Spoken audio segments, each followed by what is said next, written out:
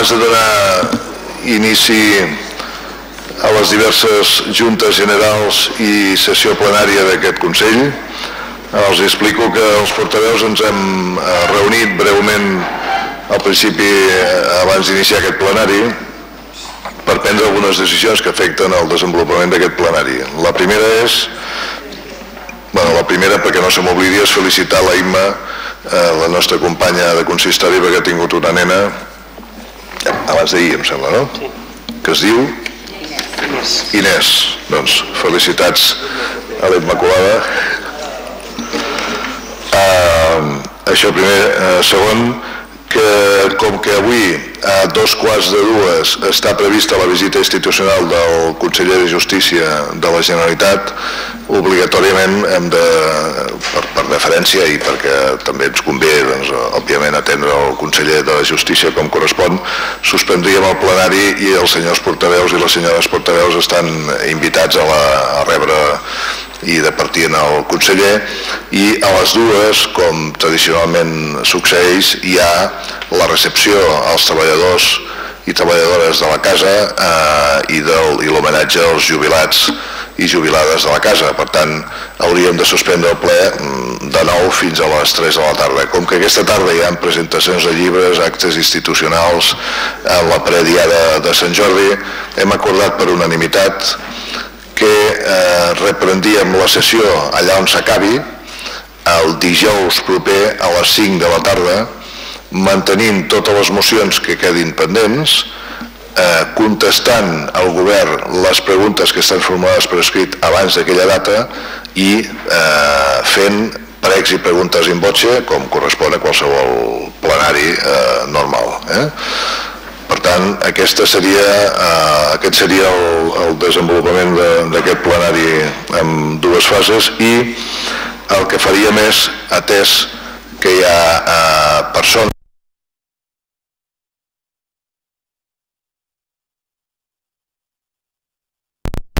que hi ha expectació, els grups han demanat que la moció 7.2 que és la referent a Corsini, 7.3, la referent als abocadors, 7.10, la referent al tema BDS Israel, la 7.9, referent a Canvies, i la 7.22, eh, siguin debatudes al principi, eh, alterant l'ordre del dia. D'acord? Molt bé, doncs iniciem l'ordre del dia de la sessió plenari del dia d'avui amb la Junta General Extraordinària de l'Empresa d'Aparcaments Municipals de Tarragona S.A. 1. Aprovar l'acte de la sessió anterior. S'aprova? Aprovada? Perdoni? Ah, vol, vol intervenir? Ah, té la paraula el senyor A la pàgina 86 hi ha equivocació, és petita perquè no passa res, però més que res perquè... A la, perdoni? Pàgina 86. 86 de l'acte, eh? Sí. Digui, a la part de baix, on diu la senyora Estrada, ha de veure el senyor Martí. Ah. No, és, no, és, no, és, no és menor, però no és menor. Allà on diu la senyora Estrada, a la pàgina 86 de l'acte... Ah, esteu parlant de l'acte del ple, no, parlem de la Junta General d'Accionistes de l'empresa d'aparcaments, eh? Després ho diu, si no li importa. Torno a començar. Ordre del dia de la Junta General Extraordinària de l'Empresa d'Aparcaments Municipals de Tarragona S.A. 1. Eh, aprovar l'acte de la sessió anterior. S'aprova? Aprovat. 2. Nomenar administrador. S'aprova? No s'aprova? Eh, vol procedir a votació, senyor secretari? Grup Municipal d'Unió Democràtica de Catalunya. Grup Municipal d'Iniciativa Esquerra Unida. Sí. Grup Municipal de la Candidatura d'Unitat Popular. No. Grup Municipal de Convergència i Unió. No. Grup Municipal del Partit Popular. Sí. Grup Municipal d'Esquerra Republicana de Catalunya. No. Grup Municipal de Ciutadans Tarragona. No. Grup Municipal del Partit dels Socialistes de Catalunya. Sí. Per tant, s'aprova per 14 vots a favor i 12 vots en contra. Molt bé. Passaríem, doncs, a l'ordre del dia de la Junta General Extraordinària de l'Empresa Municipal de Mitjans de Comunicació de Tarragona. 1. 1. Aprovar l'acte de la sessió anterior. S'aprova? Aprovada. 2. Eh, nomenar administrador. S'aprova? No? Reproduïm la votació anterior, senyor secretari i senyors portaveus. Sí? Donem per reproduir doncs, la votació anterior si ningú s'ha absentat del plenari, que sembla que no. Passem, doncs, a l'ordre del dia de la Junta General Extraordinària de l'Empresa Municipal de Desenvolupament Econòmic de Tarragona. 1.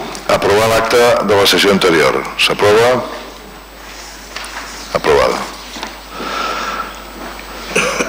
Tanquem l'ordre del dia de l'empresa de desenvolupament, ordre del dia de la Junta General Extraordinària de l'Empresa Municipal de Transports Públics de Tarragona. 1. Aprovar l'acte de la sessió anterior. S'aprova? Aprovada. 2. Nomenar administrador. Reproduïm el sentit de la votació de les dues primeres votacions. Doncs donem per reproduït si no ha sortit ningú del plenari, que sembla que no. Cloem així l'ordre del dia de transports públics i obrim l'ordre del dia, comencem l'ordre del dia de la Junta General Extraordinària del Servei Municipal de l'Habitatge i Actuacions Urbanes. 1. Aprovar l'acte de la sessió anterior. S'aprova? Aprovada. 2. Nomenar administrador. Repetiríem el sentit de les votacions anteriors. Sí?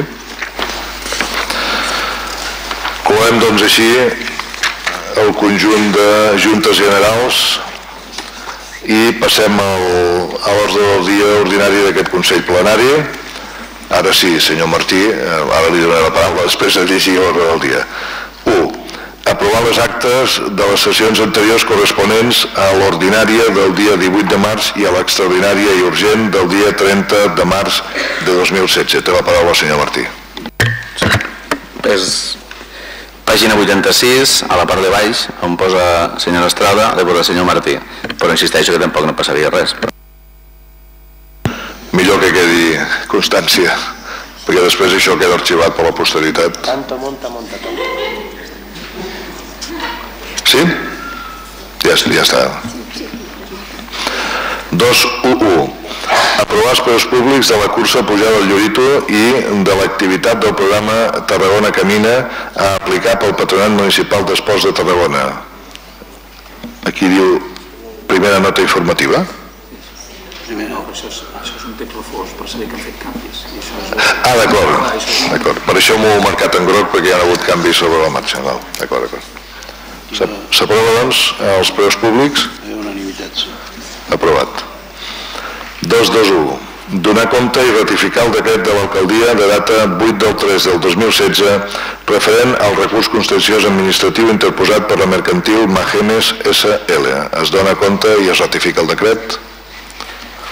Uh, vol procedir a votació, senyor secretari? Grup Municipal d'Unió Democràtica de Catalunya? Sí. Grup Municipal d'Iniciativa Esquerra Unida? Sí, Grup Municipal de la Candidatura d'Unitat Popular? No. Grup Municipal de Convergència i Unió?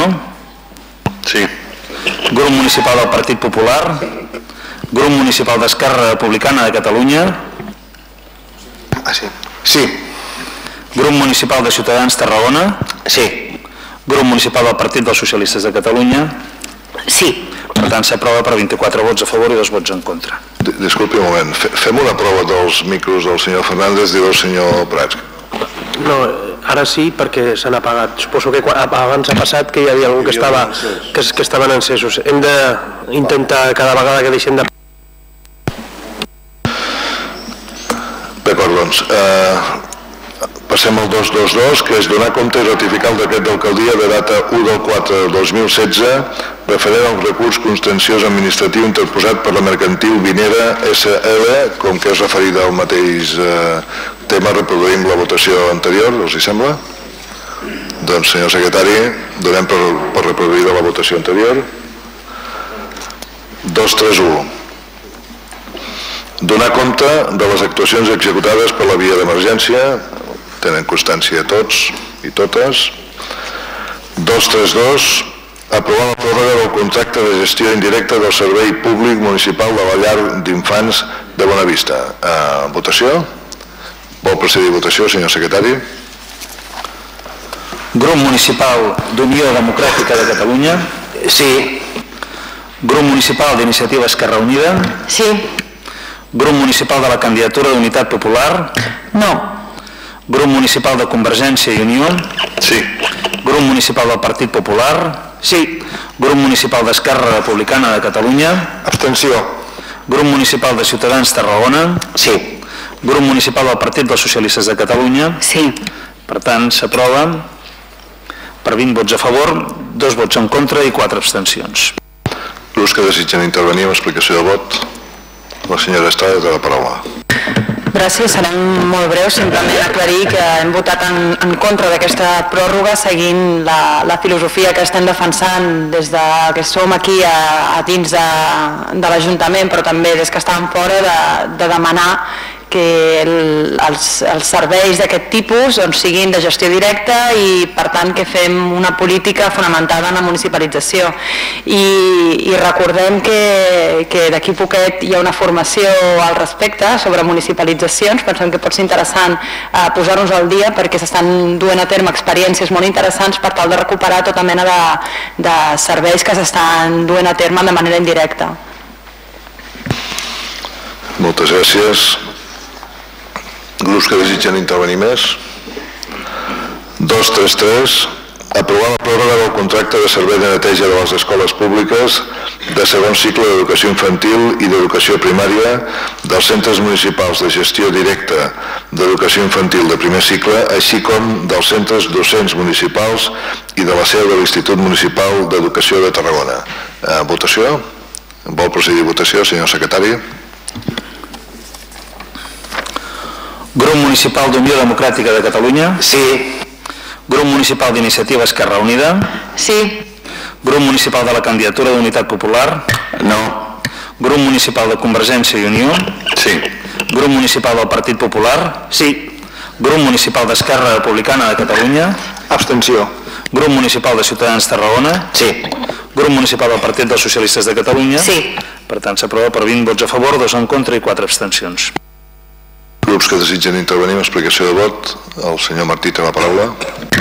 Sí, tal com hem explicat abans, i per això suposo que ens confonen els, els noms, eh, la, la, en aquest cas la mostra és absolutament per la muni- municipalització, per les dues bandes, tant per la banda precisament que fa l'IMET, és a dir, que, que evidentment eh, és una entitat municipal, com també eh, el que fa eh, la gent que aquí a Tarragona s'encarrega de netejar la via pública, que pensem que un cop estiguin municipalitzats també hauríem d'incloure dintre del mateix contracte, aquest contracte de la brossa, que un dia canviarà la neteja de totes les seus, en aquest cas, eh, municipals. Moltes gràcies. Anem, anem en compte que no passi com a Barcelona, que, que no governa precisament el meu partit i, i l'adjudicació del servei d'atenció domiciliària eh, se li ha adjudicat a un senyor que es diu Florentino Pérez, em sembla que es diu, no? Dos, dos no, aquí, aquí l'atenció domiciliària no, aquí les llars d'infants. És, que, és diferent, és una mica diferent això. Dos, tres, quatre. Aprovar no, no, no, no ho dic com una crítica, ho dic com una descripció de la realitat. Eh? 2, 3, 4. Aprovar definitivament el projecte de passarel·la de Vianants Port Ciutat. S'aprova? Aprova. Perdó? Ah, votació. Vol procedir a votació, senyor secretari? Grup Municipal d'Unió Democràtica de Catalunya? Sí. Grup Municipal d'Iniciativa Esquerra Unida? No. Grup Municipal de la Candidatura d'Unitat Popular? Sí, Grup Municipal de Convergència i Unió? Sí. Grup Municipal del Partit Popular? Sí. Grup Municipal d'Esquerra Republicana de Catalunya? Sí. Grup Municipal de Ciutadans Tarragona? Sí, sí, que no. Que sí. Sí, sí, sí. Gru- Grup Municipal del Partit dels Socialistes de Catalunya? Sí. Per tant, s'aprova per 25 vots a favor i un vot en contra. El doble sí del senyor Vinyoles compta com un només, eh? Uh, les grups que desitgen intervenir amb explicació de vot, la, la senyora Sentís té la paraula. Gràcies, senyor alcalde. És evident que he de fer una explicació de vot, atès que sóc l'únic grup municipal que ha votat en contra. Intentaré explicar-me bé. Jo crec que teníem com a ciutat una necessitat que és evident de superar una barrera arquitectònica, la barrera arquitectònica que representen les, les vies per accedir a la façana marítima. I també teníem una oportunitat, l'oportunitat que el port estava interessat a fer-ho, tenia la voluntat de fer-ho i que a més se'n fa càrrec de l'obra, és a dir, que no ens costaria diners. Fins aquí doncs, tot sembla perfecte i idíl·lic. Però és que resulta que jo allò de a caballo regalado no le mires el dentado penso que, que va ser que sí, que, que se le tienen que mirar los dientes, no només els dent, les dents, sinó mirar si realment el que t'estan regalant és un cavall, és un ruc, és un hipopòtam, perquè al final te queda i val la pena ser molt curós. A banda de consideracions que no hi entraré d'accessibilitat, si és o no el lloc més adequat, l'emplaçament més adequat, jo crec que hi ha una cosa que en una ciutat com Tarragona és fonamental. Allò del caballo regalado no le mires el dentado en català es diu el gust de qui paga vesteix Antonet. Precisament el que ens passa a nosaltres és que a Tarragona no es pot permetre el luxe de vestir a gust de qui paga, perquè un dels valors que realment tenim nosaltres és precisament la nostra imatge en una ciutat com la nostra, que està conformada amb un conjunt històric, que dona una silueta determinada, un paisatge, allò que en diuen ara una skyline. I aquest projecte jo crec que té un impacte fort en el paisatge urbà, d'una zona més que és una zona molt representativa, la zona del balcó del Mediterrani, del mar i que tot allò que implica un impacte sobre aquesta imatge val la pena que ens ho passem bé, molt bé perquè quedarà. És evident que no ens costarà diners, però ens costarà potser unes altres coses i valdria la pena que ens ho haguéssim mirat millor. Jo crec que aquesta intervenció tindrà un impacte fort. I reconec d'entrada que la meva posició aquí simplement és simbòlica i que a banda estic parlant d'una qüestió de gustos i que puc estar absolutament equivocada. Però clar, en absència d'uns criteris que siguin objectius i que siguin estables sobre com hem de tractar aquest paisatge urbà tan fràgil, tan delicat que tenim, l'única cosa que puc fer és expressar una opinió mentre demano que ens pensem bé que d'ara en endavant qualsevol intervenció que pugui tenir un impacte en el paisatge urbà ens l'haurem de mirar molt bé amb uns criteris que tinguem prèviament fixats i establerts. Gràcies. Miri, no és, no és un regal del que no haguem mirat el contingut. projectes de la ciutat de Tarragona i els tècnics i l'autor que és, com diu vostè, entre cometes, un regal, perquè és cert que ho paga l'autoritat portuària. Aquesta és una oportunitat històrica que, que aquest alcalde no es deixarà perdre. Eh, durant molt de temps hem dit no, no, no fem res, no fem res, perquè com que al final això soterrarà el tren i ens hem anat enganyant tots plegats. I la realitat és que la Rambla i el centre de la ciutat no tenia connexió directa amb la principal platja urbana que tenim, que és la platja del Miracle. Però és que a més a més li diré una altra cosa, és que aprofitant això es transformarà i es reformarà en profunditat el passeig de, del Miracle, que també ho farà l'autoritat portuària. Per tant, eh, en primera línia de mar i probablement en l'espai verd, natural, per excel·lència de la nostra ciutat, que és on va tothom a passejar i a, a caminar en bici, hi haurà una gran transformació. Em sorprèn que em digui vostè això quan resulta que la, la, la passera s'ha procurat posar el més propera possible a una, via, a una xarxa de catenàries horrorosa que hi ha a l'estació. Per tant, hem tingut durant gairebé un segle una xarxa de catenàries, i abans quan hi havia l'estació de classificació a la punta, al costat de la punta del Miracle encara era pitjor, eh, que no ens molestava ningú. Per què? Perquè formava part del paisatge urbà. S'ha tingut en compte diverses qüestions. Primera, l'accessibilitat, evidentment. Segona, la facilitat de connexió. Tercera, la connexió directa en, en, el, en el passeig del miracle, no una connexió indirecta o derivada a través d'algun intermediari, alguna intermediació. I, i la última, i per mi jo crec que la més important, és que no faci molt bé l'skyline o la línia del balcó del Mediterrani, que aquesta sí que és una línia estètica medular i simbòlica i emblemàtica de la nostra ciutat. En cap cas hem volgut ni posar unes, hi havia propostes, eh? ni posar una escala mecànica sobre la, baixada, la part alta de la baixada del Toro, que seria la més raonable, la més immediata, però això sí que hagués destrossat l'Skyline, ni un ascensor sobre el balcó, perquè això sí que era trencar aquesta visió. I li he de dir que té el pronunciament, el vistiplau eh, de tothom, inclòs, per això hem tardat tant, eh, la Comissió de Cultura de la Generalitat que s'hi va pronunciar, si no recordo malament, senyor Milà, fa dues setmanes, no?, aproximadament. Per tant, eh, té tots, pronunciaments, tots els pronunciaments a favor i s'ha treballat molt i molt i molt amb eh, tots els tècnics de la ciutat i de l'autoritat portuària. I per fi podem dir que l'any vinent la ciutat i el centre de la ciutat connectarà eh, amb la platja del Miracle i el seu entorn. 241. Declarar que les obres... Perdoneu, aquí com hi ha tema de l'ICIO, us sembla que llegeixi els tres de corregut i els votem conjuntament? 241. Declarar que les obres consistents en la renovació de les baranes interiors actuals a l'escola César August situat al carrer de Joan Baptista Plana 9 estan incloses dins els supòsits d'aplicació de la bonificació del 95% de l'ICIO. 242. Declarar que les obres consistents en la rehabilitació de les façanes de l'edifici situat al carrer de Miser, Nogués número 13 estan incloses dins els supòsits de l'aplicació de la bonificació del 95% de l'ICIO. I 243 declarar que les obres consistents en la construcció d'un habitatge unifamiliar aïllat a la via Augusta 149 de Tarragona estan incloses dins els supòsits d'aplicació de la bonificació eh, del 31,75% de l'ICIO. S'aproven aquestes tres bonificacions? Aprovades.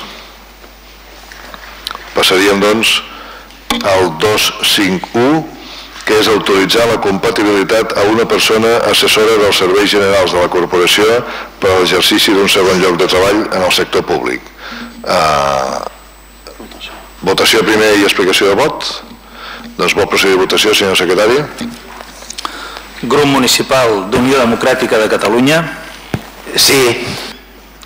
Grup Municipal d'Iniciativa Esquerra Unida. No. Grup Municipal de la Candidatura d'Unitat Popular. No. Grup Municipal de Convergència i Unió? Sí. Grup Municipal del Partit Popular? Sí.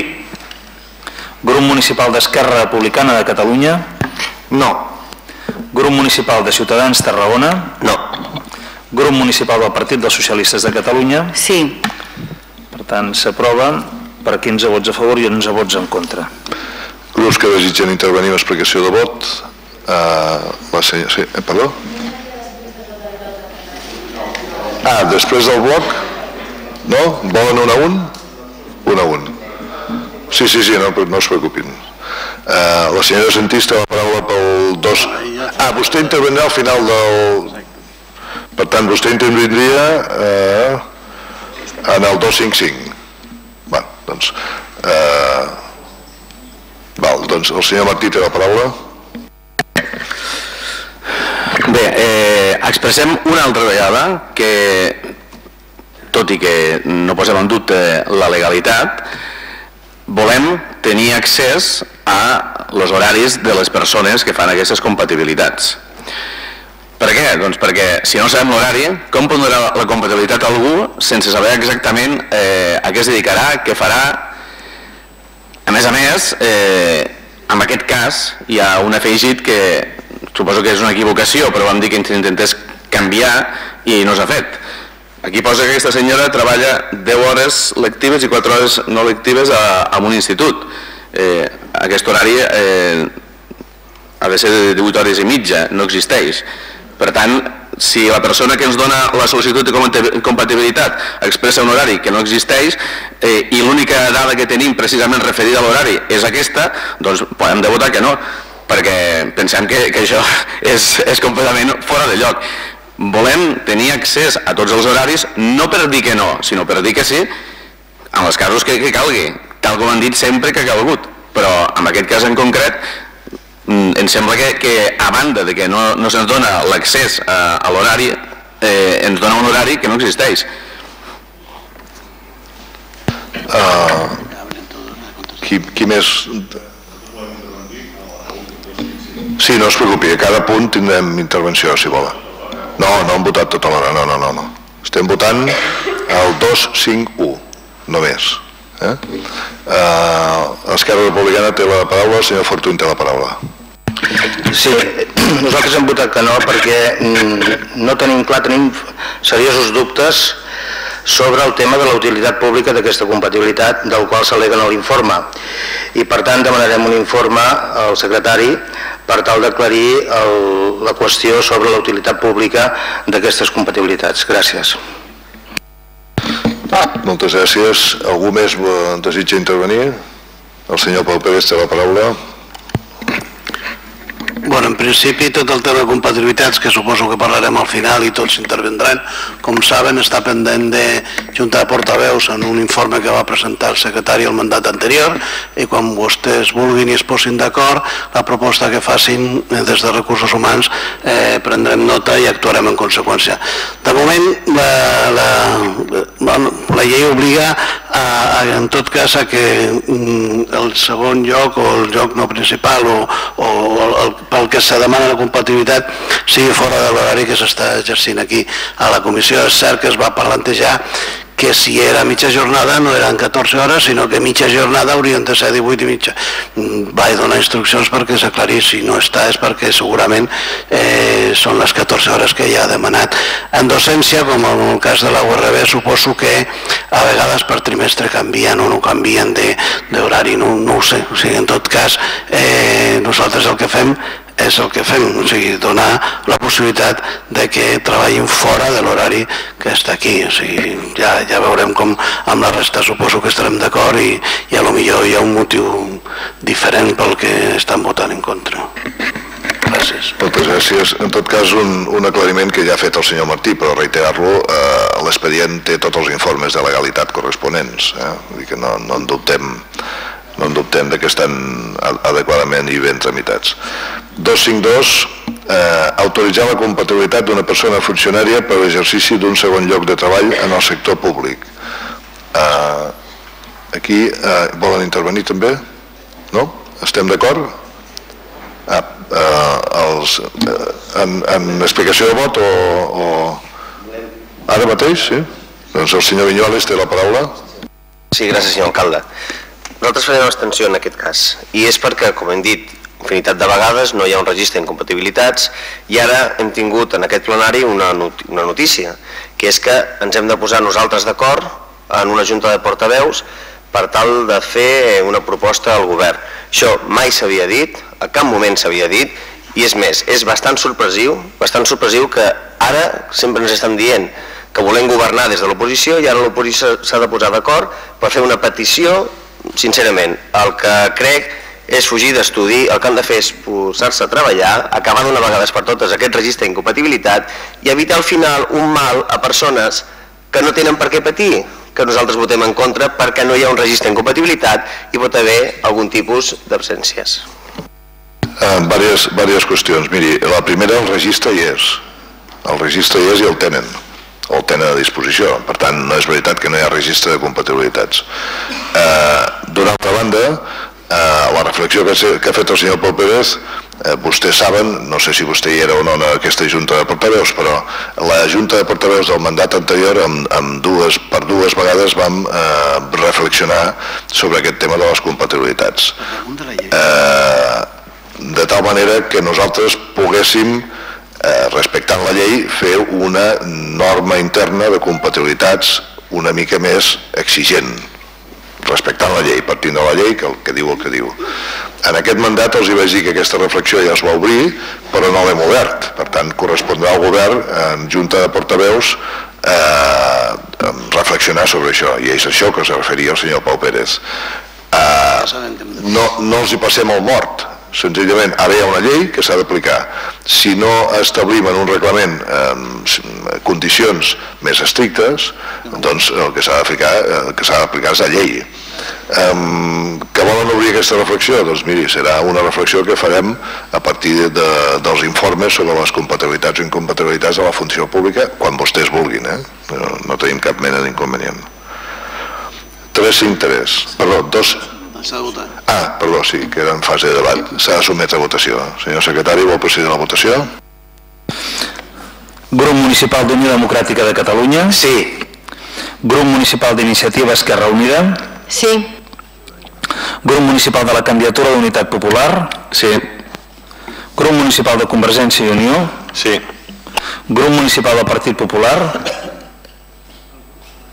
Ara. Algú té encès? No, ja està, ara ja està bé. Sí.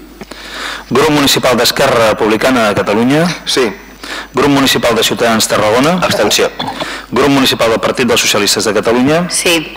Per tant, s'aprova per 22 vots a favor i 4 abstencions.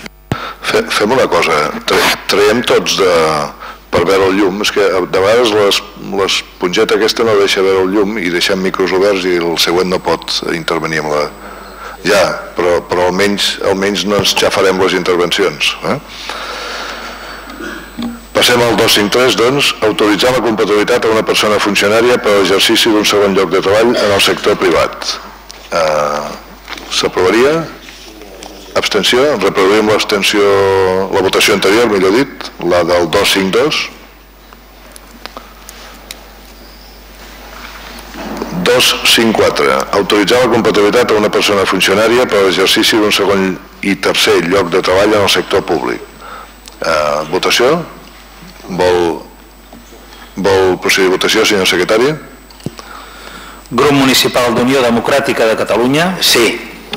Grup Municipal d'Iniciativa Esquerra Unida. Sí. Grup Municipal de la Candidatura d'Unitat Popular. No. Grup Municipal de Convergència i Unió. Sí. Grup Municipal del Partit Popular. Sí. Grup Municipal d'Esquerra Republicana de Catalunya. Abstenció. Grup Municipal de Ciutadans Tarragona. Abstenció. Grup Municipal del Partit dels Socialistes de Catalunya. Sí.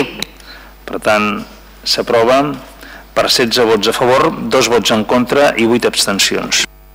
Grups que desitgen intervenir en aquest eh, punt? El senyor Martí té la paraula. Em vota que no per tres coses. Un, perquè la persona que demana la compatibilitat eh, se'n va informar que tenia com a feina principal la de cap de l'empresa municipal de mitjans de comunicació. I aquí... Perdó. No, no, aquest no és el punt, senyor Martí, és el següent. Doncs ens hem equivocat. Què et passa avui? Estem una mica, una mica desorientats avui. Pues llavors jueves hem de canviar la votació.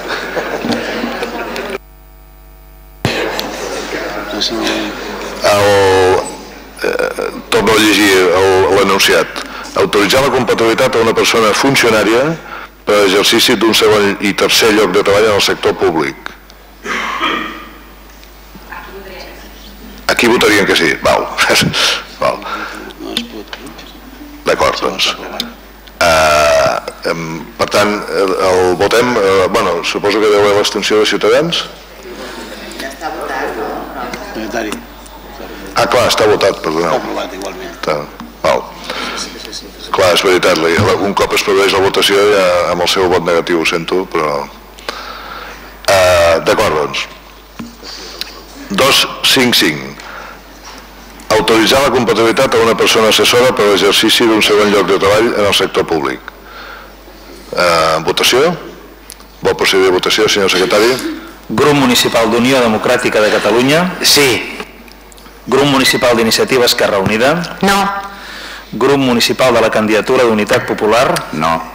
Grup Municipal de Convergència i Unió. No. Grup Municipal del Partit Popular. Espera, que no ha pagat. Senyor Avelló. Uh, Avelló, senyor Avelló. Sí. Grup Municipal d'Esquerra Republicana de Catalunya. No. Grup Municipal de Ciutadans Tarragona. No. Grup Municipal del Partit dels Socialistes de Catalunya. Sí. Es, es produeix un empat a 13 vots, s'ha de procedir a una segona votació. Grup Municipal d'Unió Democràtica de Catalunya. Sí. Grup Municipal d'Iniciativa Esquerra Unida. No. Grup Municipal de la Candidatura d'Unitat Popular. No. Grup Municipal de Convergència i Unió. No. Grup Municipal del Partit Popular. Sí. Grup Municipal d'Esquerra Republicana de Catalunya. Grup Municipal de Ciutadans Tarragona. No. Grup Municipal del Partit dels Socialistes de Catalunya. Sí. Eh, es torna a produir l'empat, decideix el vot de qualitat de l'alcalde. Doncs uh, a favor. Queda aprovat. Grups que desitgen intervenir amb explicació de vot. D'acord. La senyora Sentís té la paraula. Gràcies, senyor alcalde. A veure, jo crec que aquí el tema és com se justifica la utilitat pública i aquest és també el, el punt en el que ens vam encallar quan vam estar parlant l'anterior mandat de com fèiem el tema de les compatibilitats, que evidentment la llei dona unes possibilitats, però jo no crec que nosaltres volguéssim ser més exigents. Això és, un, això és discutible. És, és igual, vostè té una opinió, jo en tinc una altra sobre el tema. Eh, jo crec que s'ha de justificar molt bé quina és la utilitat pública del fet de que una persona estigui treballant a, dos, a dues administracions al mateix temps o tingui dos treballs públics. Nosaltres sempre hem votat en contra de la gent, que, de, de les compatibilitats de persones que eren funcionàries de l'Ajuntament i anaven a treballar en una empresa pública del mateix Ajuntament. No per res, sinó perquè implicava que teníem una mala organització, perquè si fem una empresa per després contractar algú que ja treballa a l'Ajuntament alguna cosa no funciona. En aquest cas jo crec que ja ho hem superat això, perquè estem fent compatibilitat a persones que treballen amb l'administració per fer d'assessors. Això ja entra en un terreny que jo diguéssim que ja ho de passa i comença a ser una miqueta lleig. Però a banda d'això, en un dels casos en concret estem parlant de l'empresa de mitjans de comunicació i estem parlant de la figura d'un gerent. A veure, si la- si l'empresa municipal de comunicacions pot passar amb un gerent a estonetes, a lo millor és que no necessita un gerent. I d'això en parlarem. En parlarem al Consell d'Administració de l'empresa municipal de mitjans de comunicació. I en parlarem amb números on s'ha de parlar.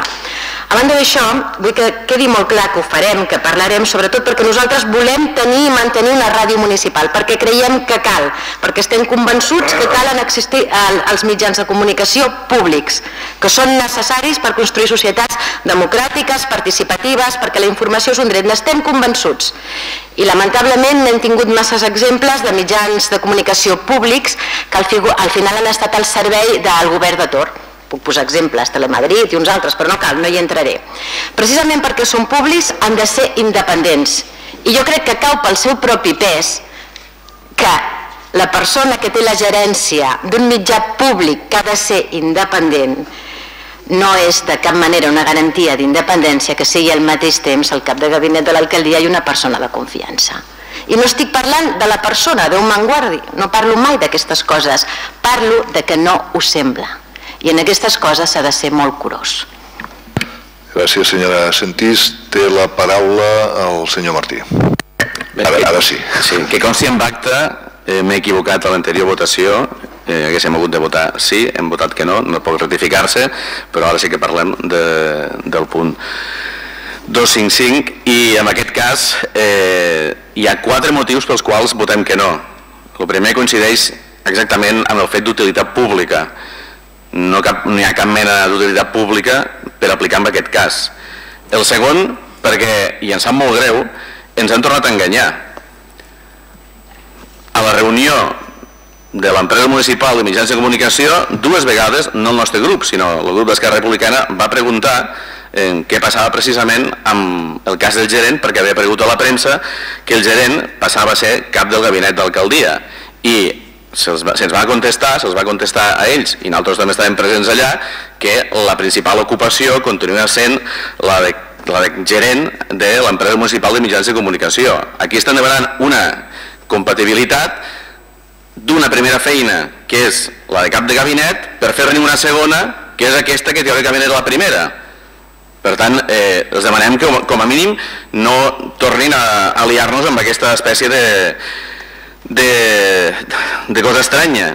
Tercer i principal, no és ètic que el cap de l'empresa municipal de mitjans de comunicació, de la ràdio municipal, sigui cap de gabinet d'alcaldia. I no ho és, sigui qui sigui la persona, i sigui quin sigui el partit. No ho és. I quart, que vam demanar saber quan cobrava, perquè clar, amb dos càrrecs eh, d'aquest nivell, doncs volíem saber-ho. I tampoc se'ns va donar la dada. Per tant, per aquestes quatre coses es veiem obligats a votar que no. Gràcies. Eh, grups que desitgen més intervenir. El senyor Balló té la paraula. Sí, moltes gràcies, eh, senyor Ballesteros. Segurament no, no podré afegir gaires coses més de les que han afegit els meus companys eh, anteriorment amb les seves exposicions, però com a grup municipal de Convergència i Unió voldríem insistir, bueno, primera, que no tenim absolutament res eh, en contra del senyor, de la persona que estem parlant, creiem que és un bon professional, eh, dir, personalment jo hi tinc molt bona relació i sé que qualsevol de les dues coses indistintament les pot fer ben fetes, o una o l'altra. El que passa és que ajuntar les, du les dues considerem que ni és ètic ni, ni és estètic, eh, és evident eh, entenem de que si aquesta persona ha de desenvolupar la seva tasca com a cap de gabinet d'alcaldia, evidentment o, o s'hi ha de dedicar en cos, i ànima, en cos i ànima, és una tasca que requereix dedicació i intensitat, és molta responsabilitat i que difícilment doncs, eh, podrà complementar amb tasques de gerència de l'empresa municipal de, de comunicació ho veiem molt complex, a banda de que ni és ètic ni és estètic.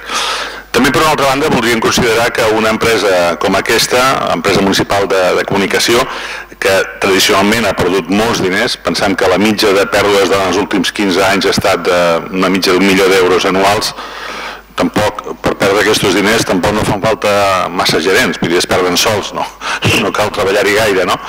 Eh, en tot cas, si tingués que haver un gerent, tindria que ser un gerent dedicat en cos i ànima al 100% per intentar minvar notablement aquesta, aquest dèficit que arrossega aquesta, aquesta empresa. Per tant, considerem, nosaltres hem votat que no, perquè veiem que, no, que aquest plantejament no és gens correcte, que ens agradaria que si evidentment ha de fer la feina de, de cap de veïnat que la faci, que es pot buscar dintre de la mateixa empresa alguna persona que provisionalment en aquest temps pugui desenvolupar les tasques de gerència, però si més no, doncs compaginar les dues coses alhora no ho veiem prudent. Més grups que desitgen intervenir. El, el senyor Alejandro Fernández té la paraula. Moltíssimes gràcies, president. Si eh, l'equip de govern hagués portat avui un punt de l'ordre del dia de la contractació d'un nou gerent de l'empresa de mitjans de comunicació perquè l'anterior hagués passat a, a gabinet d'alcaldia, què haurien dit eh, tots vostès? Més contractació, més despesa i eh, el reguitzell de eh, retrets de cada dia. Segur, segur. Són fan de perro de l'hortelano, ni comen ni deixen comer. Fem el que fem, ho critiquen, ei, estan en el seu dret i evidentment fan d'oposició. Però aquí s'ha dit una cosa, perquè clar, això de llançar la pedra i amagar la mà eh, és molt fàcil, no? perquè es diu no, no posem en entredit la persona, sí, però el debat mediàtic acaba parlant de la persona. I, i si no, i miri, la, la, senyora Sentís, a, a vostè l'exclouré, i l'exclouré del, del que diré ara. L'exclouré perquè entenc que vostè sí ha fet una, un, una menció sincera del que, del que ha dit, però en d'altres casos, pel que ens consta, no. I per tant, plantejaré una opinió personal fruit d'una llarga experiència municipal, en la qual ens ha tocat fer d'oposició en una època amb un govern amb majoria i per tant una època dura, fer d'oposició doncs és dur, després una altra època amb un govern en minoria i ara en el govern dintre. I en totes aquestes etapes el senyor Bonet era el gerent de l'empresa de mitjans de comunicació. En etapes en les quals fins i tot la relació govern-oposició quan estava a l'oposició era agra, perquè ho va arribar a ser, mai vam tenir cap tipus de queixa de la professionalitat i neutralitat en la gestió de l'empresa de mitjans de comunicació del senyor Bonet i per tant vull trencar una llança al seu favor. Insisteixo, en èpoques en les que els retrets entre de, algunes de les persones que estem en aquesta taula eren el pa nostre de cada dia.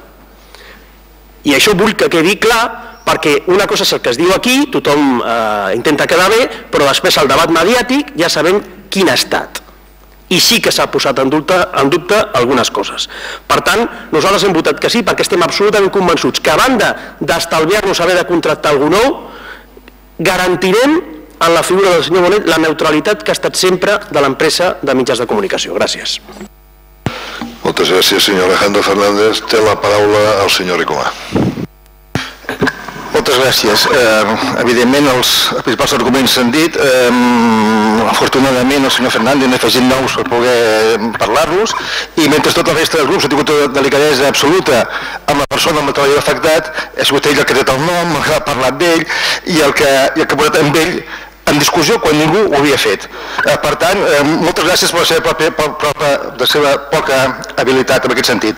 Eh, no es tracta de parlar de la persona, la persona tots sabem, tots sabem, tots l'hem tractat i tots reconeixem que hem fet, no amb ella, a tot el conjunt de treballadors de, de les empreses municipals de comunicació. Em sembla que a Ràdio Municipal tots hi participem, tots ens trobem com a casa nostra i ningú té la mínima queixa. Altra cosa és que aquest senyor, a partir d'ara, té una feina molt important, molt important, que és la mà dreta de, de, de, de l'alcalde, una feina d'enorme responsabilitat, una feina en què possiblement, possiblement, perquè la vida és així, no podrà ni dir ni fer tot allò que voldria dir fer i a la vegada que aquesta persona és la garant de la confiança en temes molt delicats ha de ser la garant de la transparència a l'empresa municipal eh, com a màxim dirigent. Eh, és una feina dificilíssim. Jo crec que vostès amb ell hi fan un, un, un, un, un molt mal favor un molt mal favor perquè posa en una situació complicada. Avui mateix s'ha vist, aquest senyor feia cap falta que avui sortigués aquí anomenat com objecte de debat i vostès l'acaben de posar. Mm, hi ha dubtes, eh? generen dubtes com, com per exemple el que, que el senyor Belló i altres. Eh, per què eh, un senyor pot estar estones fent una feina eh, com, a, com, com a gerent en una empresa que perd diners? Eh, feia falta aquesta gerència? Això que ho has pogut agafar l'agrupació d'empreses? Eh, per què l'agrupació d'empreses existeix? Eh, tots ens preguntem, no? perquè moltes vegades anem, anem a, a consells de l'agrupació d'empreses i veiem que el temps passa i ens falta definir feines concretes. Eh, tot, tot, tot plegat estan vostès posant al senyor Bonet amb, davant de l'opinió pública amb una situació que crec que ni ell personalment es mereix ni crec que mereix els mitjans de comunicació de la ciutat. Jo crec que el millor que podríem fer és retirar aquesta compatibilitat, donar tota la confiança com a, com a cap de gabinet, que segur que ho farà molt bé, tant bé que ho ha fet com a, com a, com a gerent de mitjans de comunicació, però sobretot no pot ser a la vegada la persona de màxima confiança, la persona que ha de, que ha de administrar situacions molt complexes i a la vegada el garant de la transparència i de la comunicació. Té la paraula el senyor Rubén Vinyoles. Alcalde, per mi és un, és un tema trist, és un tema trist, conec a la persona implicada, l'única persona que ha dit el nom és el senyor Fernández, cap de nosaltres ha dit el nom, per respecte, escolti, el que vostè cregui o sortir dels mitjans o que l'han llegit tothom als mitjans, ho pot suposar vostè, no pot saber del cert. El que jo sí sé del cert és que és una situació trista perquè vostès, sincerament, quan estan reunits i parlaven de fer aquesta possibilitat, no es van plantejar el fet de que la mà dreta de l'alcalde sigués també el gerent dels mitjans de comunicació públics de la ciutat, no podia provocar alguna suspicàcia. No podia posar, potser en dubte, ni que sigui posar en risc. El mer fet de posar en risc ja seria un problema. La possible independència dels mitjans de comunicació municipals que paguem tots no s'ho van plantejar sincerament els, els hi tinc, sincerament, per persones intel·ligents.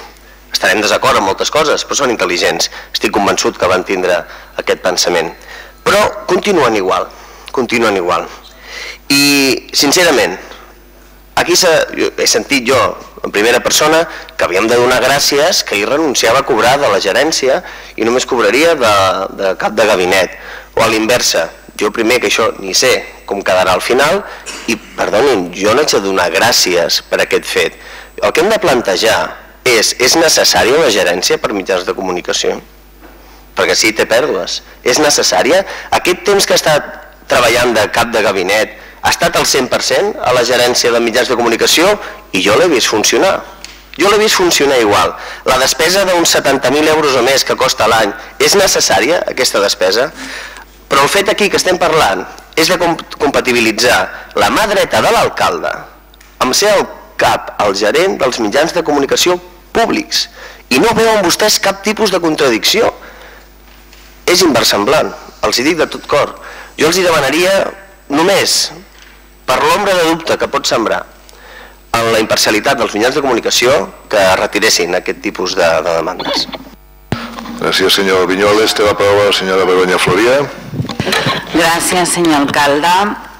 Vaig a situar primer de què estem parlant. Estem parlant d'un càrrec de responsabilitat i de gerència a l'empresa municipal de mitjans que per tant, en el moment en què es perdés aquesta confiança en aquest càrrec concret, es pot qüestionar a partir d'un Consell d'Administració, per tant és un càrrec eventual, com tots els d'alta direcció, i estem parlant d'un càrrec de confiança que en tot cas serà l'alcalde el que haurà de definir si té la confiança o no, perquè cap de gabinet serà l'alcalde el que haurà de definir si li serveix o no les funcions que fa i no crec que hi hagi d'haver ingerències de la resta de grups en decidir com organitza l'alcalde el seu gabinet. Per tant estem parlant d'un càrrec eventual, no estem fent un funcionari de carrera, no estem donant una estructura fixa per sempre, no, no, és un càrrec eventual.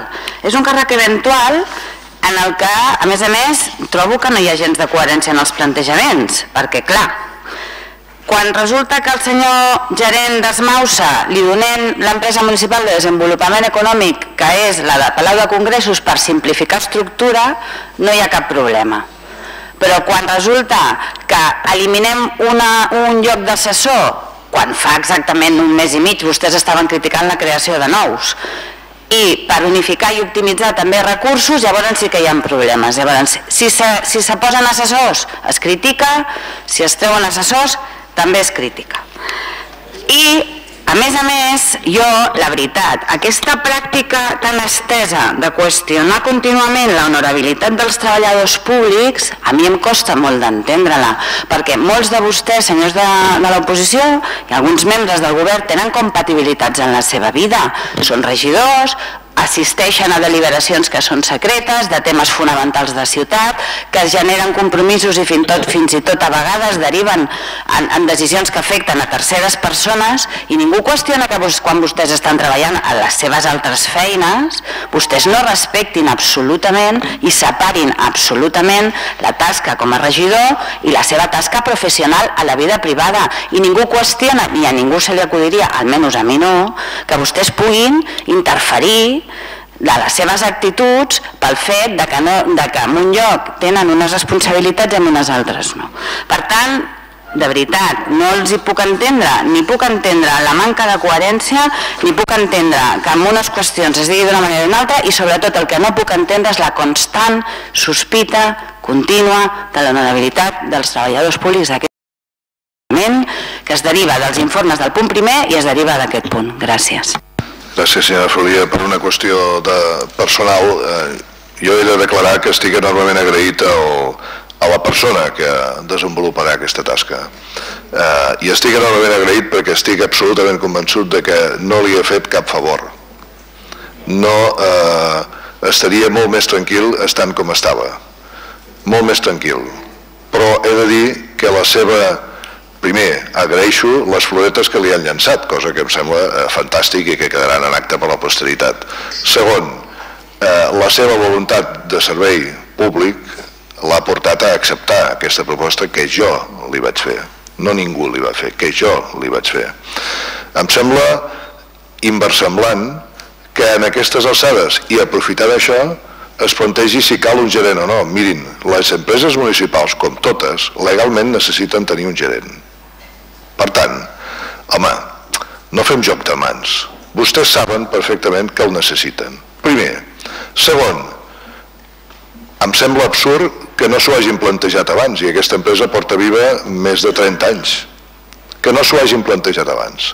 Tercera, és veritat que els serveis públics de mitjans de comunicació són importants i em sembla que vostès mateixos es tenen en molt poca cosa quan no consideren que la política informativa és dels consells d'administració on hi ha tots els representants dels grups polítics.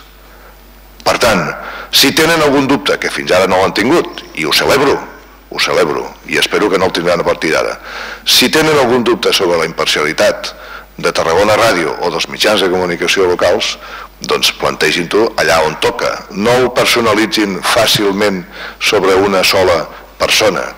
I després, home, mirin, com a conseqüència d'això, el que sí que vam tenir molta cura és que el resultat de tot això és que ens estalviarem bastants diners.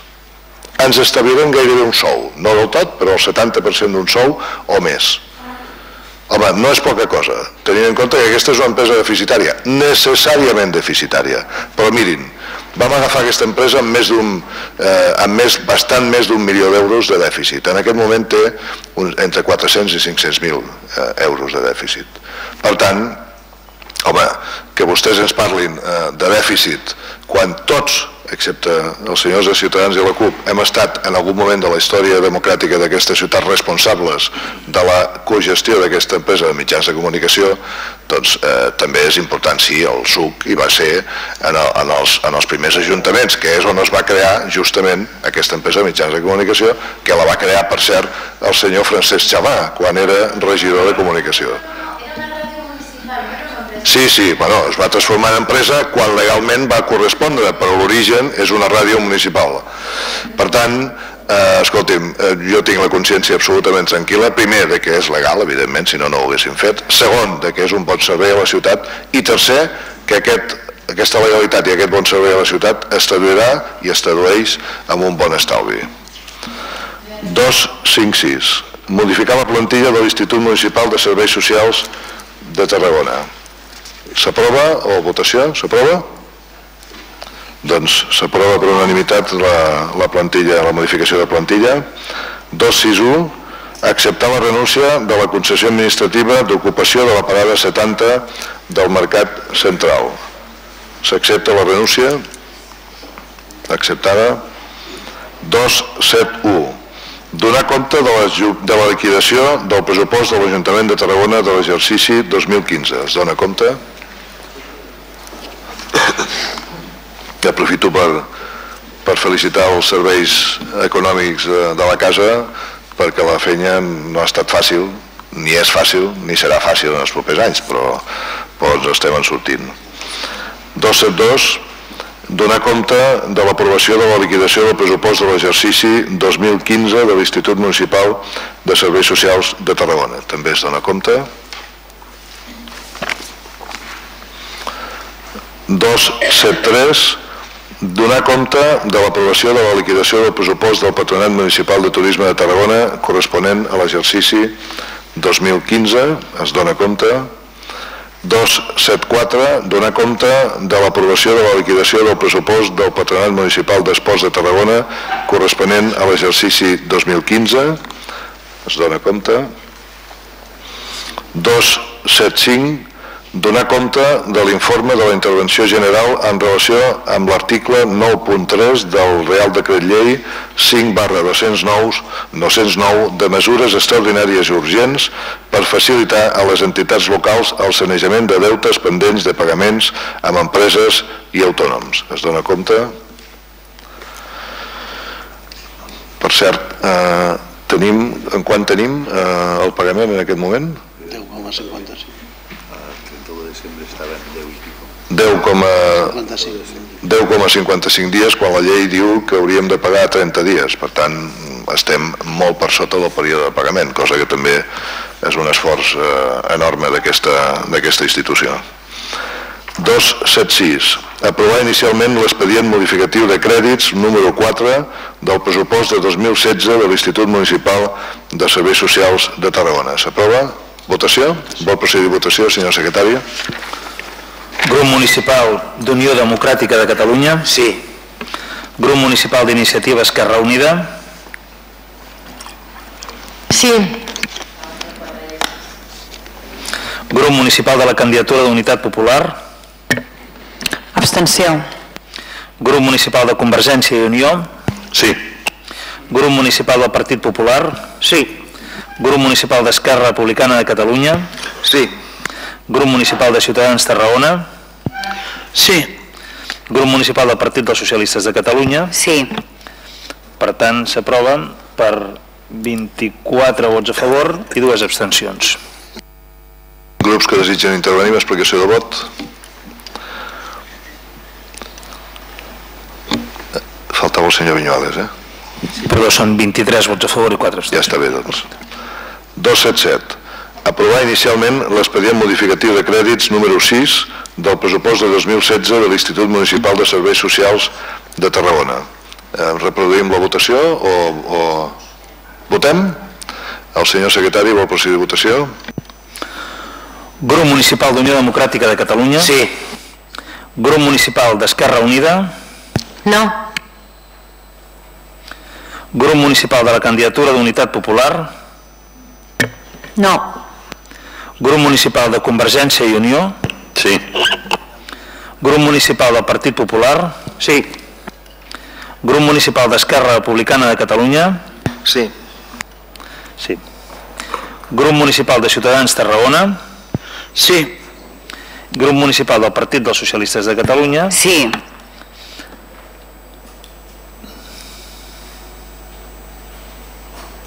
Per tant, s'aprova per 22 vots a favor i 3 vots en contra.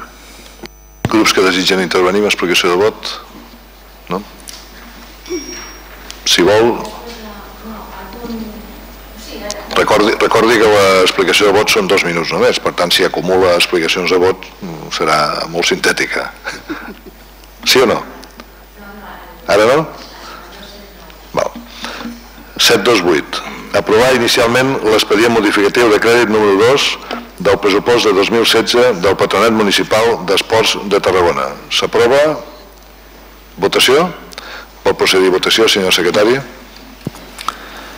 Grup Municipal d'Unió Democràtica de Catalunya. Sí. Grup Municipal d'Iniciativa Esquerra Unida. No. Grup Municipal de la Candidatura d'Unitat Popular. No. Grup Municipal de Convergència i Unió. Sí. Grup Municipal del Partit Popular. Sí. Grup Municipal d'Esquerra Republicana de Catalunya. Sí. Grup Municipal de Ciutadans Tarragona. Sí. Grup Municipal del Partit dels Socialistes de Catalunya. Sí. Sí. Per tant, s'aprova per 23 vots a favor i 3 vots en contra. Grups que desitgen intervenir amb explicació de vot en aquest. Eh, la senyora Estrada té la paraula. Gràcies, alcalde. Ens eh, hem votat en contra de, del punt 277 i el punt 278. Ho vam explicar en els respectius consells eh, rectors. Nosaltres entenem que, que, segueixen, que vostès segueixen la norma i que és el que toca fer, però nosaltres no estem d'acord amb que la, la principal destinació de, de, dels romanents eh, doncs sigui anar a aixugar deutes quan encara no, no tenim una auditoria del deute eh, que ens permeti veure com, doncs, com tenim en aquesta ciutat, en aquest municipi, un deute que supera els 200 milions d'euros. Per tant, entenem que és la norma, però no estem d'acord amb aquesta política deutecràtica. Sabem que els romanents venen de fa molt de temps, ens ho han explicat a, tots els consells rectors, però bueno, és una política contrària a la nostra filosofia. Moltes gràcies. Què més voldríem nosaltres que poder reinvertir els, els romanents i, i, i en part la bona gestió d'aquests eh, organismes amb, amb serveis, no? 2,9. Eh, aprovar inicialment l'expedient modificatiu de crèdit número 1 del pressupost de 2016 del Patronat Municipal de Turisme de Tarragona. Votació? Vol procedir a votació, senyor secretari? Grup Municipal d'Unió Democràtica de Catalunya. Sí. Grup Municipal d'Iniciativa Esquerra Unida. No. Grup Municipal de la Candidatura d'Unitat Popular. Abstenció. Grup Municipal de Convergència i Unió. Sí. Grup Municipal del Partit Popular. Sí. Grup Municipal d'Esquerra Republicana de Catalunya. Sí. Grup Municipal de Ciutadans Tarragona. Sí. Grup Municipal del Partit dels Socialistes de Catalunya. Sí. Per tant, s'aprova per 23 vots a favor, un en contra i dues abstencions. Grups que desitgen intervenir amb el 279. La senyora Sentís té la paraula. Sí, ho explico aquí en el 279, però de fet és l'explicació del vot del 6 al 7, mm, bueno, de, de tots els que he votat que no, per entendre'ns. Bàsicament, a veure, eh, com ha dit la senyora Estrada, hi ha unes obligacions que no depenen d'aquí, que és allò que ens mana el Montoro, que és que el romanent positiu no només de l'Ajuntament, sinó també dels patronats, etc, van a reconeixement de deutes. També és veritat que si no anessin a reconeixement de deutes ens anirien a amortització de deute. Vull dir que, de tota manera, tampoc no el podríem utilitzar com voldríem tots, suposo, i com seria lògic, aquest romanent positiu, a incrementar el pressupost de serveis socials, per exemple, perquè en el cas de l'IMS ens hauria servit doncs, per incrementar el pressupost de serveis socials. Ja sé que no es pot, que tenim una, una impossibilitat en moment eh, de fer-ho perquè no ens deixen lleis de rang superior que s'haurien de canviar perquè evidentment és injust. Però és que a banda d'això, a veure, a mi aquests, modific... a, a, aquests, aquests números em provoquen també altres reflexions. Resulta que en, en, en conjunt ens va reconeixement de deute procedent del romanent positiu de, eh, de tota la casa per entendre'ns 1.900.000 euros i d'aquests 680.000 són de l'IMS 111 del Patronat Municipal d'Esports i només 781.000 de l'Ajuntament. Vull dir que percentualment la xifra de l'IMS és molt gran. Què passa aquí? Què passa aquí sobretot quan mires després les factures que tens a reconeixement de deutes i trobes factures que es van repetint any rere any, que no estaven consignades. No totes són... Jo entenc que a vegades hi ha coses que són sobrevingudes, evidentment sempre ens passa, també ens passa a les cases, que tens despeses d'aquestes que són sobrevingudes, però quan són coses que dius, mira, aquesta factura també me la vaig trobar i també estava aquí d'aquí eh, fa dos anys o fa tres anys, potser que hi ha alguna cosa amb la gestió d'aquí d'aquí, eh? no de l'IMS, que ens permetria eh, tenir un resultat, diguéssim, més eh, curós i que d'altra banda això a la llarga també permetria augmentar la dotació de l'Ajuntament a serveis socials que fa molta falta. Algun grup més desitja intervenir en explicació de vot? El senyor Pau Pérez té la paraula. Gràcies. Eh, per ser justos, senyora Santís, vostè sap que, que el pressupost ja hem posat una partida de, prèvia per futur reconeixement de deutes de 440.000 euros. Per tant, aquests prop de 800 del romanent més els 400 fa 1.200.000, 1.300.000 i el de l'IMS són 600 i alguna Per tant, percentualment, continua aportant directament eh, l'Ajuntament, faltaria, que és, és el que li toca. En tot cas, eh, mm, ho dic perquè nosaltres el que, el que estem fent i després el modificatiu es veurà com s'aplica, el que estem fent gràcies també a aquesta aportació del mateix pressupost per, per reconeixement de deutes, podrem eh, destinar, com marca la llei, tots els remanents a reconeixement, però una part d'aquella que era pressupostària com que ja haurem complert el que marca el pla de, de sanejament de l'Ajuntament, que marca aquest milió 900, una part d'aquestes tornen a, a l'IMS i Sí, ho veurem el, en el proper. Aquí precisament hi ha una aplicació de 73.000 per una nova, eh, per un nou contracte o una modificació d'un tipus de contracte d'assistència que començarà al setembre-octubre vostè ho sap perquè ho han degut explicar al, al patronat. Per tant, el fet de que també s'hagi pressupostat he combinat amb l'obligació que teníem de que tots els remanents aportin tenint en compte que també els instituts que estan molt ben gestionats, tots, però tots tenien també algo de, de reconeixement que s'està cobrint també, petit, molt petit comparat amb, amb el seu pressupost. Eh? També el nostre, comparat amb el nostre pressupost, també és molt petit, senyora Sentís. Per tant, això ens permet eh, dotar aquestes noves eh, necessitats del, del mateix patronat com votarem després, que espero que s'aprovi. Gràcies. Moltes gràcies. Eh, passem al 2 710, que és aprovar inicialment el setè expedient modificatiu de crèdit de l'Ajuntament de Tarragona, extraordinari, suplement i baixes per anul·lació. Uh, votació? Vol procedir votació, senyor secretari? Grup Municipal d'Unió Democràtica de Catalunya.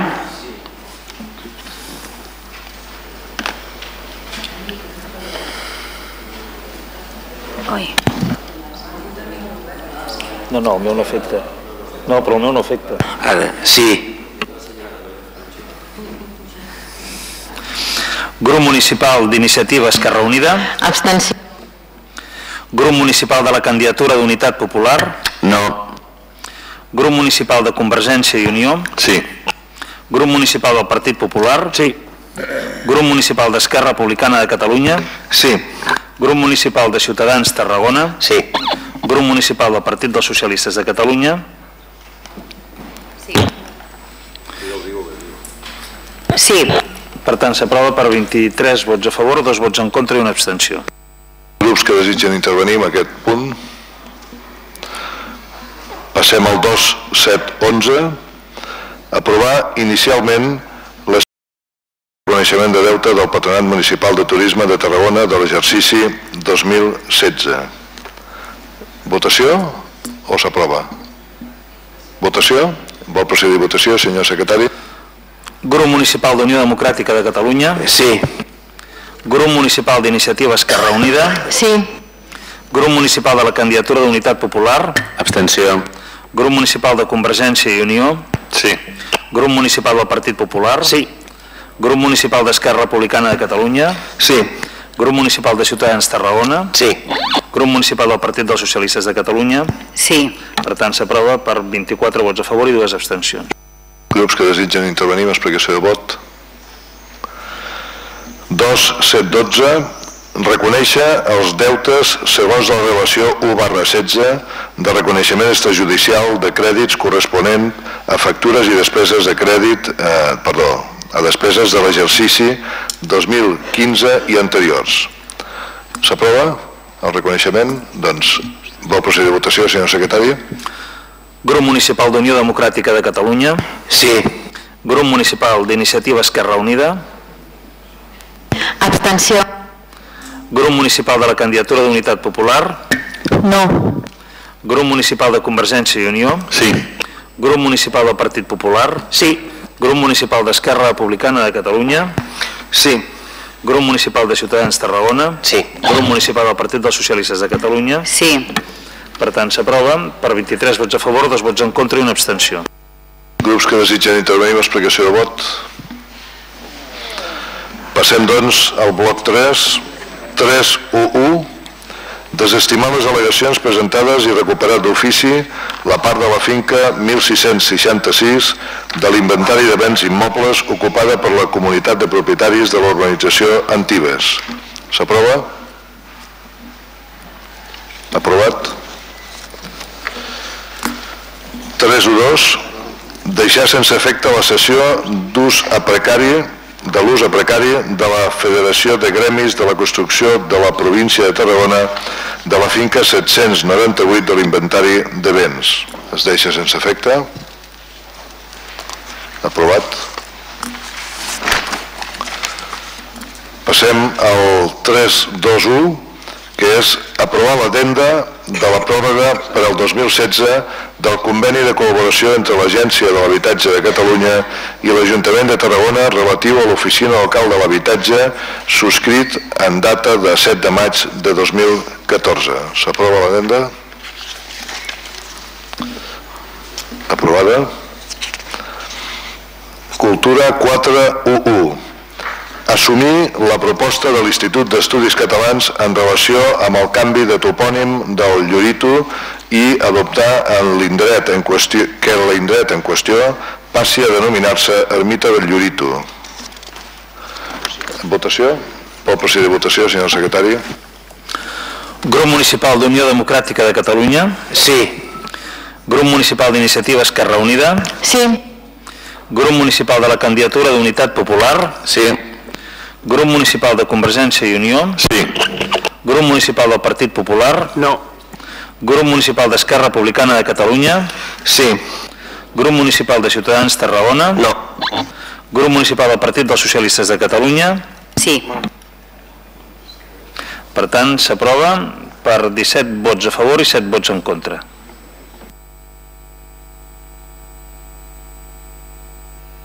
Grups que desitgen intervenir amb explicació de vot. El senyor Alejandro Fernández té la paraula. Moltíssimes gràcies, eh, president. Simplement per traslladar una, una posició més aviat simbòlica perquè no, no posarem en dubte ni l'expedient ni com s'ha fet i, i crec que el, el treball en aquest sentit no, no, no hi ha cap, cap retret a fer. Hi, hi ha discrepàncies. Nosaltres hem parlat amb, la, amb els rogacionistes que ells diuen que Loreto és un nom eh, amb identitat pròpia i que, per tant, eh, una cosa va ser la, la, la, la muntanya i després una altra cosa és l'ermita i bé, hi ha un debat sobre això. En qualsevol cas, eh, només per dir i, i parlo ja simbòlicament com una... A mi m'encanta anar a la franja de Terol eh, de parla catalana i trobar-te en els senyals Masalió, Mazaleón. La, els dos topònims, trobar-te Vall de Roures, Vall de Robles, i no hi ha cap tipus de problema. I jo crec que eh, és fantàstic que pugui posar Llorito, Loreto, com tota la vida. I jo crec que ens trobaríem tots la mar de còmodes. Gràcies. Gràcies, senyor Fernández. Té la paraula el senyor Robert Sí, alcalde.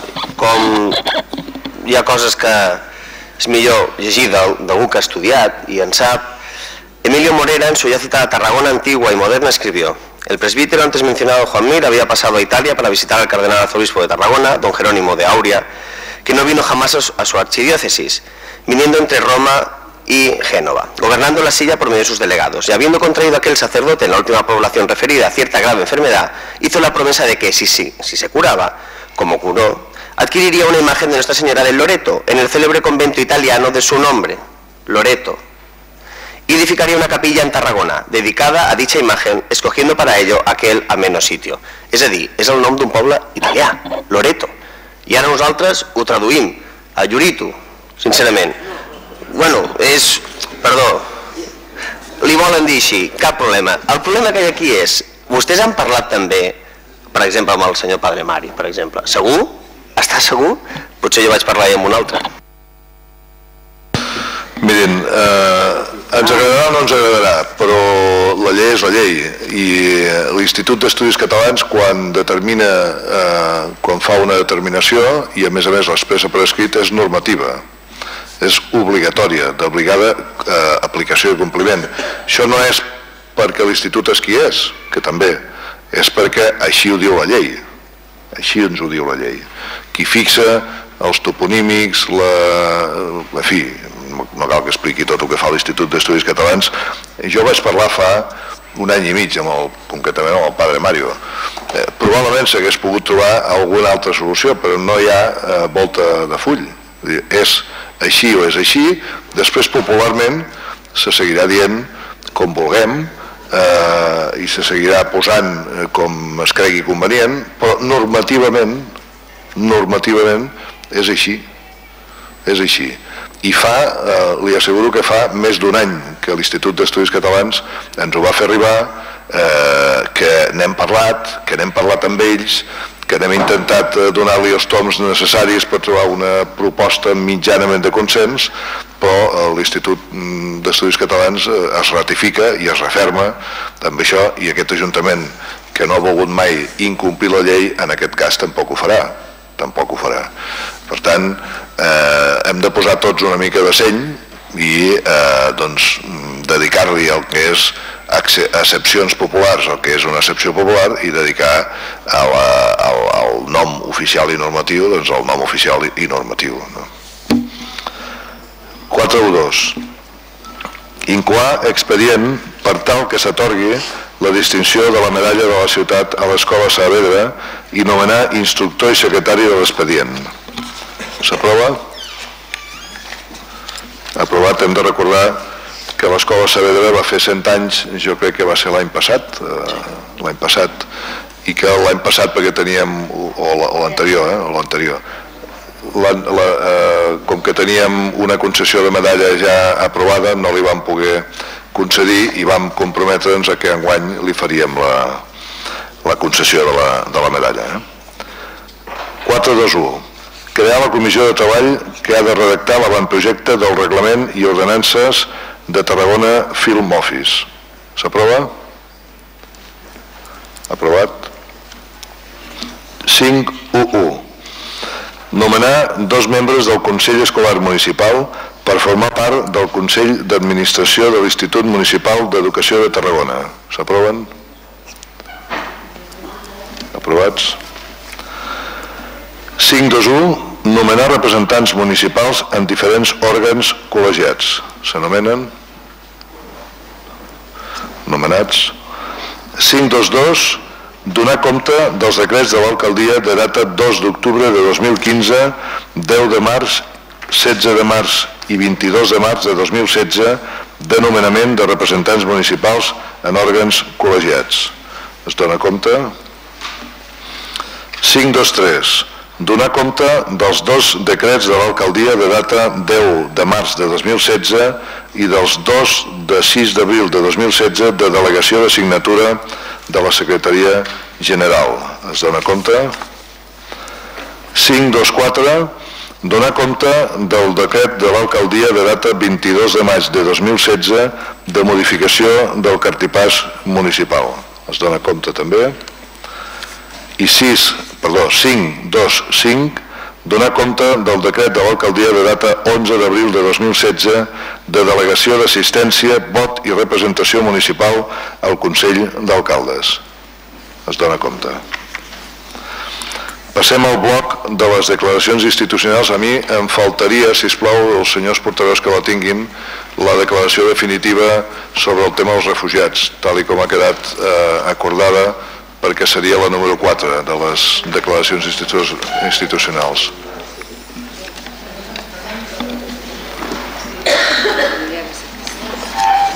Qui, qui, quina està literalment ben redactada? amb, amb, amb l'afegit aquell que hem transaccionat. Eh?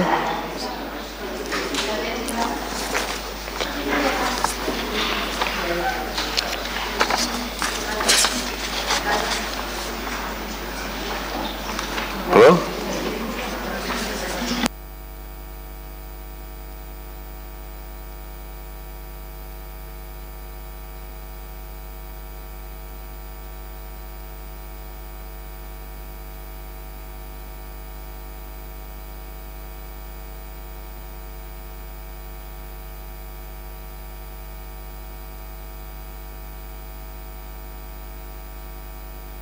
Passem, doncs, a donar lectura a les quatre declaracions institucionals consensuades per tots els grups d'aquest consistori i eh, com que ja se eh, n'ha donat compte en els mitjans de comunicació passarem a llegir la, la part resolutiva. La primera és declaració institucional que presenta l'Ajuntament de Tarragona sobre la pobresa energètica i subministrament d'aigua. Tot l'explicat, prenem els següents acords. Primer, sol·licitar a EMATSA que estudi com es podria millorar la protecció de les persones més vulnerables creant una tarifa social per tal de bonificar econòmicament els col·lectius vulnerables. Aquí hi hauria una reiteració. Els beneficiaris poden ser totes aquelles persones que trobant-se en una de les situacions establertes com a requisit per ser beneficiaris del cànon social de l'ACA el tenen aprovat i per tant atenent els mateixos criteris, se'ls establirà una tarifa parcialment subvencionada en el primer bloc de consum. Serà necessari un conveni, per suposat, amb l'ACA al respecte. Segon, sol·licitar en marxa la possibilitat de millorar la protecció dels col·lectius més vulnerables eliminant sobre els costos associats a l'impagament del servei d'aigua. En cas que l'impagament del servei i posteriors accions associades al mateix generin algun sobrecost pel ciutadà, es tractaria d'estudiar si es pot eliminar atenent sempre la prèvia valoració dels serveis eh, socials municipals. Tercer, sol·licitar al Govern d'Espanya i en concret al Ministeri de Hacienda i Administracions Públiques a implementar un tipus de gravamen únic de l'IVA del 4% per als consums d'aigua potable que es trobin als blocs inferiors de subministrament domèstic a aquells usuaris que siguin considerats persones vulnerables segons la llei 24 barra 2015 que es faci càrrec del seu concepte impositiu quan les factures es bonifiquin amb els fons social. Quart, sol·licitar al govern de la Generalitat que revisi les bonificacions del cànon de l'ACA pels col·lectius vulnerables. Mesures concretes, augmentar el tant per cent de la bonificació que actualment existeix eh, amb el cànon social en els trams bàsics de consum, tenint en compte que el cànon de l'ACA és una part important en el total de la factura de l'aigua, una major una major bonificació, per tant, dels consums bàsics. Esdevé un instrument facilitador per fer front al pagament de les factures d'aigua. I una altra mesura, que es faci càrrec el, del seu concepte impositiu quan les factures es bonifiquin amb el fons social. I cinquè i últim, informar d'aquest acord a EMATSA, al Departament de Governació de la Generalitat de Catalunya, a l'Agència Catalana de l'Aigua, al Govern d'Espanya, al Ministeri de Hacienda i Administracions Públiques i a l'empresa d'aigua de Reus i aquí em posa un etcètera que suposo que deu ser a totes les institucions implicades en, en la gestió de l'aigua pública. Fins aquí aquesta declaració institucional. Passaríem a la següent declaració institucional. Declaració institucional de l'Ajuntament de Tarragona sobre la pobresa energètica i subministrament d'electricitat.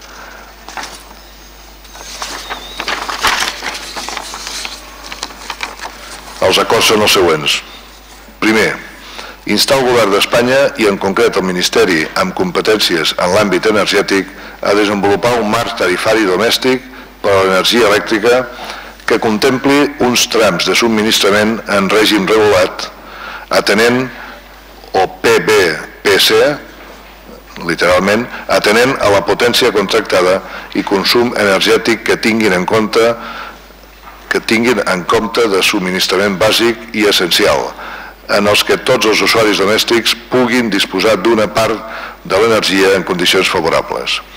Aquests trams, que haurien de ser coherents amb els que es defineixin pels diferents nivells d'impostos amb els que es grava el subministrament, haurien de considerar, primer, tarifa superreduïda pel terme d'energia o consum en contractes d'igual o menys de 3,45 quilowatts contractats i menys de 250 quilowatts hora de consum mensual.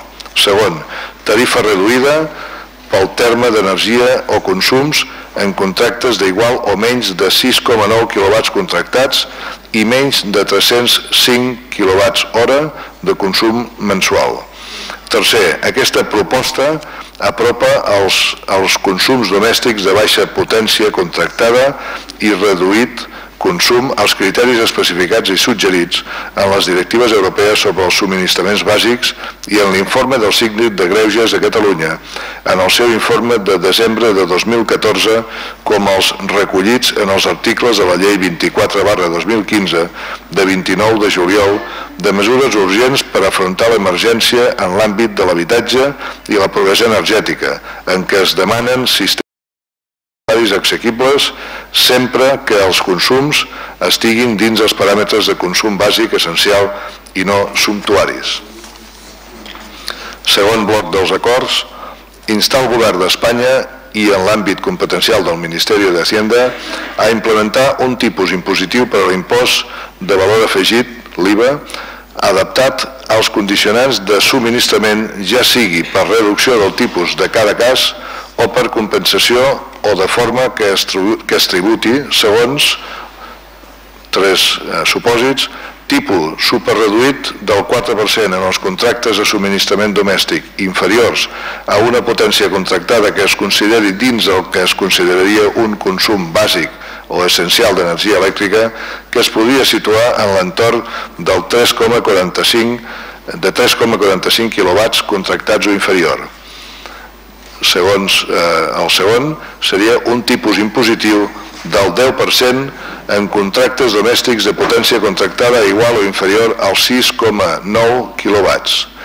I el tercer seria un tipus impositiu normal del 21% a contractes de més potència per tal de mantenir l'especial protecció als consums d'acord amb el que s'estipula com a consums bàsics i essencials i no sumptuaris, fomentant la corresponsabilitat en l'ús de l'energia i evitar, per tant, usos poc adequats i malbaratament d'energia més enllà del raonable. Aquestes condicions haurien de disposar de factors correctors sobre l'energia consumida de manera que la tributació, d'una banda, el tipus superreduït del 4% es contempla sols per a consums inferiors als 250 kWh mensuals i de l'altra, la tributació d'IVA, reduït al 10%, és aplicable tan sols en la franja de consum dels 250 als 350 kWh mensuals. Tercer acord. Instar el govern de l'estat espanyol a regular i implantar la normativa necessària per a la creació d'un bo d'especial protecció per a les persones que disposin de consideració de vulnerables, per tal que aquestes disposin d'uns costos especialment reduïts i que es donin opció a poder fer front a les difícils situacions financeres que moltes famílies sofreixen en l'actualitat sense ajuts de l'administració si es compleixen els següents condicionaments. 1. Ser titular del subministrament o disposar d'un contracte de lloguer en vigor per al punt de subministrament encara que el titular del subministrament això hauríem de redactar una mica millor, no reiterar, no sigui la mateixa persona. 2. Tenir una potència contractada igual o inferior al 2 al 5,75 kW. 3. Que l'usuari tingui la consideració de família vulnerable per tal que els serveis socials per part perdó, dels serveis socials municipals. I quart, que es permeti compaginar aquesta mesura amb d'altres mesures d'estalvi com a tarifes amb, aquí diu amb discrimina, deu ser disc, amb discriminació, no? Deu ser amb discriminació. Aquest bo especial hauria de permetre a les persones que poden disposar-ne d'un tracte especial en els costos de tots els corresponents de la factura de manera que es cobreixin els següents aspectes. Per una banda, tarifa de consum subvencionada en un 35%, d'una altra, terme de potència subvencionat en un 50% i l'altre IVA superreduït del 4%. I finalment exempció de l'impost sobre l'electricitat com a subministraments considerats bàsics i especialment protegits d'acord amb l'establert en els acords 4 i 5 del present. Acord número 4, quart. Instar al Govern d'Espanya a exonerar de la recaptació de l'impost sobre electricitat per a aquells subministraments que tenen consideració de família vulnerable amb l'informe preceptiu dels serveis socials municipals. Acord cinquè. Instar el govern de la Generalitat a sol·licitar i acceptar l'exempció de l'impost sobre l'electricitat que actualment n'és beneficiari per a aquells subministraments que tenen consideració de família vulnerable amb l'informe preceptiu també dels serveis socials municipals. En cas que en el punt 4 no tingués el resultat esperat per part del govern d'Espanya, instar el govern de la Generalitat a destinar l'import recaptat en matèria d'impost sobre l'electricitat a la lluita contra la pobresa energètica. I acord sisè, instar el govern de la Generalitat i en concret el Departament de Consum a promulgar la normativa necessària per tal d'endurir les condicions que es promouen amb accions comercials agressives, porta a porta, per tal per tal de passar a usuaris de PBPC a mercat lliure, incloent els, eh, les següents accions. A. Que la, que la nova normativa permeti que aquest pas a mercat lliure sols es pugui realitzar en oficines de la companyia. B. No permetre canvis a mercat lliure si es disposa de bo social. C. Que la companyia disposi d'un fulletó normatiu complet amb exemples clars i entenedors per als usuaris, separant preus d'ofertes temporals i costos comparats a llarg termini. D. Que es realitzarà una campanya informativa en medis de gran audiència i es disposi d'informació clara i concreta al telèfon d'informació 012 i fulletons a les dependències d'atenció ciutadana. I E. Que la norma que la nova normativa i el Codi de Consum permeti el retorn del PBPC automàtic, immediat i exonerant de recàrrecs, compensacions o pagaments per permanència a les companyies de les famílies que disposin d'informe de vulnerabilitat per part dels serveis socials municipals. Aquesta és la segona declaració institucional Passaríem a la tercera declaració institucional de l'Ajuntament de Tarragona sobre pobresa energètica i subministrament de gas.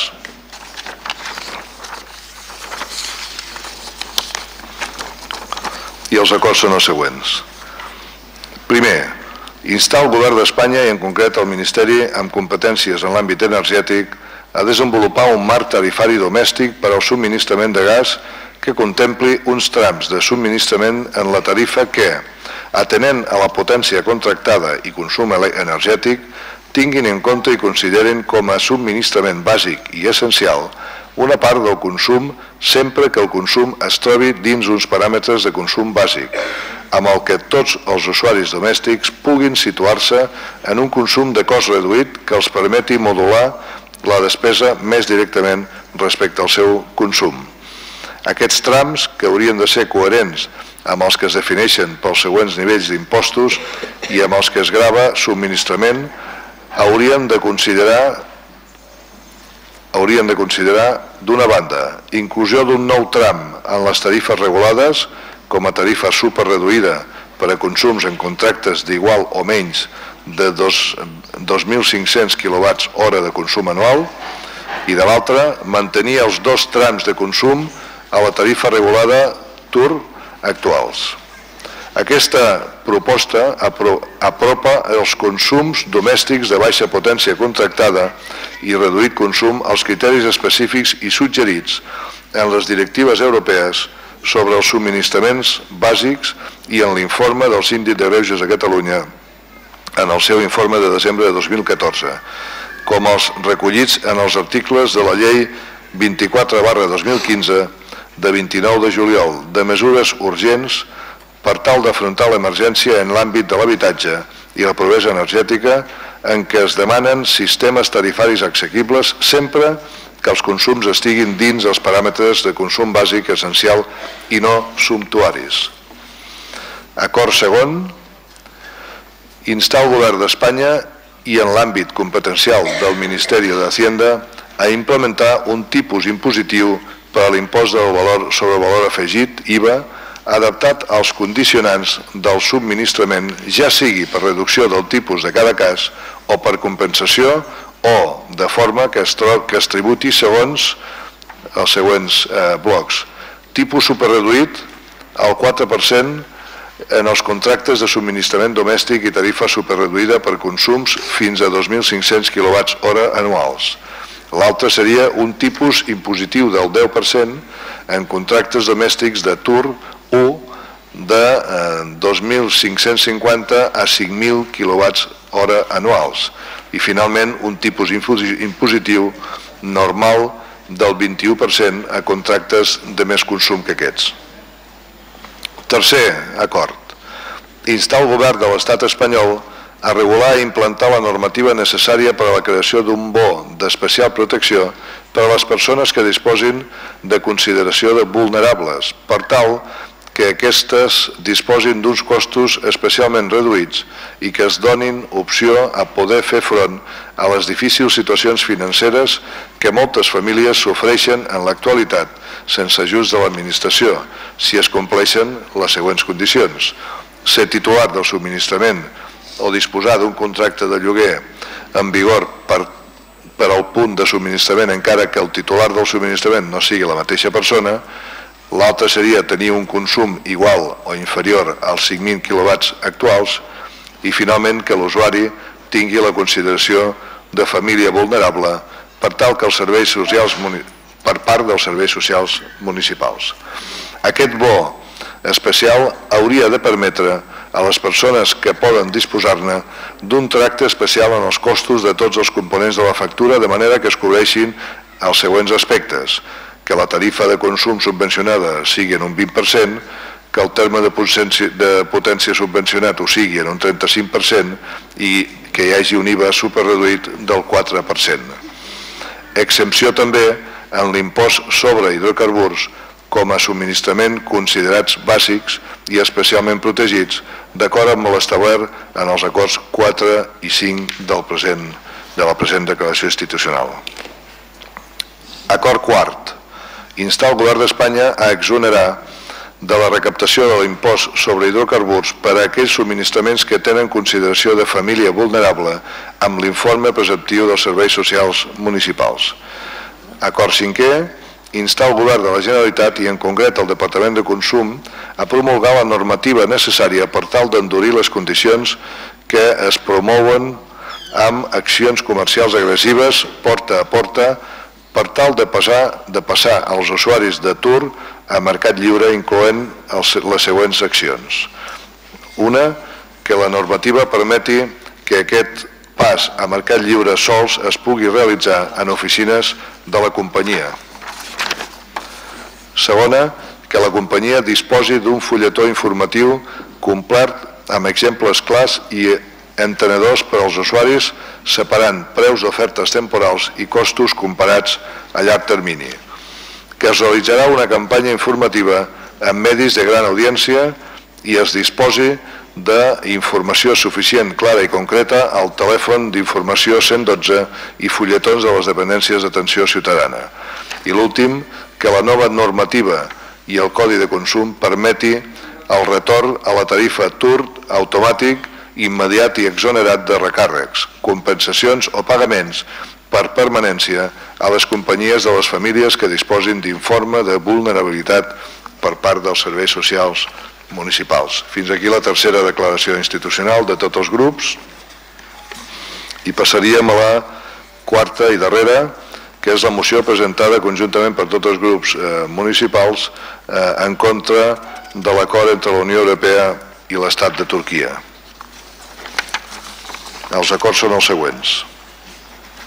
Primer, demanem al Congrés que exigeixi al govern en funcions que bloquegi l'acord entre la Unió Europea i Turquia que permetrà tornar al territori turc als refugiats que han arribat als refugiats que han arribat a Grècia i que tota negociació en el Consell Europeu ha d'estar subjecta al respecte dels drets humans i al dret internacional.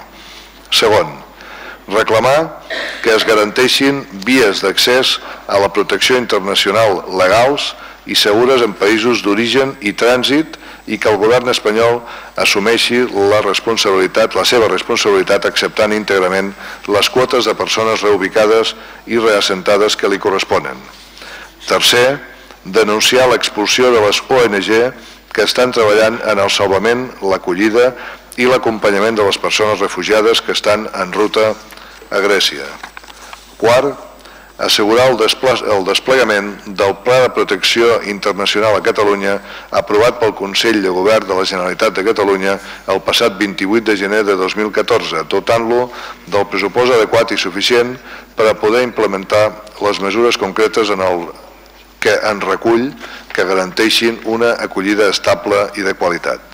Cinquè, reclamem al govern de l'Estat que permeti l'arribada de persones refugiades i en particular oferim la disponibilitat de Tarragona per fer una primera acollida d'un mínim de 10 persones amb immediatesa a les quals oferirem una atenció integral mobilitzant i coordinant els recursos del municipi i les entitats que hi treballen, entre els quals habitatge, educació, sanitat, llengua, inserció laboral i atenció psicològica. Tot això en l'àmbit de l'acord entre ajuntaments, Diputació i Govern català. Sisè, manifestem el nostre compromís d'oferir als municipis com a territori d'acollida i protecció, adaptant els plans d'acollida municipal a les necessitats especials de les persones sol·licitants d'asil per garantir la seva vida en família i la seva integració. Setè, donarem suport i col·laborarem amb les entitats catalanes i xarxes d'entitats que treballin en l'acollida i el servei a les persones sol·licitants d'asil. Vuitè, definirem els serveis i infraestructures que poden oferir els nostres municipis per acollir les persones sol·licitants d'asil.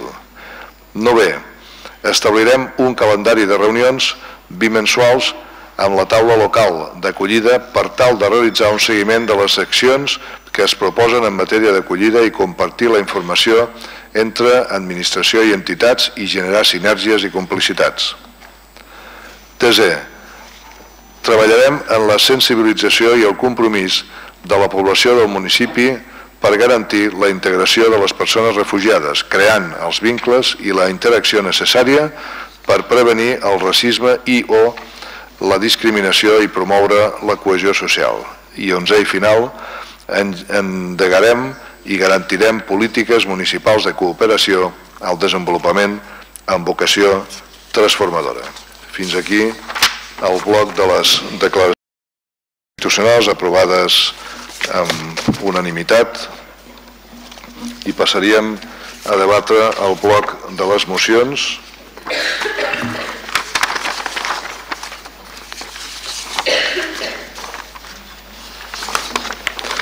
que en funció de l'acord que hem adoptat abans d'aquest plenari recordo que serien en aquest ordre. Primer la 7.2, la 7.3, la 7.10, la 7.9, 7.9, 7.10 i la 7.22. Eh? Digue'l, digue'l. La 7-10 no calia. La 7.10 no cal? No calia? Un moment, doncs. Un, un recés d'un minut.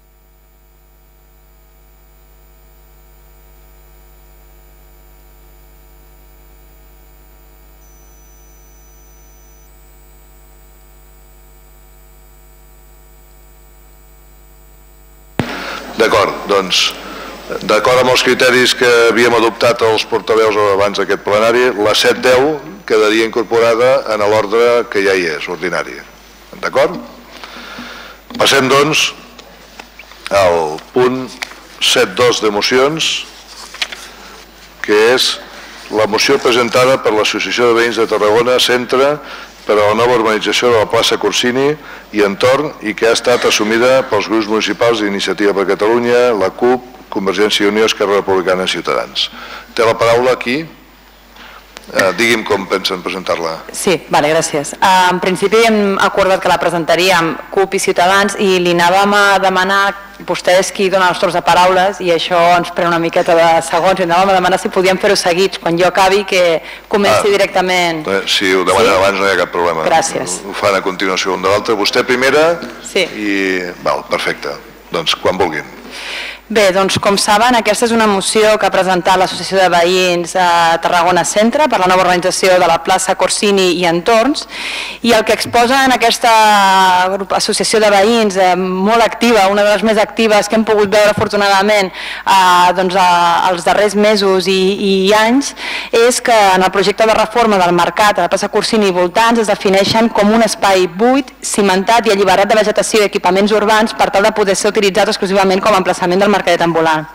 Aquesta associació de veïns a Tarragona Centre ha realitzat tota una campanya per tal de redefinir aquest espai públic al voltant del Mercat Municipal de Tarragona i donar lloc a, a espais d'ús comunitari. Algunes de les moltíssimes accions realitzades han estat l'organització de recollides de propostes, més de 200 presentades per la ciutadania, un taller sobre un procés participatiu, un acte en el qual ens emplaçaven a les forces polítiques a posicionar-nos sobre el tema durant la campanya electoral, reiterades entrevistes amb els grups municipals i en especial amb la consellera de Comerç i Relacions Ciutadanes, van realitzar diverses assemblees amb el veïnat, van realitzar un concurs de dibuix sobre com els nens voldrien la plaça i etc. De totes les accions realitzades es desprèn l'interès de la ciutadania en dotar la plaça Corsini i voltants d'elements d'equipament urbà, vegetació, ombra, bancs, un parc infantil, fonts d'aigua, pipicants, etc., que permetin en definitiva tant als veïnat com als visitants gaudir de l'espai. D'altra banda, si fixem en un mapa els parcs infantils i les zones verdes de la ciutat de Tarragona, el que veurem de forma clara és que hi ha un gran espai buit, mancat de tot aquest tipus d'equipaments, que es troba situat al voltant de la Rambla Nova. Entenem que existeix una gran mancança al centre de la ciutat que fa que l'espai públic per ús ciutadà sigui gairebé inexistent. Carrers amb voreres estretes, fortament transitats, amb una gran densitat de trànsit rodat i sense espais de repòs i oci com poden ser els espais verds o les places. El centre de Tarragona presenta un espai poc amable per al veïnat i per la vida comunitària. Aquesta manca d'atractiu i d'equipaments acompanyat de l'envelliment vegetatiu de la població que tradicionalment ha viscut al centre pot conduir en poc temps a la seva despoblació i degradació i Tarragona no s'ho pot permetre. Tots sabem que la manca d'intervenció preventiva pot acabar produint aquest efecte i que rehabilitar zones desagradables és difícil i car. El centre de Tarragona, i més en concret l'espai al voltant del mercat, després de 8 anys d'obres, necessita un impuls que el faci més atractiu i amable. Necessita que es dinamitzi el comerç en el mateix mercat municipal, com del mercadet ambulant, com el dels comerciants del voltant, i el que el faria un lloc més agradable per a la ciutadania de Tarragona i també pels turistes. Si analitzem l'àrea voltant de la Rambla, considerada com un eix fins a, Ram- fins a Rambla Vella per la part superior i fins al carrer dels Caputxins per la inferior, el que veiem és una manca absoluta d'equipaments. I si ens fixem en concret amb el tema dels parcs infantils, en aquesta zona només trobem el de la Verdaguer que està sobreexplotat. En cap altra zona amb aquesta densitat de població fixa i flotant hi ha una mancança com aquesta. Generar espais d'oci pels infants al carrer suposa afavorir la seva socialització i l'aprenentatge i a més permet que la canalla gaudeixi d'allò que li pertany que és el carrer. Per últim, en una ciutat de clima mediterrani com la nostra, amb altíssimes temperatures a l'estiu, és impensable generar una zona de circulació de vianants com la zona comercial comercial que es dibuixa al voltant del mercat sense dotar-ne de, de zones d'ombra que faci més agradable el seu trànsit. Per tot això, ens presenten l'adopció dels següents acords. Sí, per començar volíem donar l'enhorabona per la iniciativa d'una plataforma civil que creiem que, que és molt necessari. Els acords que ens han presentat són la instal·lació d'un parc infantil en primer lloc a la millor ubicació que ens consideri tècnicament oportuna per no perjudicar la circulació. Hauria de tenir un mínim de 100 metres quadrats, és a dir, el 4% de la superfície total de la plaça i el 4% del total de metres quadrats concedits a les parades del mercat ambulant, que segons se'ns ha indicat suposen d'un total de 2.360 metres quadrats. Es podria fer d'acord amb les idees d'algun dels infants participants en el concurs de dibuix vinculat als elements del seguici, tematitzat igual que la plaça Verdaguer, però vincular-lo al bestiari del seguici de Tarragona. Sens dubte seria molt atractiu per la canalla i també un element d'atracció per al turisme. Aquest parc hauria de disposar també de paviment amortidor i de bancs i torretes amb arbres al voltant que permetessin l'es- l'estada de les famílies i visitants. Com a segon acord, eh, es proposa dibuixos a terra de la plaça que facilitin i estimulin el joc infantil. Circuits per fer amb patins i patinets, xarranca i d'altres dibuixos d'acord amb l'assessorament d'alguns experts. Aquesta actuació permetria el total desenvolupament de les activitats, com el mercadet ambulant a la superfície de la plaça. Cadascun d'aquests jocs hauria d'anar acompanyats d'una llegenda, que també podria estar pintada al terra, que expliqués les normes del joc de forma senzilla. La instal·lació d'aquests jocs hauria de venir assessorada per especialistes que permetessin reforçar el seu caràcter pedagògic i d'estimulació a la psicomotricitat i la sociabilitat dels nens. Alhora es podria aprofitar la instal·lació d'aquests jocs per afegir-hi motius de seguici popular de Tarragona. Els elements del seguici són una part important del patrimoni cultural de la ciutat i gràcies a la feina feta per les escoles i les colles en la seva divulgació són actualment un element de molt d'interès per als nens i nenes. Pintar terra alguns elements del seguici vinculant-los als jocs podria suposar un atractiu extra. Com a tercer acord es proposa la instal·lació de pèrgoles o altres aliments mòbils que permetin zones d'ombra a la plaça i als carrers laterals, com el Reading i Governador González, durant els mesos de més calor. El disseny actual de l'espai, tant de la plaça Corsini com dels carrers laterals, no, incorpora cap element que doni ombra. Això fa que durant els mesos de calor i les hores centrals del dia aquests espais siguin gairebé intransitables, ja que sembla que, ja que sembla ser que resulta molt difícil dotar-lo d'arbres prou frondosos per donar ombra natural, cal pensar en pèrgoles que permetin ombrejar i a més siguin prou lleugeres per facilitar el trànsit tant de les persones com dels vehicles i la instal·lació dels marxants. Alhora, aquestes pèrgoles haurien de tenir el disseny més atractiu possible i també vegetació enramada que permetés gaudir mínimament d'elements vegetals. D'altra banda, per tal de permetre la circulació de vehicles i de persones, pensem que es podrien buscar alguns models de pèrgoles d'un sol peu i alinear-les amb les faroles existents. I per últim, en un futur proper, l'Ajuntament s'hauria de comprometre a realitzar una reflexió que inclogui processos de participació de tots els agents implicats per tal de definir quin és el model de mercadet ambulant que es vol per al centre de la ciutat, nombre i tipologia de les parades, metres quadrats d'ocupació de l'espai públic, estètica de les parades, etc. Gràcies. Eh, Grups que desitgen intervenir en fase de debat?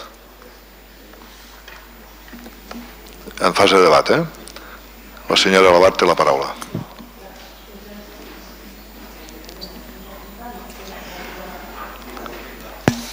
Gràcies. Eh, La proposta que presentem és una proposta que accepta el retorn dels marxants i el mercadet ambulant a la plaça Corsini i que vol fer compatible aquest ús comercial amb un ús més lúdic de l'espai públic. Primer volia agrair, per cert, als veïns que han vingut, eh, felicitar-los per la feina feta i agrair-los que hagin fet la feina i que avui estiguin aquí, també donant suport als grups que hem recollit la vostra moció. Moltes gràcies i l'enhorabona. Perdoneu, que no us ho havia dit abans. Eh, aquests usos que dèiem, el que volem és recuperar, eh, fer compatible aquest ús comercial amb un ús més lúdic de l'espai públic. Aquests usos no són incompatibles, sinó que retroalimenten. Un espai públic més agradable incre- incrementa la presència de visitants i estimula el comerç, tot el comerç, tant el del mercadet ambulant com el del mercat municipal com el del petit comerç de l'ent- de l'entorn d'aquella zona. Aquest no és un projecte contra el comerç, sinó a favor del comerç i a favor dels veïns. La remodelació del mercat municipal és un projecte de ciutat, en el qual eh, la ciutat ha invertit milions d'euros i que ha revertit en la millora, en la millora per tots d'aquest espai. El projecte d'obrir el mercat municipal més hores, d'instal·lar un supermercat, de millorar els equipaments del propi mercat, etc., ha d'anar acompanyat d'una millora de l'entorn. Els diners invertits, el sacrifici dels veïns i dels comercials, dels comerciants que han suportat durant 8 anys d'obra, amb, tots els amb tots els inconvenients imaginables, mereixen que fem aquest esforç per millorar la zona. Les tres propostes que es presenten són tècnicament compatibles amb la instal·lació del mercadet ambulant. L'ombrejant mitjan pèrgoles i la instal·lació de dibuixos al terra no suposen cap dificultat per la instal·lació dels marxants. I el parc infantil proposat de 100 metres quadrats suposa només un 4% del total de metres quadrats previstos pel mercadet ambulant. Implica només la reubicació de l'entorn d'unes 12 parades. I què més bonic que la proposta de tematització del parc infantil i dels dibuixos de terra amb els, amb els motius del seguici popular. Aquesta proposta recull una de les idees presentades pels nens, pels nens de la nostra ciutat, és el que volen els nens, en el concurs de dibuix realitzat i entenem que respon a un doble objectiu, fer la zona molt atractiva pels nens, per la ciutadania i pel turisme i també homenatjar i donar difusió amb un dels elements més característics i estimats de la cultura popular tarragonina com és el seguici. Gràcies.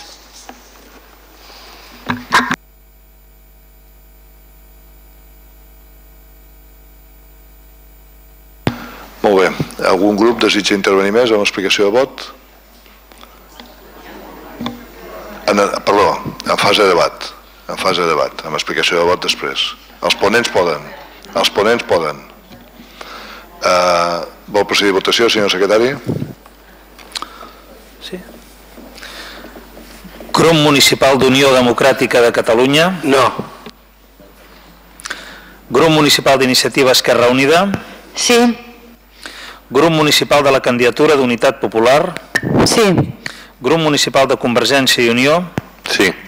Grup Municipal del Partit Popular? No. Grup Municipal d'Esquerra Republicana de Catalunya? Sí. Grup Municipal de Ciutadans Tarragona? Sí. Grup Municipal del Partit dels Socialistes de Catalunya? No. Per tant, es produeix un empat de 13 vots a 13 vots. Repetim votació. Grup Municipal d'Unió Democràtica de Catalunya? No. Grup Municipal d'Iniciativa Esquerra Unida? Sí. Grup Municipal de la Candidatura d'Unitat Popular? Sí. Grup Municipal de Convergència i Unió? Sí. Grup Municipal del Partit Popular? No. Grup Municipal d'Esquerra Republicana de Catalunya? Sí. Grup Municipal de Ciutadans Tarragona? Sí. Grup Municipal del Partit dels Socialistes de Catalunya? No. Persisteix l'empat, No fa servir el vot de qualitat. per tant no queda aprovada la moció. Uh, grups que desitgen intervenir per explicació de vot, excepte Esquerra Republicana que han intervingut en fase de debat, doncs té la paraula senyora Sentís? No? Senyora Sentís, té la paraula. Bueno, pensava fer una explicació de vot, però en, en vistes del resultat d'aquesta moció, que és un empat tècnic, sense desempatar, canvio l'explicació de vot per una mena de, de prec.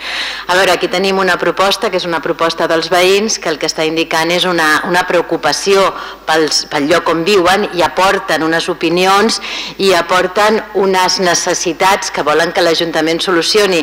No, no, no s'ha aprovat aquesta moció, també sabem que les mocions, després de tot, tampoc no tenen una funció executiva immediata, però el que és evident és que el que ha quedat manifestat en aquest ple és que els veïns volen que es tinguin en compte les seves necessitats i les seves opinions en la remodelació de la plaça. Per tant, convindria que s'hagi o no s'hagi aprovat aquesta moció, es tingués en compte, es treballés, l'equip de govern, que és a qui li toca, treballés amb els veïns per tal de donar-los una solució que s'ajusti a les seves necessitats i que tingui en compte tot el que han dit, que és bastant raonable, és molt raonable. Gràcies, senyora Sentís. Té la paraula la senyora Estrada. A nosaltres ens resulta, bueno, ens, ens preocupa que aquesta moció no hagi tirat endavant i ens preocupa moltíssim perquè Uh, si alguna cosa caracteritza l'Associació de Veïns de Tarragona Centre és que ha estat una associació de veïns molt activa, que ha, ha estat capaç de fer una cosa que aquest Ajuntament no ha estat capaç de fer, que és un procés de participació ciutadana de manera regular, eh, diversa, comptant fins i tot amb els infants.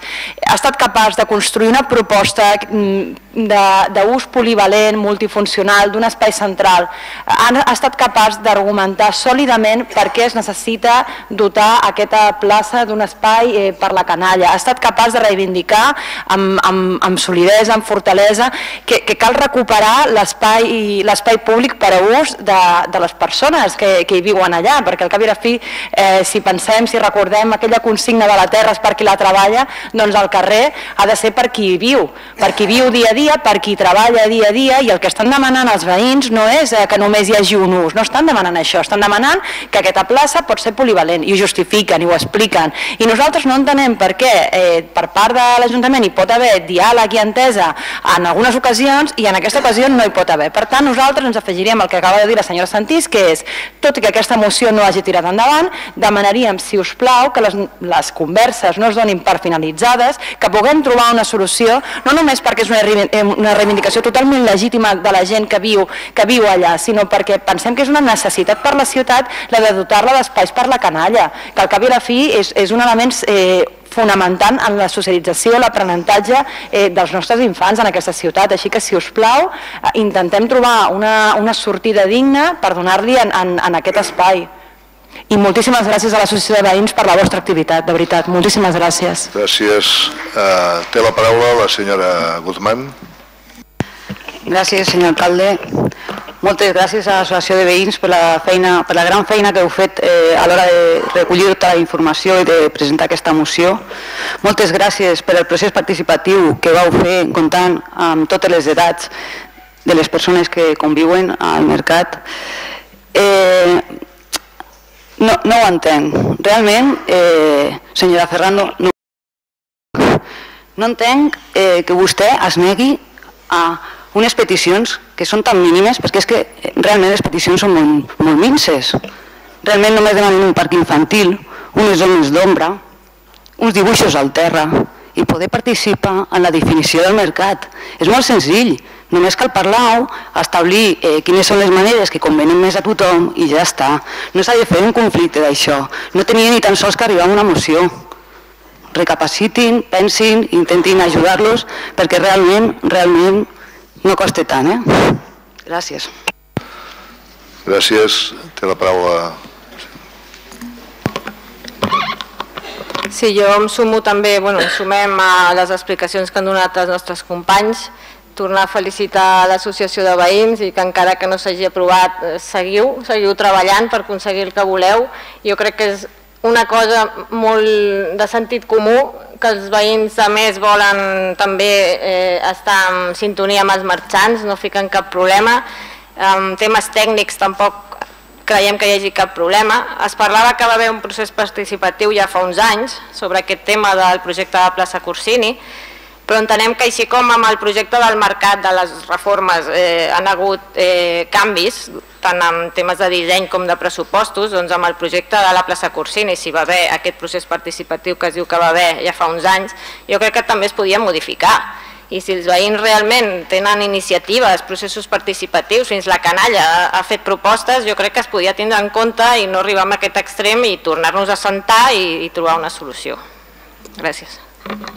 Gràcies, senyora Pérez. Té la paraula la senyora Ferrando. Gràcies, senyor alcalde. En primer lloc, jo també felicitaré els veïns perquè hem tingut reunions moltes i múltiples i crec que, que bé, hem treballat plegats.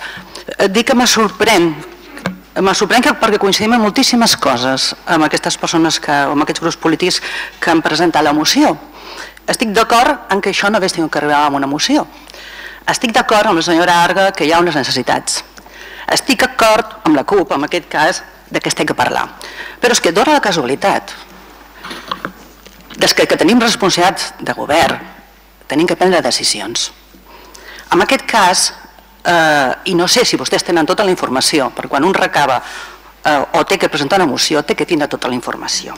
Evidentment, que és molt important el diàleg i evidentment així s'ha fet. Us diré, o els hi diré, perdó, que evidentment la plaça Corsini i el mercat és un projecte molt important pels veïns de l'associació Centre, pels marxants, pel comerç, però per la ciutat. És un projecte de ciutat, un projecte transversal, un projecte que afecta tot. Evidentment que ho sé perquè ho visco diàriament. Tarragona recuperarà la plaça Corsini com un espai, com hem dit, com els he comunicat als, als veïns, com espai pol polivalent, diàfag, com un lloc de convivència entre els veïns, el mercat, la ciutadania, la restauració, les activitats lúdiques i culturals i especialment, i aquesta és bueno, almenys és això el que vam transmetre en les últimes reunions que hem tingut, amb noves activitats de col·lectius culturals, entre ells possiblement de seguici, que tant s'ha anomenat aquí, que es pugui fer els caps de setmana. Volem una eh, plaça del mercat viva, eh, solidària, eh, amb nens, amb grans, amb petits. La volem d'una manera consensuada. Evidentment que s'han fet aquí, en cap, en cap de vostès, i perdonin, eh, potser no ho he escoltat, però eh, i m'he llegit molt bé la moció, en cap moment ningú d'aquells presents ha dit que s'han fet canvis al projecte inicial. Jo no ho he escoltat. Estan dient, demanant diàleg i canvis. No els han informat als veïns, i aquí estan, de que s'han produït canvis. La plaça Corsini anava absolutament diàfana, Val? Va estar exposat el seu projecte un any, ja amb aquest al mercat, i quan els, eh, els veïns me van fer arribar o ens van fer arribar, disculpeu, les seves propostes, els vam escoltar atentament. I sí senyor, que, hem dialogat. I sí senyor, veïns, i altres ho sabeu, que esteu aquí, hem tingut moltes, moltes reunions. I s'ha arribat a modificar el projecte, això no, no sé si s'ho han explicat. S'ha modificat el projecte, no se poden presentar arbres, però sí entenc que tenia que ser una plaça més amable. Es posen sis arbres amb unes torreteres, es posen tres bancs i es posa una font que no estava programada. En una reunió amb el senyor Milà, en aquell moment regidor de Garri i ara també, els hi exposem que evidentment una mica de sombra podia quedar atractiu, absolutament d'acord, és a dir, tornem, diàleg, diàleg, diàleg. Els hi vam comentar d'un un tipus de pèrgola que es podia posar de diferents maneres enramades amb bucambílies, amb un peu sol, sempre, sempre, sempre complim en les, en les mesures de seguretat i compaginat amb el mercadet. Per què? Perquè, eh, com he començat explicant, té que ser una plaça de convivència entre tots els actors que aquí tenen a veure. Dit això, insisteixo, no tenia que arribar amb una moció perquè es va convocar una reunió a la que no va van poder assistir els membres de govern i amb un email que tinc aquí dirigit a la senyora Núria Sabat el dia 11 em diu no puc trobar un hueco a, a l'agenda eh, i li dic doncs busquem-ho perquè normalment és a les 7 i mitja o 7 que se poden reunir tots els veïns. Què succeeix? Que l'agendem pel 27, que és la setmana que ve, i el 14, crec, o 15, eh, presenten una moció. Cap problema. Lícit, democràtic, lliure. Ho agraeix. I a més, estem molt contents que sigui així perquè tenim l'ocasió d'explicar-nos àmpliament què han fet. Què tenim que explicar? Pues que sí s'han complert les expectatives que ells tenien. Mirin, el parc infantil, el parc infantil es fa un al carrer Ixar. Al carrer Ixar hi haurà un parc infantil de 400 metres eh, quadrats. Jo també tinc aquí, en principi, i això és el que els volia ensenyar a la reunió. No ens, no ens ha donat opció perquè la moció, no? Un parc infantil al carrer Ixart programat en 400 metres i a terra es podran dibuixar els elements del seguici.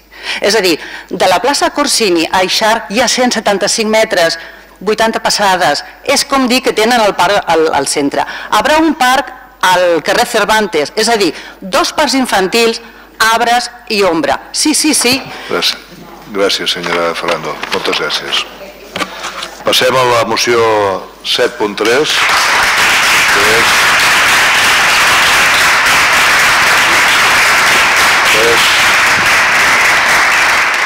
que és la moció presentada pel grup de tuitaires en defensa del medi ambient i en contra dels abocadors il·legals i que ha estat assumida pels grups municipals d'Iniciativa per Catalunya, la CUP, Convergència, Esquerra Republicana i Ciutadans.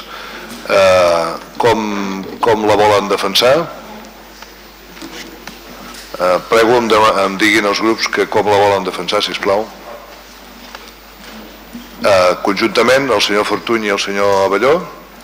Doncs, quan vulgui, senyor Fortuny. Moltes gràcies, senyor alcalde. A veure si em poso bé això. Molt bé. Bé, el nostre grup i altres grups eh, hem fet nostra aquesta, aquesta moció, entre altres coses perquè no podem estar, mm, diguéssim, en desacord, tot, tot plegat estem plenament d'acord amb el que, amb el que s'hi exposa. Eh, deixi'm fer una mica d'història de tot plegat perquè crec que és important tenir una mica de visió del que ha passat durant aquest eh, hivern i aquest inici de primavera.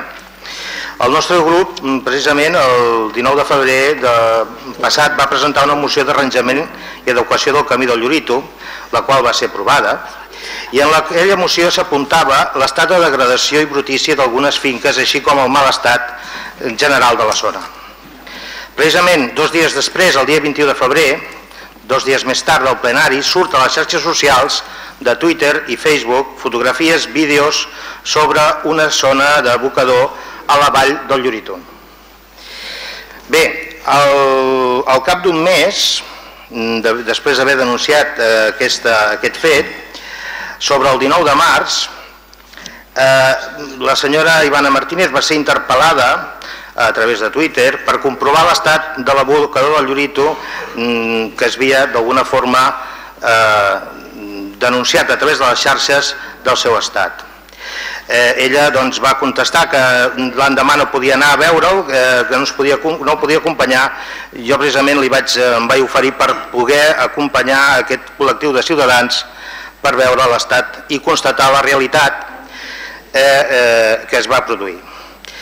Vam contestar la realitat, vam veure, vam, es va interpel·lar la senyora Martínez que actués i ella va contestar que eh, agafava la informació, eh, que aniria a veure com, què, què estava fent i que actuaria.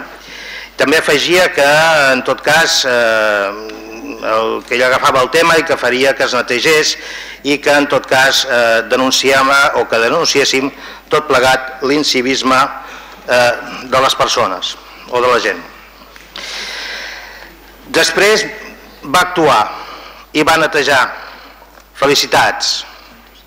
Però va ser, diguéssim, un procés d'un mes i de denúncia de tot plegat. Tot plegat no deixaria de ser una anècdota, però darrere s'amaga una xacra d'aquesta ciutat. S'ha parlat moltes vegades d'incivisme. Cert, n'hi ha, és evident. S'ha parlat d'actuacions contra les femtes dels gossos. L'alcalde de la ciutat ho va plantejar en els seus, com un dels temes estrelles dintre de la seva conferència del mes de gener. Es parla, es parla, però s'actua o no s'actua o no s'actua suficientment.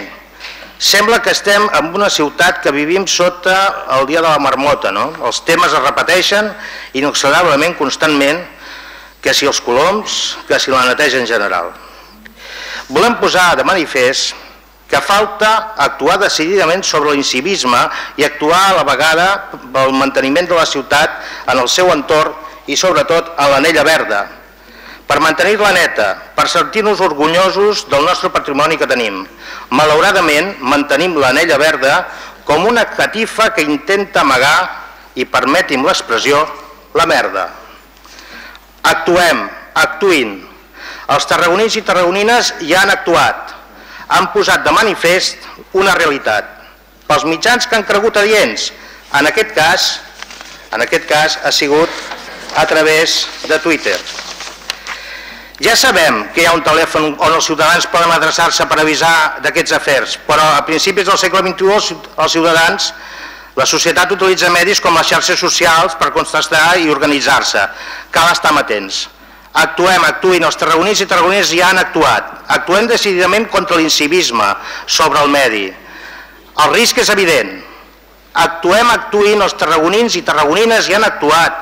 Actuem fent net tots els abocadors, aixecant tota la catifa i fent net. Netegem. I netegem de forma ràpida i eficaç. Siguem, siguem diligents. Actuem. Els tarragonins i tarragonines ja ho han fet. Solucionem d'una vegada el desgavell i la poca efectivitat de la deixalleria. Solucionem d'una vegada la poca eficiència de les deixalleries mòbils. Actuem contra les màfies que són presents a les deixalleries mòbils i que a causa de les seves intimidacions ja no hi tenim personal allí per informar. Fem campanya permanent, no deixem respirar l'incivisme ni a les màfies i sobretot netegem i no, no s'acumuli mai més runa o deixalles en cap indret de Tarragona. Prenem aquestes mesures necessàries per fer-ho. Eh? I en aquest sentit diem a l'Ajuntament que posarà en marxa en el termini d'un mes d'un inventari en contínua actualització dels punts negres i abocadors il·legals del terme municipal de Tarragona i que sigui públic que al termini màxim de 3 mesos l'Ajuntament de Tarragona elabori i presenti un protocol de funcionament de la deixalleria que deixi operatiu que sigui operatiu i que doni resposta a les incidències actuals.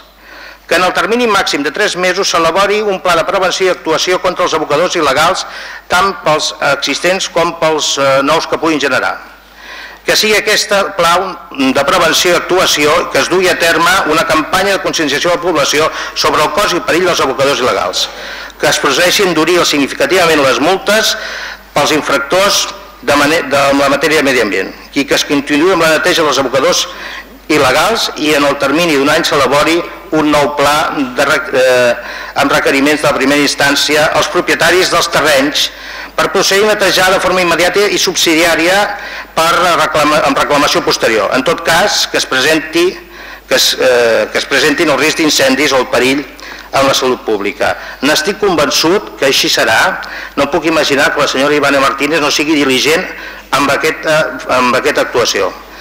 Malgrat ens pugui dir que li falten medis, jo li diria que li falta un nou contracte de neteja i malgrat eh, digui que li sobra incivisme. Moltes gràcies i sobretot eh, moltes gràcies a la senyora Hele Keller, al senyor Juan Antonio Ruiz, al senyor Jaume Morrón, al senyor Albert Punyet, al senyor Joan Boronat, el senyor Gerard Jesús Castells i el senyor David Alzina, promotors d'aquesta moció. Moltes gràcies, amic Fortuny, per la teva breu exposició.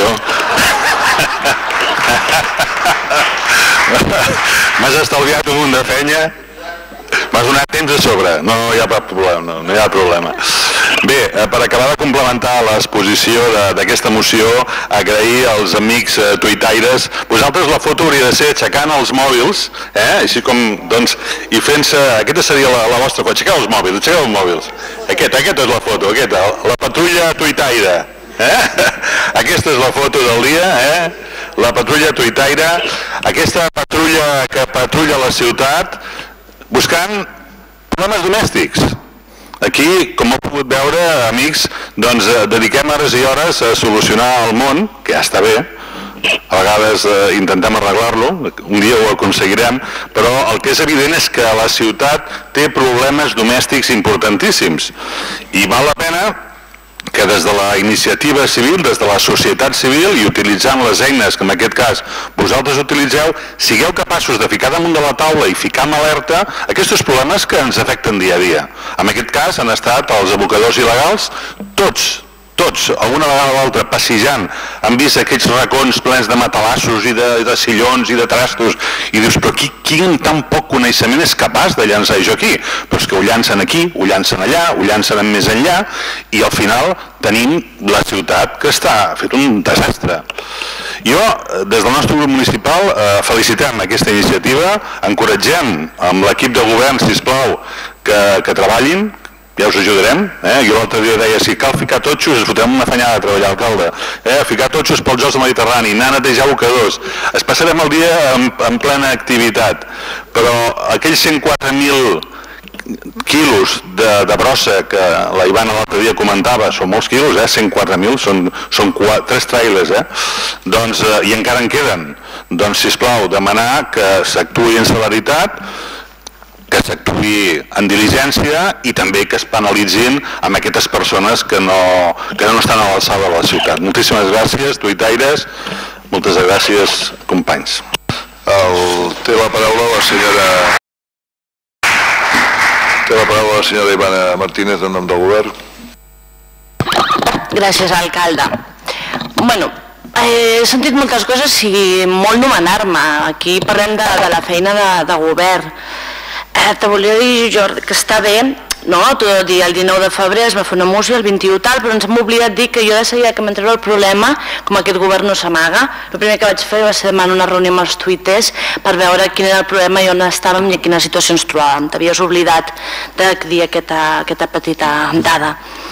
Doncs nosaltres votarem que sí a aquesta moció. Nosaltres no podem dir que no a una moció on realment jo es veu l'esforç que ha fet persones del carrer, eh, que estem molt, molt agraïts per part de l'Ajuntament, estem molt contents perquè al final, jo sempre ho he dit, ho vaig dir a la roda de premsa i ho diré ara, els, els polítics necessitem gent del carrer, els polítics necessitem que a vegades ens diguin ei, hi ha aquest problema i nosaltres ho acceptem, però tampoc m'avergonyeix la feina que hem fet perquè s'ha fet feina.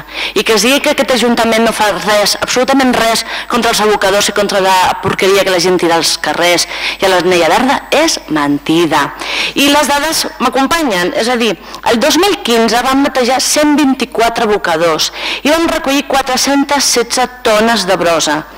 Un mes de 144.000 euros de tots i de totes. Perquè quan parlem dels diners no parlem de que aquest Ajuntament ni que Ivana Martínez o que l'alcalde paga. Això paguem tots els ciutadans i totes les ciutadanes. És a dir, que es digui que no es fa res és mentida. Tenim un contracte amb la Fundació Onada de 20.000 euros per netejar els boscos del litoral perquè no només parlem del Llorito, parlem que aquests abocadors es troben a molts, molts puestos. Tenim 20 persones amb treballs comunitaris que fa un cost de 40.000 euros anuals que també fan aquesta neteja. És a dir, torno a repetir i no em cansaré, que aquest Ajuntament no fa res és mentida. Que estem agraïts que els tuiters ajuden i ens diuen i han aportat coses, fantàstic.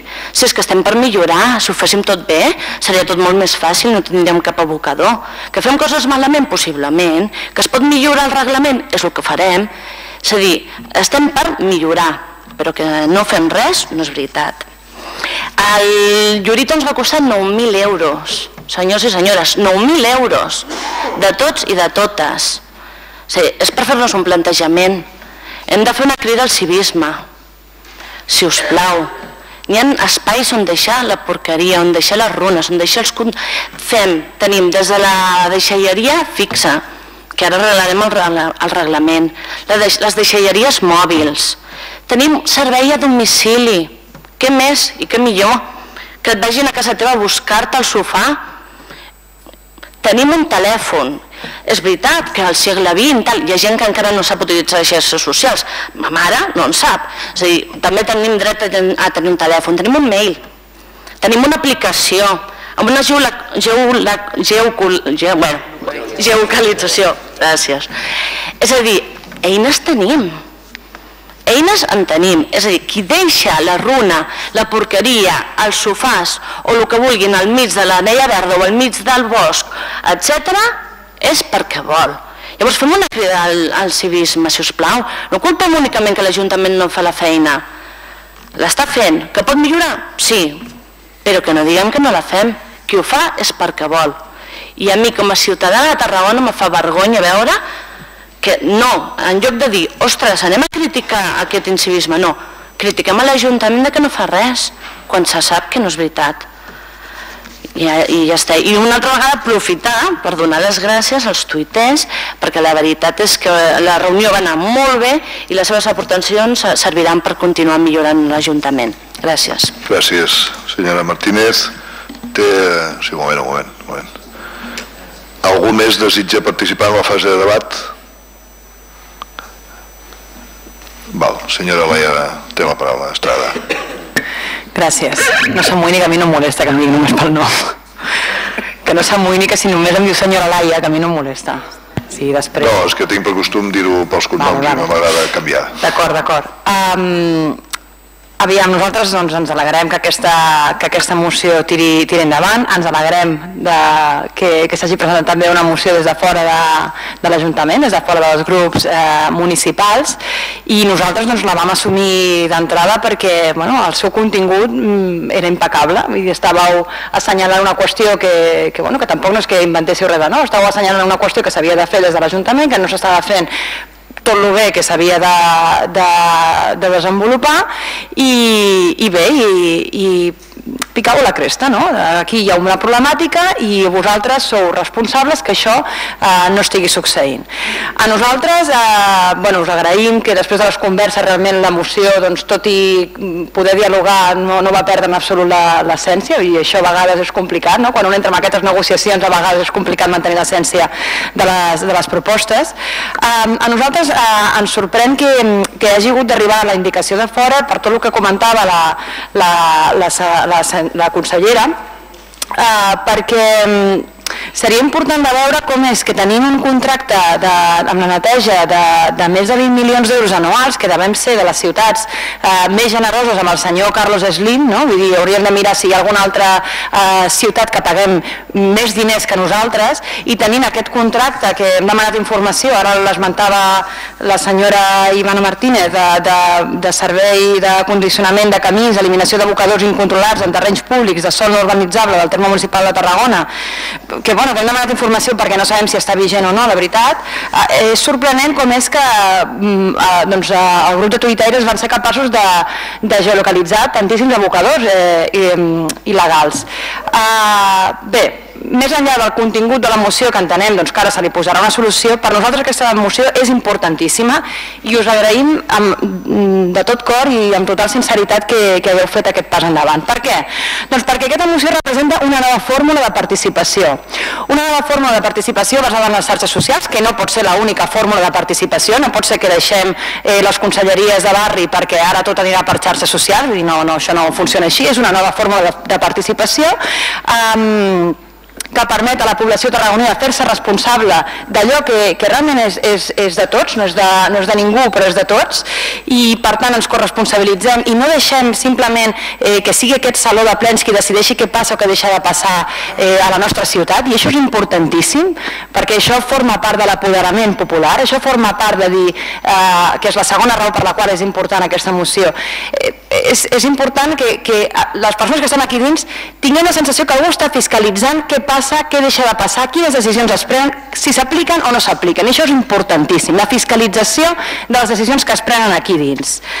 D'altra banda, eh, afortunadament tot indica, segons eh, els vostres tuits, que aquesta no, no serà eh, l'única moció que presentareu, serà la primera de moltes, sembla que les escales no mecàniques sembla que, que, ja, que hi ha intenció d'arreglar-ho, fixeu-vos, eh, no cal ni una moció, eh? més, eh, però, però està bé i coincidim, nosaltres coincidim totalment amb el que, amb el que esmentava el senyor Balló en el sentit de eh, us esteu referint a problemàtiques domèstiques, deia el senyor Balló, nosaltres eh, parlem, preferim pensar que, que cal pensar globalment i actuar localment, les coses tenen una connexió eh, amb la globalitat, però hem d'actuar aquí a la nostra ciutat i vosaltres esteu eh, assenyalant qüestions que són importantíssimes i que efectivament requereixen inversions eh, pressupostàries elevades. És que llavors és quan comencem a, a pensar que si arregléssim, que si paréssim atenció a les coses que realment són les prioritàries, aquelles que ens afecten a tots i a totes en la quotidianitat, veuríem que potser aquests jocs mediterranis no són la prioritat, que són netejar la nostra ciutat, rehabilitar eh, la majoria d'espais públics, els edificis, en definitiva, eh, millorar, dignificar la nostra vida eh, quotidiana. I, I per últim, nosaltres confiem que aquesta mm, no només sigui la vostra, primer, la vostra única moció, sinó la primera de moltes, sinó que confiem que moltes més entitats, com ha fet l'Associació de Veïns de Tarragona Centre i com poden fer moltes altres entitats que, que estiguin constituïdes o que es constitueixen a partir d'ara, esperem que també s'animin a presentar eh, propostes i a, a presentar mocions, perquè això al final ens ajuda a trencar, a, a fer una esquerda, construir una esquerda en aquest mur eh, demofòbic que té autèntica fòbia a la participació ciutadana, si més no, eh, és el que ens transmeten a nosaltres. Vull dir que cada vegada que proposem eh, propostes de participació ciutadana ens trobem amb, amb, amb, bueno, amb uns murs increïbles. Per tant, aquestes mocions que arriben de fora, eh, aquestes eh, fórmules de participació ens ajuden a trencar amb aquest mur que al nostre entendre eh, permet que, que l'equip de govern se senti còmode. Per tant, enhorabona, moltes gràcies i n'esperem moltes més, de veritat. El, té la paraula a continuació el senyor Rubén Viñuales. Sí, gràcies, senyor alcalde. Primer, us han donat tant les gràcies ja, però això de grup tuitaire sona com si fos un grup de superherois que venen aquí, jo crec que ho sentirem bastant, bastant sovint. Eh, és cert, hi ha diferents maneres d'entendre la, la democràcia. Hi ha una manera que és un, un diumenge cada quatre anys, i me n'oblido, és veritat que molta gent ja li va bé aquesta, però hi ha gent que no li va bé, hi ha gent que vol participar, que vol tindre una democràcia més participativa, més activa i fins i tot proactiva. Jo crec que és interessant que sigui així, crec que és positiu fins i tot, i per part de, dels governs i de la resta de membres del consistori ho hem de veure com una ajuda. Al final, quants més ulls estiguin mirant, més coses podem, podem arribar a veure. Eh, en aquest cas és un tema municipal, que aquest és un ple municipal i estic molt d'acord, i amb això moltes vegades estic d'acord amb el senyor Belló, de que a vegades aquí perdem el temps en coses massa metafísiques que escapen al nostre àmbit competencial i fins i tot que sabem que, no, que són només declaracions d'intencions bones, molt bones, però que tindran poc fruit a la realitat. Per això en aquest cas crec que és una gran moció, la vam fer nostra des del primer moment, així us ho vam comunicar, i també crec que hem de donar part de raó a la senyora Ivana. Els actes incívics són difícils de controlar, és veritat, però és que n'hi ha molts, n'hi ha molts. A mi m'agradaria saber també quin nivell d'expedients sancionadors s'han incoat per actes d'aquest tipus. Això és una dada que m'agradaria saber i potser aquí és on hauríem d'incidir, no? no només en l'acció, sinó també en la sanció, perquè sempre ha tingut un efecte d'evitar, al cap i a la fi, l'ésser humà i la condició de l'ésser humà no ha canviat molt en la història i necessitem que ens fotin garrotada per aprendre. I en aquest cas, a part de que seria molt útil, no només per al medi ambient, per la imatge de la ciutat i també, perquè no, per les arques municipals. Fem doncs a votació i després hi haurà les explicacions de vot corresponents. Senyor secretari, eh, jo crec que no cal procedir a votació, no? Sí? És per unanimitat? Doncs s'aprova la moció i passem a explicacions de vot. La senyora Argasentís té la paraula. I molt breument, perquè jo crec que pràcticament ja s'ha dit tot. Eh, em sembla que, que la combinació de ciutadans conscienciats, observadors i les noves tecnologies, evidentment, obre unes possibilitats immenses. Ho hem vist amb això, unes possibilitats immenses que jo crec que van més enllà fins i tot de portar una moció a l'Ajuntament i que s'aprovi, sinó que obren tota una possibilitat de participar proposant i controlant i que això eh, ens hauríem de plantejar de cara a actualitzar, a adaptar els instruments de participació que en aquest moment tenim en aquest Ajuntament. Ho deixo sobre la taula perquè em sembla que és una possibilitat que val la pena, que val la pena i que no hauríem de, de canalitzar únicament amb el tema de presentar mocions, sinó que hi podria haver també un control Eh? A vegades pensem que participar són coses així com porto, entro pel registre, van als grups municipals, m'ho agafen, m'ho porten al ple, no. Vull dir, jo crec que és una cosa com molt més constructiva i molt més del dia a dia i que implica una possibilitat d'un control, d'una aportació, d'una anar treballant d'una manera més constructiva i més al dia a dia. Això és una possibilitat que evidentment hem vist que funciona, que ha funcionat amb el tema dels abocadors, perquè sobretot el que ha aconseguit és convertir una cosa que, bueno, que tots teníem una experiència individual, allò que vas caminant pel teu barri, tu trobes, t'escandalitzes. Llavors, quan entre molts el que pots fer és una radiografia, una foto, una foto completa, el que tens és un diagnòstic. I això és molt valuós per fer política, és imprescindible. I a més tens molta gent que no només t'ajuda a fer el diagnòstic, sinó a portar el control de com evoluciona. Hem comprovat amb aquests companys, amb els tuitaires, que és una possibilitat que pot donar moltíssim joc per moltíssimes coses del dia a dia. I jo crec que ara tenim el repte Tenim el repte com a Ajuntament i té el repte sobretot a participació, al Departament de Participació de l'Ajuntament, de veure com això es pot articular de manera que sigui estable i que permeti que aquesta experiència d'èxit s'adapti, s'implementi també amb altres camps que també farà molta falta i jo crec que també servirà per construir aquesta ciutat més compartida, més plural i més participativa.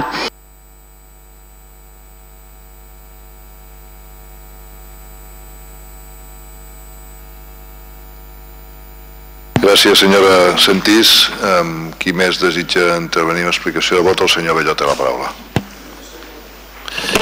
Jo l'altre dia anava pel carrer i em va passar una cosa que segurament vosaltres heu degut veure molt, sovint. Hi havia un noi, devia tindre uns 30 anys, estava fumant, se li acaba el, les cigarretes i tenia el paquet de tabac i agafa el paquet de tabac i al costat a un metre tenia una paperera, eh? a un metre, metre i mig, i agafa i llança el paquet de tabac al terra, així, olímpicament. I tenia la paperera a un metre i mig.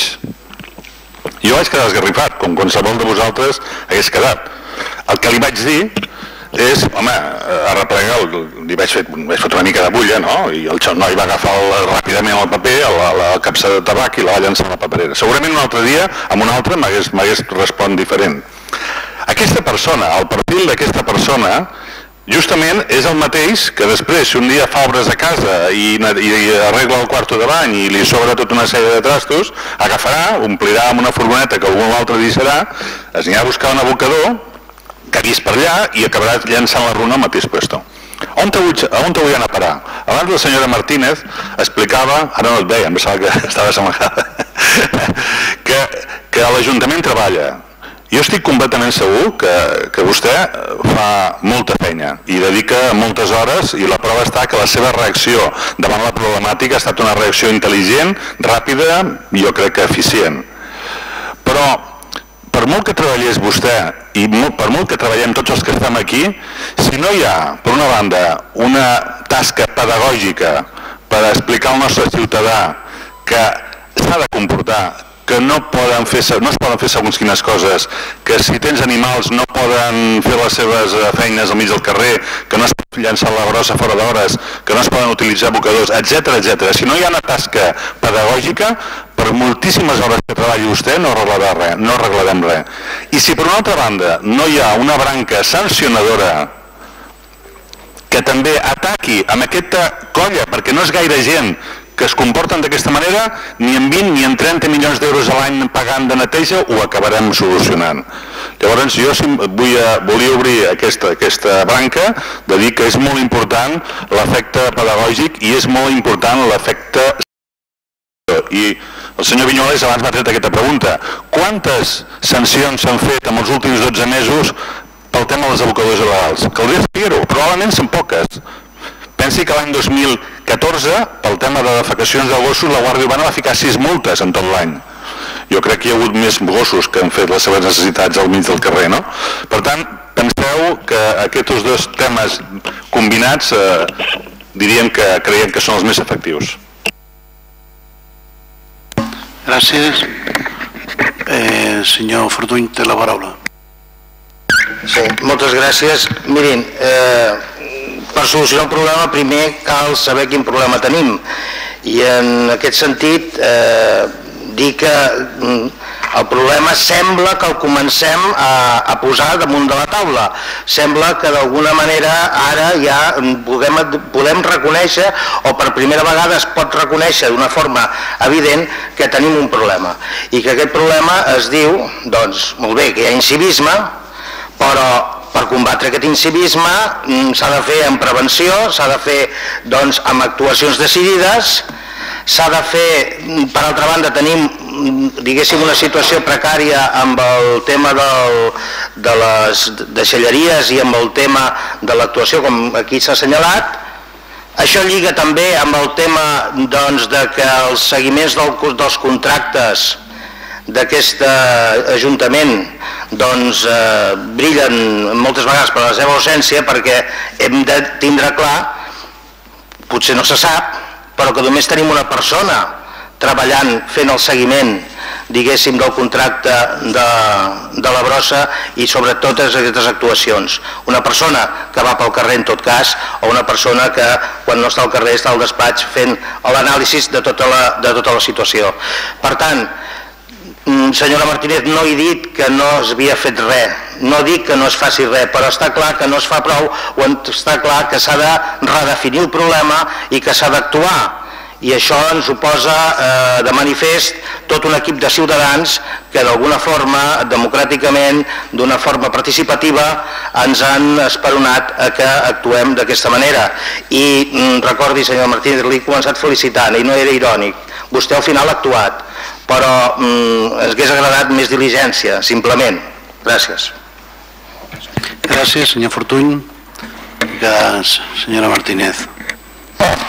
Doncs, a veure, és que aquí hi ha una coseta, una, un parell de coses que em fan, no sé, m'ha cridat l'atenció. És a dir, me pregunteu, me pregunten quants expedients, eh, quantes multes, ningú, cap grup municipal d'aquest Ajuntament ha vingut a veure'm ni a trucar-me per preguntar-me sobre el tema. És a dir, jo estic oberta, perquè ho vaig explicar a la roda de premsa, els vaig explicar els tuites, no tinc cap problema a explicar-ho, no té cap lògica, després vingueu, vinguin vostès al plenari a demanar-me comptes quan ni tan sols s'han interessat ni una sola vegada, ni una, a preguntar a preguntar-me a mi personalment a parlar del contracte, no parlar d'abocadors, ni el que utilitz, ni els... És que no, no hem de confondre, els abocadors també es porten des de medi ambient, no des de neteja. És a dir, des de medi ambient ningú ha vingut a veure'm mai a preguntar-me sobre abocadors. Per això després diem el que diem. Diem que tenim 20 milions d'euros, la eh, senyora Estrada, 20 milions d'euros que no s'utilitzen bé, quan realment he dit que són 400.000 euros perquè són en espais públics i els abocadors que se denuncien normalment estan en espais privats. Llavors tardem tres mesos en poder actuar en un espai privat. Vale? I un cop, és a dir, nosaltres fem la denúncia i ha de ser la persona privada qui ha de netejar aquest abocador, no l'Ajuntament. És que tornem a lo mateix, a dir que hem de ser nosaltres els que ens hem de fer càrrec de lo que fan malament el ciutadà i la ciutadana. Ho farem, com vam fer el Llorito, quan es considera tècnicament, no políticament, tècnicament, que hi ha un perill. I quan es considera que hi ha un perill, s'actua. O sigui, hem de separar el que són abocadors en espais privats i abocadors en espais públics. Però us torno a convidar a tots i a totes, el dia que vulgueu, venim a veure veniu, us expliquem com ho fem, en què ens gastem els diners i així abans de preguntar al plenari o dir coses que no són certes podríem arribar tots a un acord. Gràcies. Moltíssimes gràcies. Passaríem, eh, tal com hem acordat prèviament, a la moció 7.9, que és la moció presentada pel grup de la CUP per tal que l'Ajuntament de Tarragona se solidaritzi amb els encausats per la defensa de canvies. Té la paraula el senyor Martí, doncs endavant. Moltes gràcies i gràcies també als membres de la xarxa antirepressió de familiars de detingudes que avui han vingut eh, aquí a defensar també una moció que se solidaritza amb les quatre roses que són quatre de les persones detingudes durant les, el desallotjament de Can Vies. Un desallotjament que es va produir el 26 de maig del 2014 en un moment en què l'Ajuntament de Barcelona trencava el diàleg amb el centre social, tot emprant un desallotjament policial que resultà desproporcionat a nivell veïnal. La institució a instàncies dels interessos de TMB i el districte de Sants Montjuïc posava així fi a 17 anys de trajectòria d'un projecte popular, un projecte que es consagrava com un dels grans impulsors socials i culturals que abraçava diverses entitats i col·lectius del barri. La indignació per aquest desallotjament es transformà en resposta veïnal. Sants va trencar el silenci en diverses manifestacions al carrer o cassolades de suport. Però no només Sants, Tarragona també ho va fer. Durant els següents dies, el barri aforava de solidaris a peu de carrer i la crida s'estenia arreu dels països catalans i altres territoris de l'estat espanyol i fins i tot de la resta d'Europa. La resposta era cada cop més massiva i això implicava una repressió policial que envaï i trencar la normalitat al barri. La tercera nit consecutiva de protestes i persecucions, quatre joves de distintes procedències que es trobaven a Sants amb la voluntat de participar a la manifestació convocada i que la mateixa policia va impedir celebrar, davant aquest crim hostil, els joves, disposats a retornar cap a casa, es van trobar que un dispositiu antidisturbis es barra el pas. Tot i no oferir resistència, els antiavalots van utilitzar la força fins al punt de causar greus lesions als joves. Un d'aquests pateix la síndrome de Tourette i no es van practicar els protocols adequats. Els quatre joves van patir, a més a més, humiliacions. Les mobilitzacions van continuar, alhora que es van sumar a la solidaritat amb les detingudes, aconseguint guanyar la batalla a l'Ajuntament i recuperant canvies, malgrat que l'edifici quedés parcialment enderrocat. Una recollida de diners posterior va aportar 90.000 euros per tal de reconstruir l'edifici. A l'espera d'un judici en un procés, la Fiscalia de l'Estat, present en tots els casos judicials, sol·licita una pena d'entre any i mig i tres de presó per als quatre joves. Però aquest cas presenta una particularitat. La Generalitat de Catalunya es presenta per primer cop en un procés similar com a acusació particular.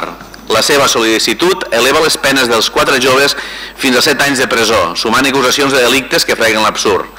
Abans de reconèixer una irregularitat de les seves forces d'ordre públic, la Generalitat de Catalunya decidí tirar pel dret i acusar els quatre joves activistes de greus delictes sense aportar cap tipus de prova. Denunciar una repressió que aquesta institució du a terme contra els moviments socials a través dels Mossos d'Esquadra, així com la seva pràctica arbitrària de detencions i criminalització de manifestants. I exigim alhora la retirada immediata, tal com ha fet l'Ajuntament de Barcelona, dels greus càrrecs que pesen sobre els quatre detinguts. Només un govern autoritari assimila la dissidència a la delinqüència. Tan sols una dictadura empra la repressió per tal de silenciar allò que no és capaç d'aconseguir amb les seves pràctiques possibles. Tenim clar que les acusacions que pesen sobre aquests quatre joves no són exemples aïllats, sinó que responen a una pràctica habitual que únicament cerca destruir el teixit popular que planta cara al sabeu i inunda els carrers. Per això proposem que l'Ajuntament de Tarragona se solidaritzi amb les persones encausades per defensar el centre social ocupat i autogestionat de Canvies, centre referencial del moviment Ocupa català internacional que l'Ajuntament de Tarragona demani a la Generalitat que retiri com a part acusatòria en els processos judicials a persones imputades per dissidència i activisme polític.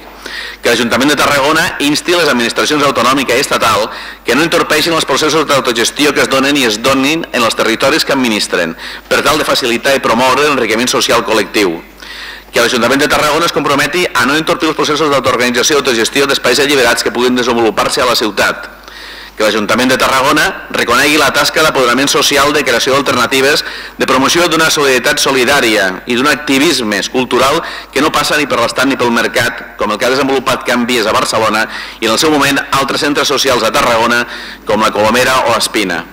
I que l'Ajuntament de Tarragona traslladi aquests acords a la Generalitat i al govern de l'estat espanyol.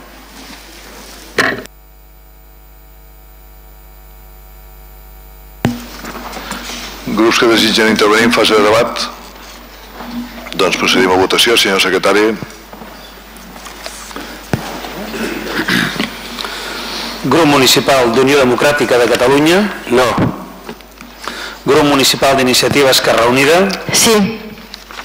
Grup Municipal de la Candidatura d'Unitat Popular? Sí. Grup Municipal de Convergència i Unió? No. Grup Municipal del Partit Popular? No. Grup Municipal d'Esquerra Republicana de Catalunya? Abstenció. Grup Municipal de Ciutadans Tarragona? No.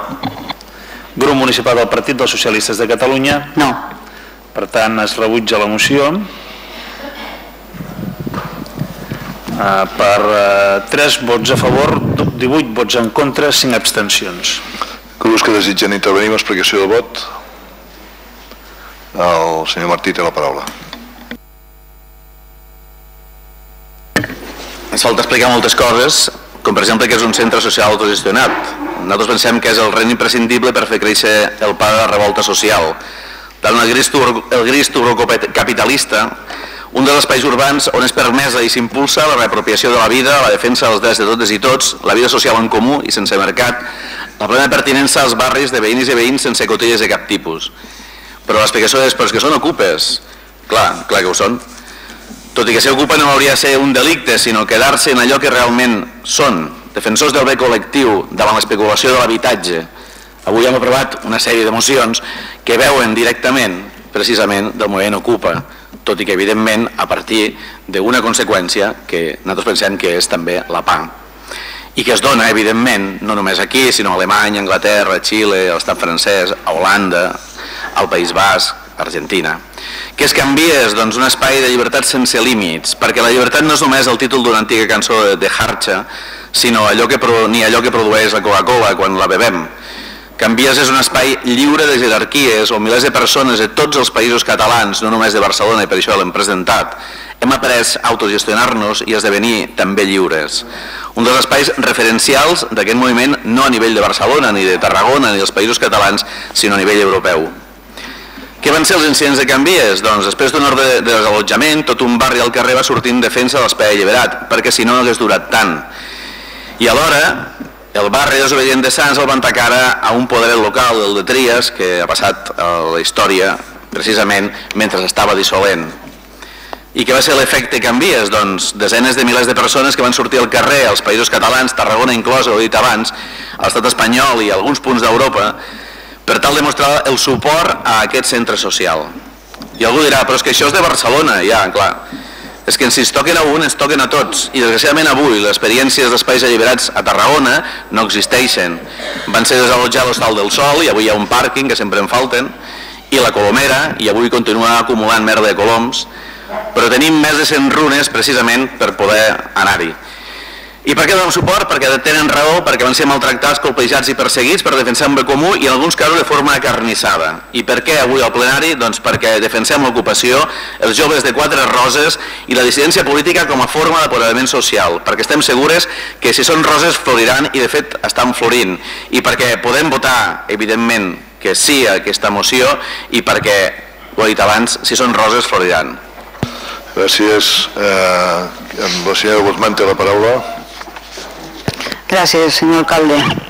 Bé, eh, primer eh, reiterar-vos un cop més que aquesta no és l'administració pertinent per presentar una, una moció d'aquestes característiques, eh, donat que ha d'arribar al seu judici i un cop eh, arribi al seu judici hi haurà una sentència. De fet, vostès ja han jutjat eh, davant maig als Mossos d'Esquadra. Ja han dit que, que van causar unes lesions sense que hi hagi hagut un judici previ. Llavors, el que sí que hauria d'haver és una presumpció d'innocència per ambes parts. Això sí que us de manera com a respecte, bàsicament. D'altra banda, vostès ens demanen que ens solidaritzem amb persones que van crear aldarulls durant 5 nits, 5 nits continuades al districte de Sants.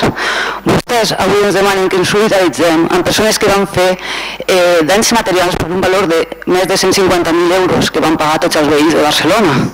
I vostès finalment ens demanen que ens solidaritzem amb persones que van causar 29, 29 repeteixo, agents dels Mossos d'Esquadra ferits. Doncs em sap molt de greu que no podem votar a favor d'aquesta moció.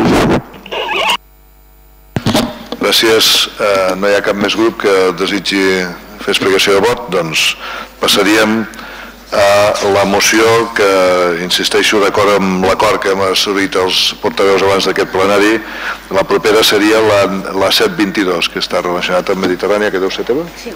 Doncs, va parlar.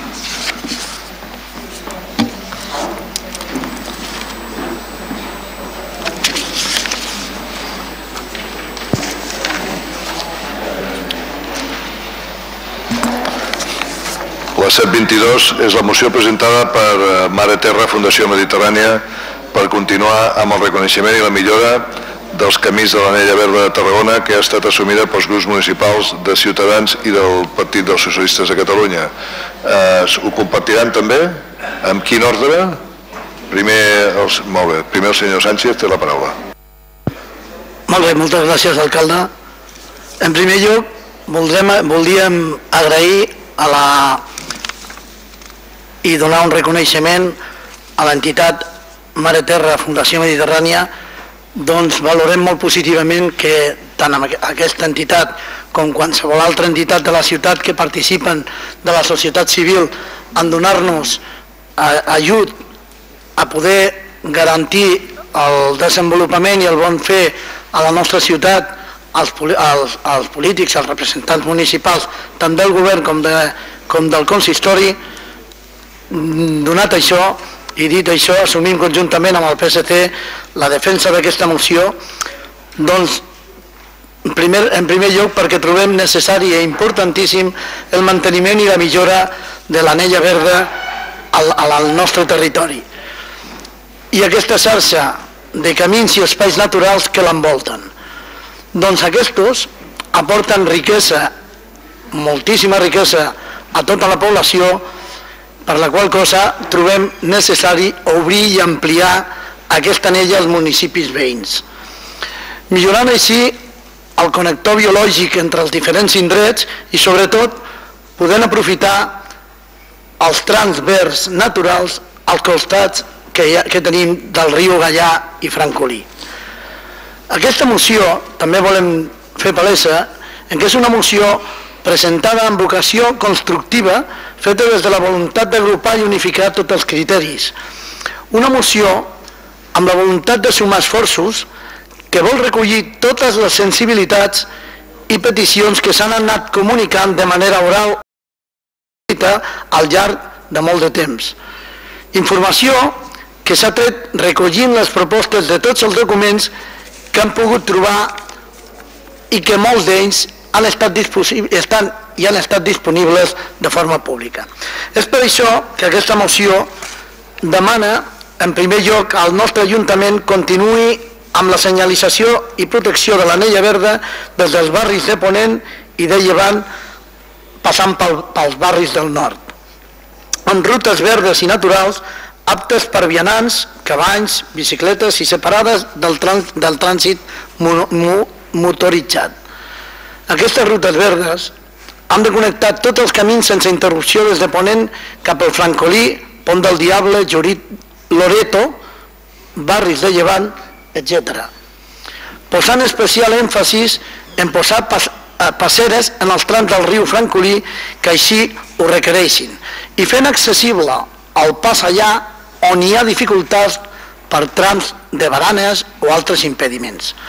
També delimitant camins, corregint els falsos indicatius i senyalitzant de manera correcta tots els itineraris, sobretot senyalitzant l'itinerari també de la platja llarga. En segon lloc, demanem, en el tram on s'està construint l'anella mediterrània, on ha d'anar l'IKEA, en els barris de Ponent, el nostre Ajuntament s'ha de comprometre a protegir els espais per on passin els camins de l'anella verda, per a que no es quedin els camins de l'anella verda sense connexió en aquests barris i perquè així es puguin mantenir uns itineraris i uns espais verds en aquests indrets que ara estan urbanitzant. En tercer lloc, demanar el compromís del nostre Ajuntament de que si es fan replantacions en aquest territori pertanyent als camins de l'anella, que siguin de, planta, de plantes autòctones. En quart lloc, demanar al nostre Ajuntament la constitució d'una taula d'entitats o Consell d'Entitats Mediambientals per a promoure la participació ciutadana en temes de medi ambient que afectin a la ciutat, en especial, en aquest cas, pel tema dels camins de l'anella verda.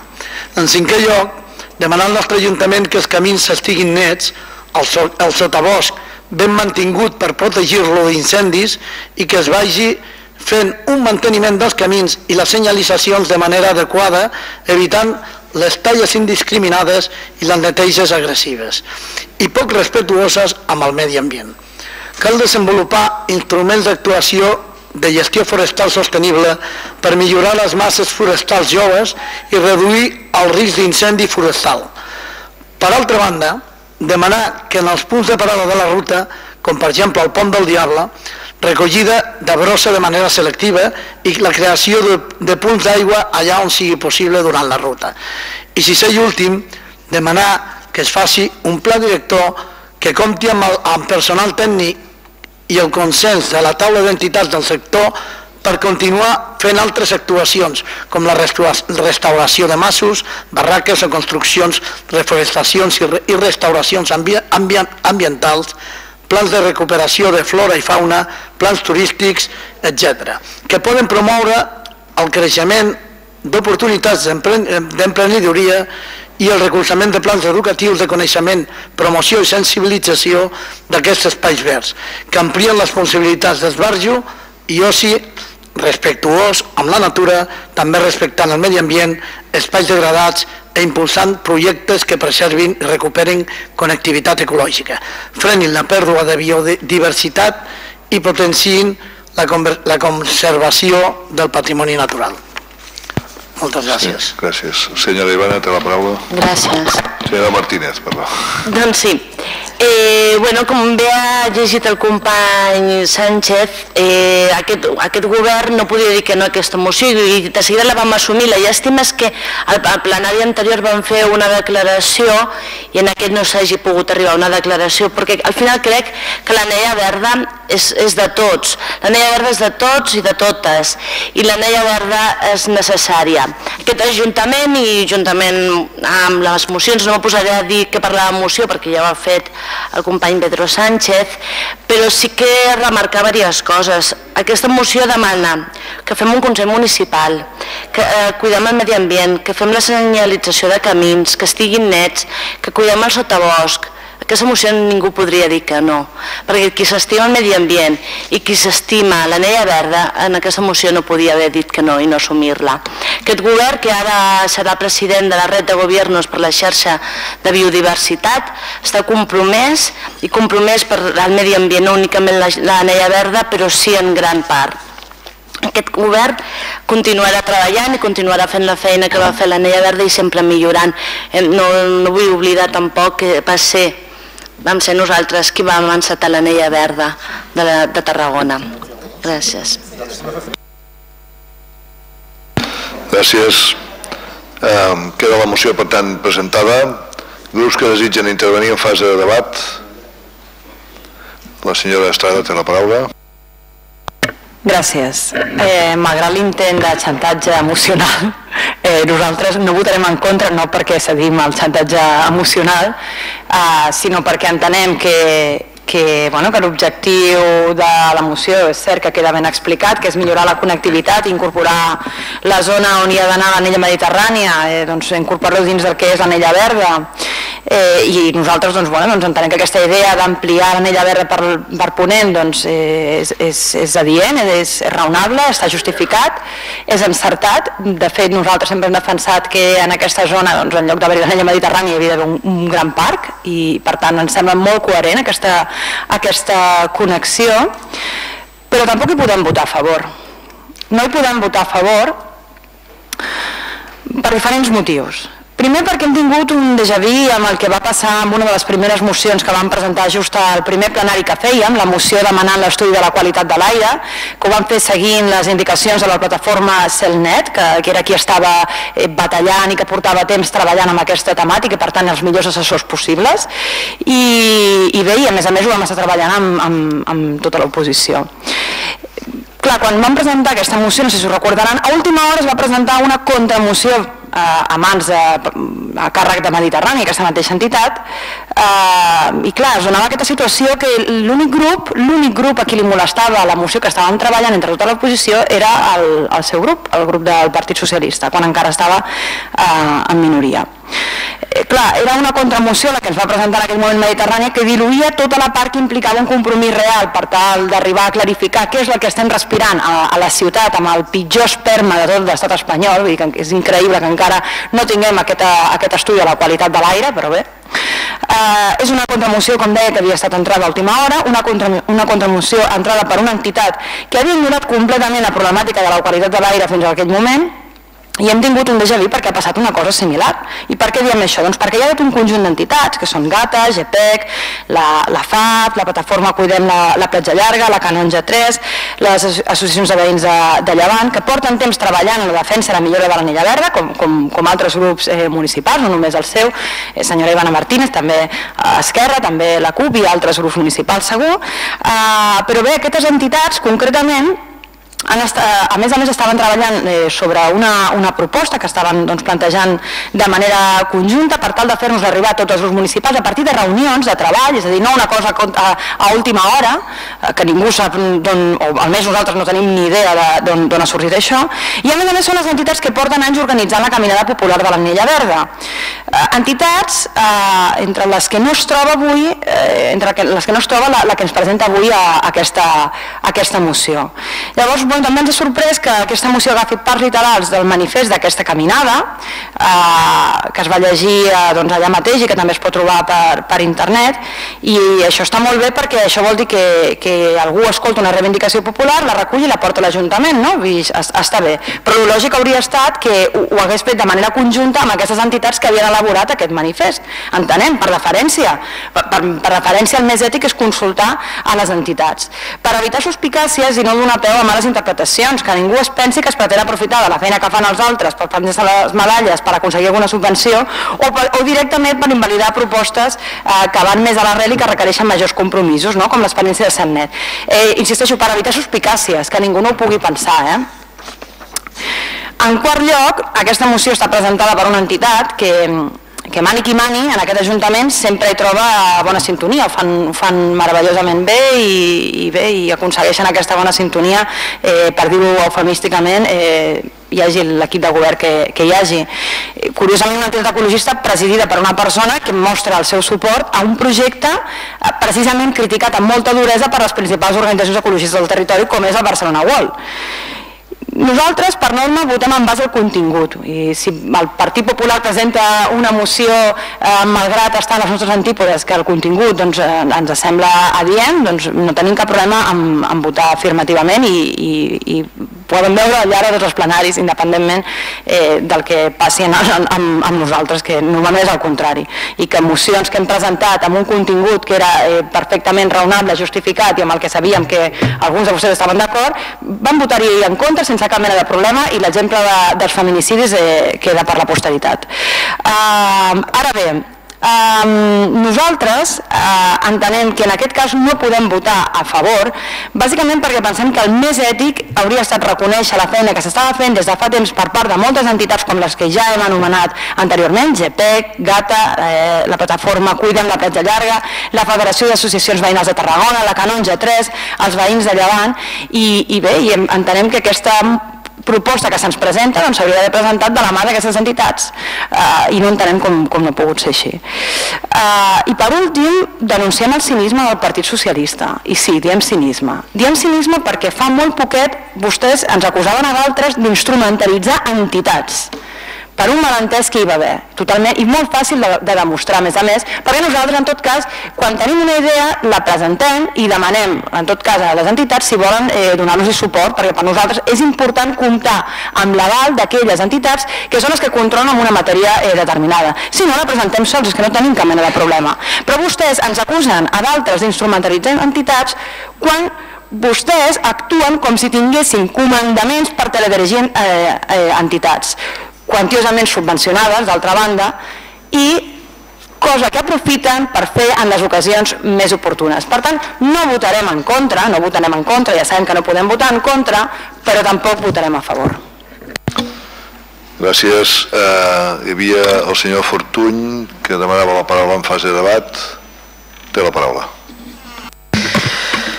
Doncs miri, nosaltres votarem que sí i no és per un xantatge emocional que doncs, d'alguna forma eh, s'ha intentat fer simplement perquè eh, fixis mm, per les gairebé les mateixes raons que els companys de la CUP votaran o s'abstindran. És a dir, celebrem des del nostre grup que cada vegada sigui més intens l'interès per l'anella verda Avui hem parlat d'abocadors, la necessitat d'actuar per no malmetre precisament els, eh, l'anella verda. No? Són moltes les entitats tarragonines i els tarragonins i les tarragonines que reivindiquen l'anella verda com a espai de lleure, esport, de gaudi de la natura. Entitats com la Federació Veïnal de Tarragona, GPEC, la Canonja 3, GATA, la Plataforma per de Salvem la, la Platja Llarga, d'altres, els veïns de, de Llevant, etc. Són moltes.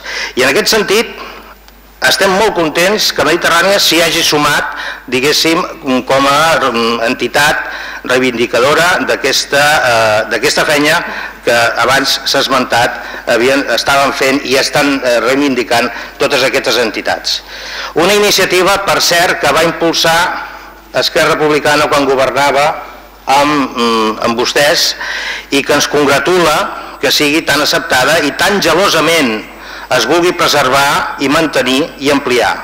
Diu molt dels tarragonins i diu molt també doncs, d'aquestes entitats i en tot cas d'aquesta entitat que ha promogut la, aquesta, aquesta acció.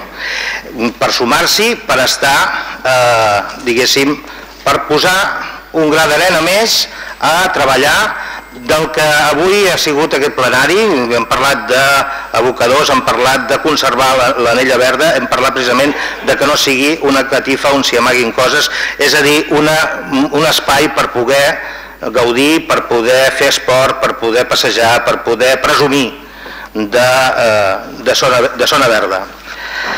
Estem i ens comprometem a vetllar i estem amatents per la nostra anella verda esdevingui aquest espai d'orgull per la nostra ciutat i per tant aplaudim totes les iniciatives, vinguin d'allà on vinguin, perquè així sigui. I en tot cas, agrair en tot cas a Mediterrània que s'hagi sumat amb aquesta bona iniciativa que durant tant de temps ha estat fent, torno a repetir, la Federació Veïnal de Tarragona, GPEC, Calonja 3, GATA, Plataforma de Salvem la Platja Llarga, Veïns de Llevant i d'altres que segur em deixo. Gràcies.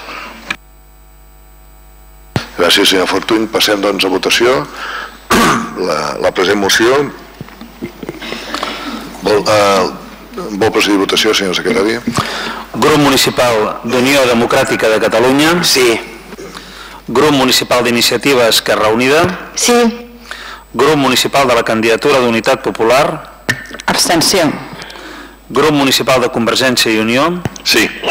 Grup Municipal del Partit Popular. Sí. Grup Municipal d'Esquerra Republicana de Catalunya. Sí. Grup Municipal de Ciutadans Tarragona. Sí. Grup Municipal del Partit dels Socialistes de Catalunya. Sí. Per tant, s'aprova la moció per 24 vots a favor i dues abstencions. Grups que desitgen intervenir amb explicació de vot i que no hagin fet intervenció en debat. La senyora Guzmán té la paraula. Gràcies. Bé, eh, únicament eh, des del grup municipal de Convergència volem reiterar el candidat als, als companys de la CUP i d'Esquerra eh, i agrair especialment a, a totes les entitats eh, que porten molts anys, eh, em sembla que són vora 5 anys treballant en l'Anella Verda. Eh, Fer-los menció especial, els tornarem a dir eh, pel seu nom, és la Federació d'Associacions de Veïns de Tarragona, és el GPEC, és GATA, és Salvem la Platja Llarga, és Canons a 3. Moltíssimes gràcies a totes les entitats i, com no, a, a Mare Terra per, per haver presentat la moció. Gràcies. Gràcies. Eh, hi havia... La senyora Martínez també té la paraula. Doncs sí, alcalde, eh, gràcies. Aquí agraïm no, a totes les entitats i tal, i ningú ha agraït a Mediterrània per haver presentat una moció a banda de vosaltres, però no oblidem que, que Mediterrània té part de la custòdia de l'anella verda. Vale? No estem parlant d'una entitat que ha sorgit ara i ha fet una moció, no, vale? hem de valorar això més de 30 anys dedicant-se, que jo ara no vindré a defensar, però sí que crec que no és just que no es valori la feina que ha fet aquesta entitat. I ja encara donem per bé i per bo els arguments d'uns i d'uns altres. Jo crec que aquest, aquest plenari no hauria d'haver entrat a veure si qui té la raó o qui no té la raó.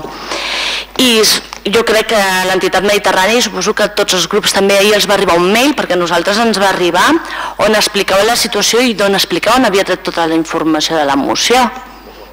Vale? Només dir això. I únicament, senyora Laia Estrada, això de que el PSC utilitza a les entitats que són foscos. Jo, mira, ma mare sempre m'ha dit una cosa, que creen ladrón que todos son de su misma condición, senyora Laia Estrada. Així que planteu, plantegem. Gràcies. Gràcies.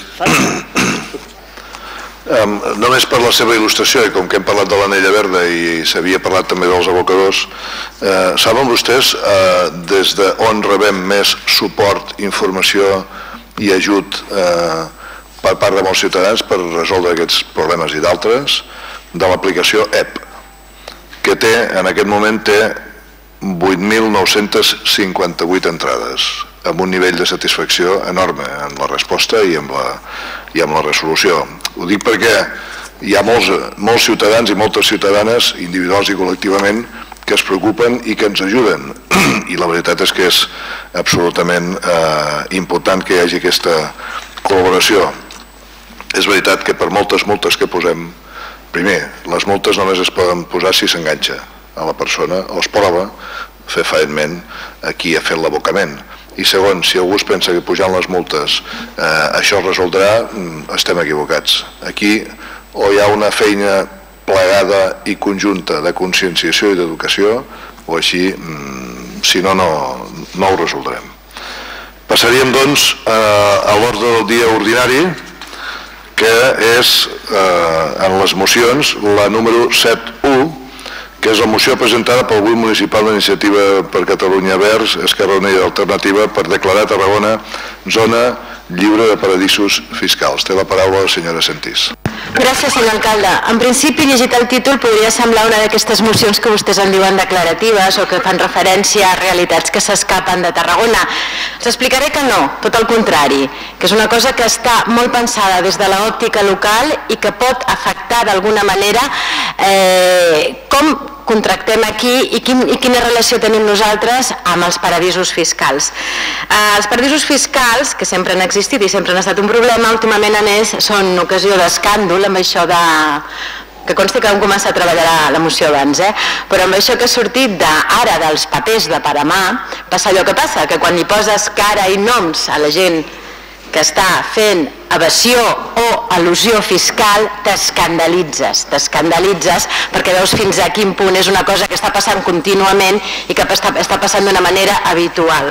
Els paradisos fiscals, com vostès saben, són espais que per la seva opacitat faciliten el blanqueig de capitals, la corrupció, el finançament del crim organitzat, activitats contràries als drets humans, això és un delicte i els delictes s'han de perseguir i evidentment amb això el que hem de fer és exigir que qui té la responsabilitat de fer-ho ho faci amb més mitjans i amb molta més contundència.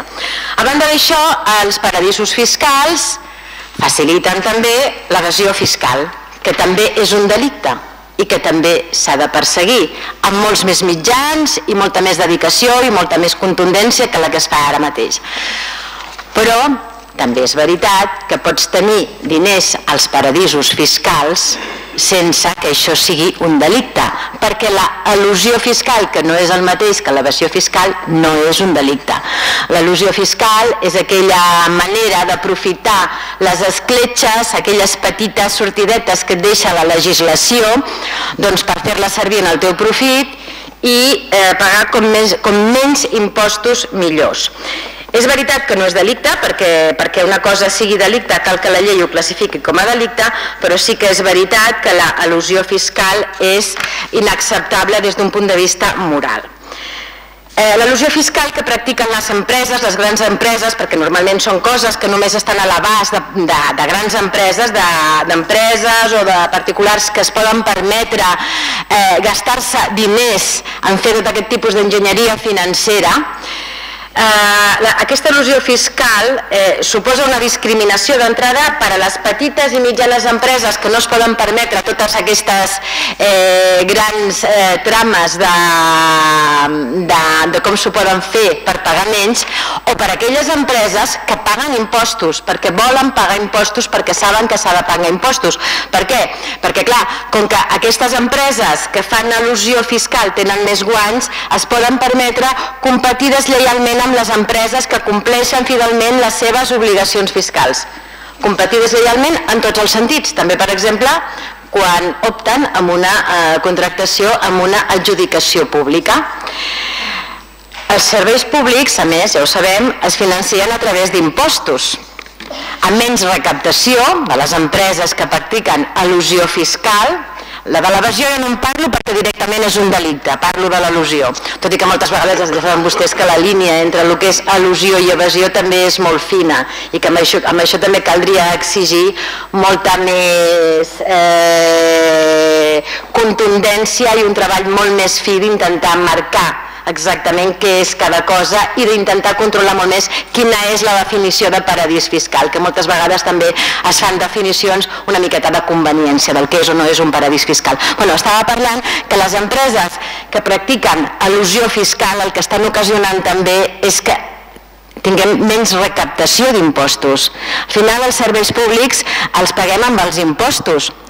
Per tant, amb menys impostos, menys capacitat de gastar en serveis públics tan essencials com la sanitat, com l'educació, com els serveis socials. Em diran, bueno, això ho han de solucionar altres administracions superiors. És veritat, ho han de solucionar els estats, ho han de solucionar el, mm, a, a les, les instàncies europees, hi ha molta feina a fer, però nosaltres com a administració local també podem fer coses. Per començar, nosaltres fem contractes amb empreses, contractes que paguem i que paguem, que paguem amb diners públics que per tant són diners que provenen d'impostos, de la gent que paguem impostos. de la gent que cobrem una nòmina, de la gent que paga l'IRPF, que paga l'IBI, de dels autònoms, de les empreses que paguen, que paguen els seus impostos. A mi em sembla que és de sentit comú que el que no podem fer és fer servir els diners de la gent que paga impostos per enriquir a empreses que busquen la manera de no pagar-ne. Em sembla que és absolutament de sentit comú. I a banda, eh, també serà una manera de eh, potenciar, d'evitar que aquestes empreses que no paguin impostos acabin fent dumping fiscal, acabin fent competència deslleial a les empreses que sí que són responsables eh, fiscalment. Una manera d'estimular la responsabilitat social corporativa de les empreses i que tothom sigui responsable de pagar els impostos, que és una cosa que hem de fer tots perquè és la manera de contribuir contribuir a la societat. Per tant, proposem que l'Ajuntament, dins de, del que pot fer, dins, del que és les coses que estan al seu abast, ja que contracta i ja que contracta amb empreses, adopti aquests acords que ara els llegiré, que em sembla que són fàcils, racionals i que són molt i que, i que espero que més siguin efectius. Primer, declarar Tarragona zona lliure de paradisos fiscals, comprometent-se a fer els passos necessaris per assegurar que els concursos públics afavoreixin les empreses que tenen conductes fiscals responsables, en detriment de les empreses que utilitzen els paradisos fiscals per fer frau. Segon, estudiar, detectar i activar els mecanismes necessaris per evitar o dificultar la contractació d'empreses privades per prestar serveis públics que tinguin la seu social en paradisos fiscals o societats que formin part de la matriu industrial domiciliada en paradisos fiscals, d'acord amb la resolució del Parlament de Catalunya del 19 de juny de 2014. Tercer, com que hi ha una certa controvèrsia entre què es defineix i no es defineix com a paradís fiscal, perquè moltes vegades l'única cosa que fas per definir com a paradís fiscal una empresa, un, un, un determinat lloc, és si té o no té un acord de comunicació,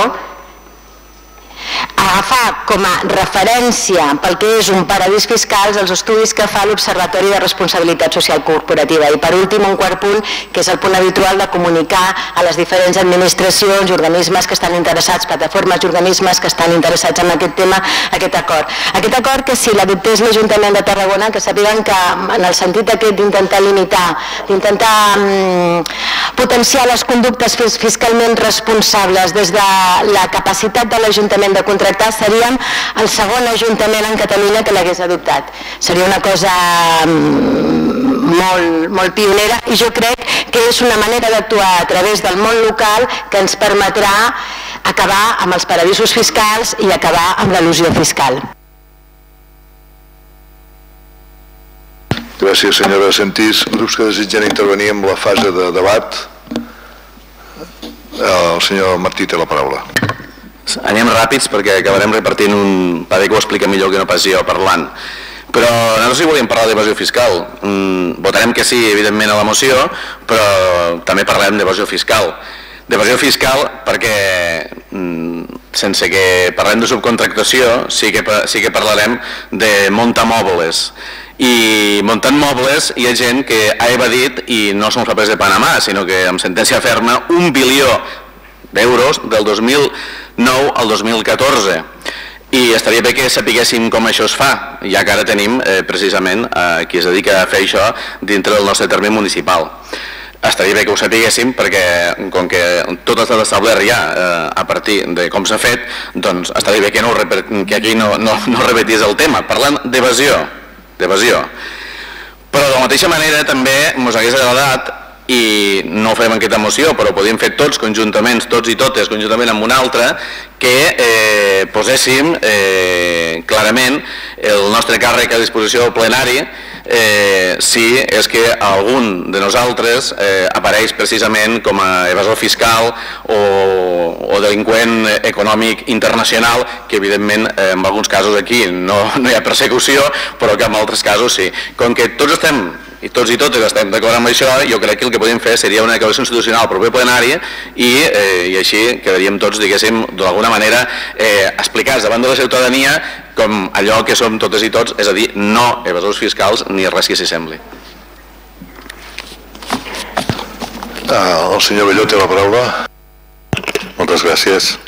Aquí, de manera ferma, declarem que tant la Cristina Guzmán com jo mateix no tenim res a Panamà. Vull dir que... No sé si us passa a més, però a nosaltres això ens passa.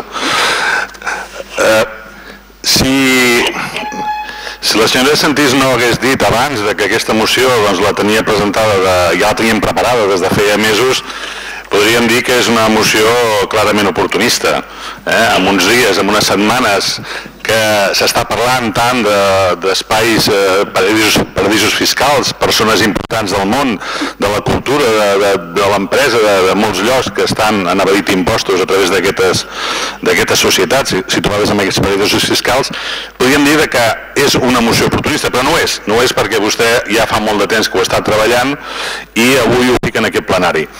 El grup de Convergència i Unió votarem que sí, perquè no podem votar que no. Ens agrada la grandesa d'aquest plenari que podem passar de parlar d'abocadors a parlar de, de paradisos fiscals. Realment, doncs, la nostra magnitud és, és exuberant, no? no té límits, i això és bo per la ciutat, imagino, però aquí hi ha dues qüestions. La primera és que ara el secretari m'està mirant i aquesta, aquesta pregunta va, va per vostè. Ara imaginem-se que hi ha una empresa que per alguna raó doncs, té comptes amb un paradís fiscal i pot ser subjecte d'algun tipus de sanció. Això evidentment ha de tindre el seu curs, ha d'arribar i s'ha de, de fer la sentència. L'Ajuntament de Tarragona, davant d'una licitació, tindria capacitat legal per excloure aquesta empresa perquè no es pogués presentar en una licitació? Dit d'una altra manera, el que proposa la senyora Santís si això ho aprovés l'Ajuntament, a l'hora de la veritat, si es presenta aquesta empresa amb una licitació, li podríem dir que no? Pots preguntar? Sí, contesta, sisplau. I les, les condicions de capacitat i de solvència d'una empresa per participar en un procés de contractació els fixa la llei. I el que s'hi pot fer l'Ajuntament eh, en aquells casos en els quals no és suficient per algun tipus de contracte de classificació de contratistes, exigir un plus de solvència i de capacitat no? però en aquest cas es fixa la llei. Nosaltres no podem inventar nous requisits de solvència i de capacitat. Gràcies, senyor secretari. Tant, doncs, l'Ajuntament de Tarragona per si mateix difícilment podria encarar un tipus de mesura d'aquesta característica. Dit això, la segona part, la segona part, clar, parlem, i vostè parla de, de menys impostos, de que totes aquestes empreses que estan operant des d'aquests paradisos fiscals comporten que no paguen els impostos, per tant es veiem afectats per aquesta manca de diners. Hi ha una altra manera de generar més impostos, que és eh, generar activitat econòmica, intentar que el nostre territori, que la nostra ciutat, que el nostre país eh, generem capacitat econòmica. I moltíssimes vegades davant de projectes, com no fa gaire, estàvem parlant de, del Tarragona Wall o del CRT Wall o del que vulguem dir, no?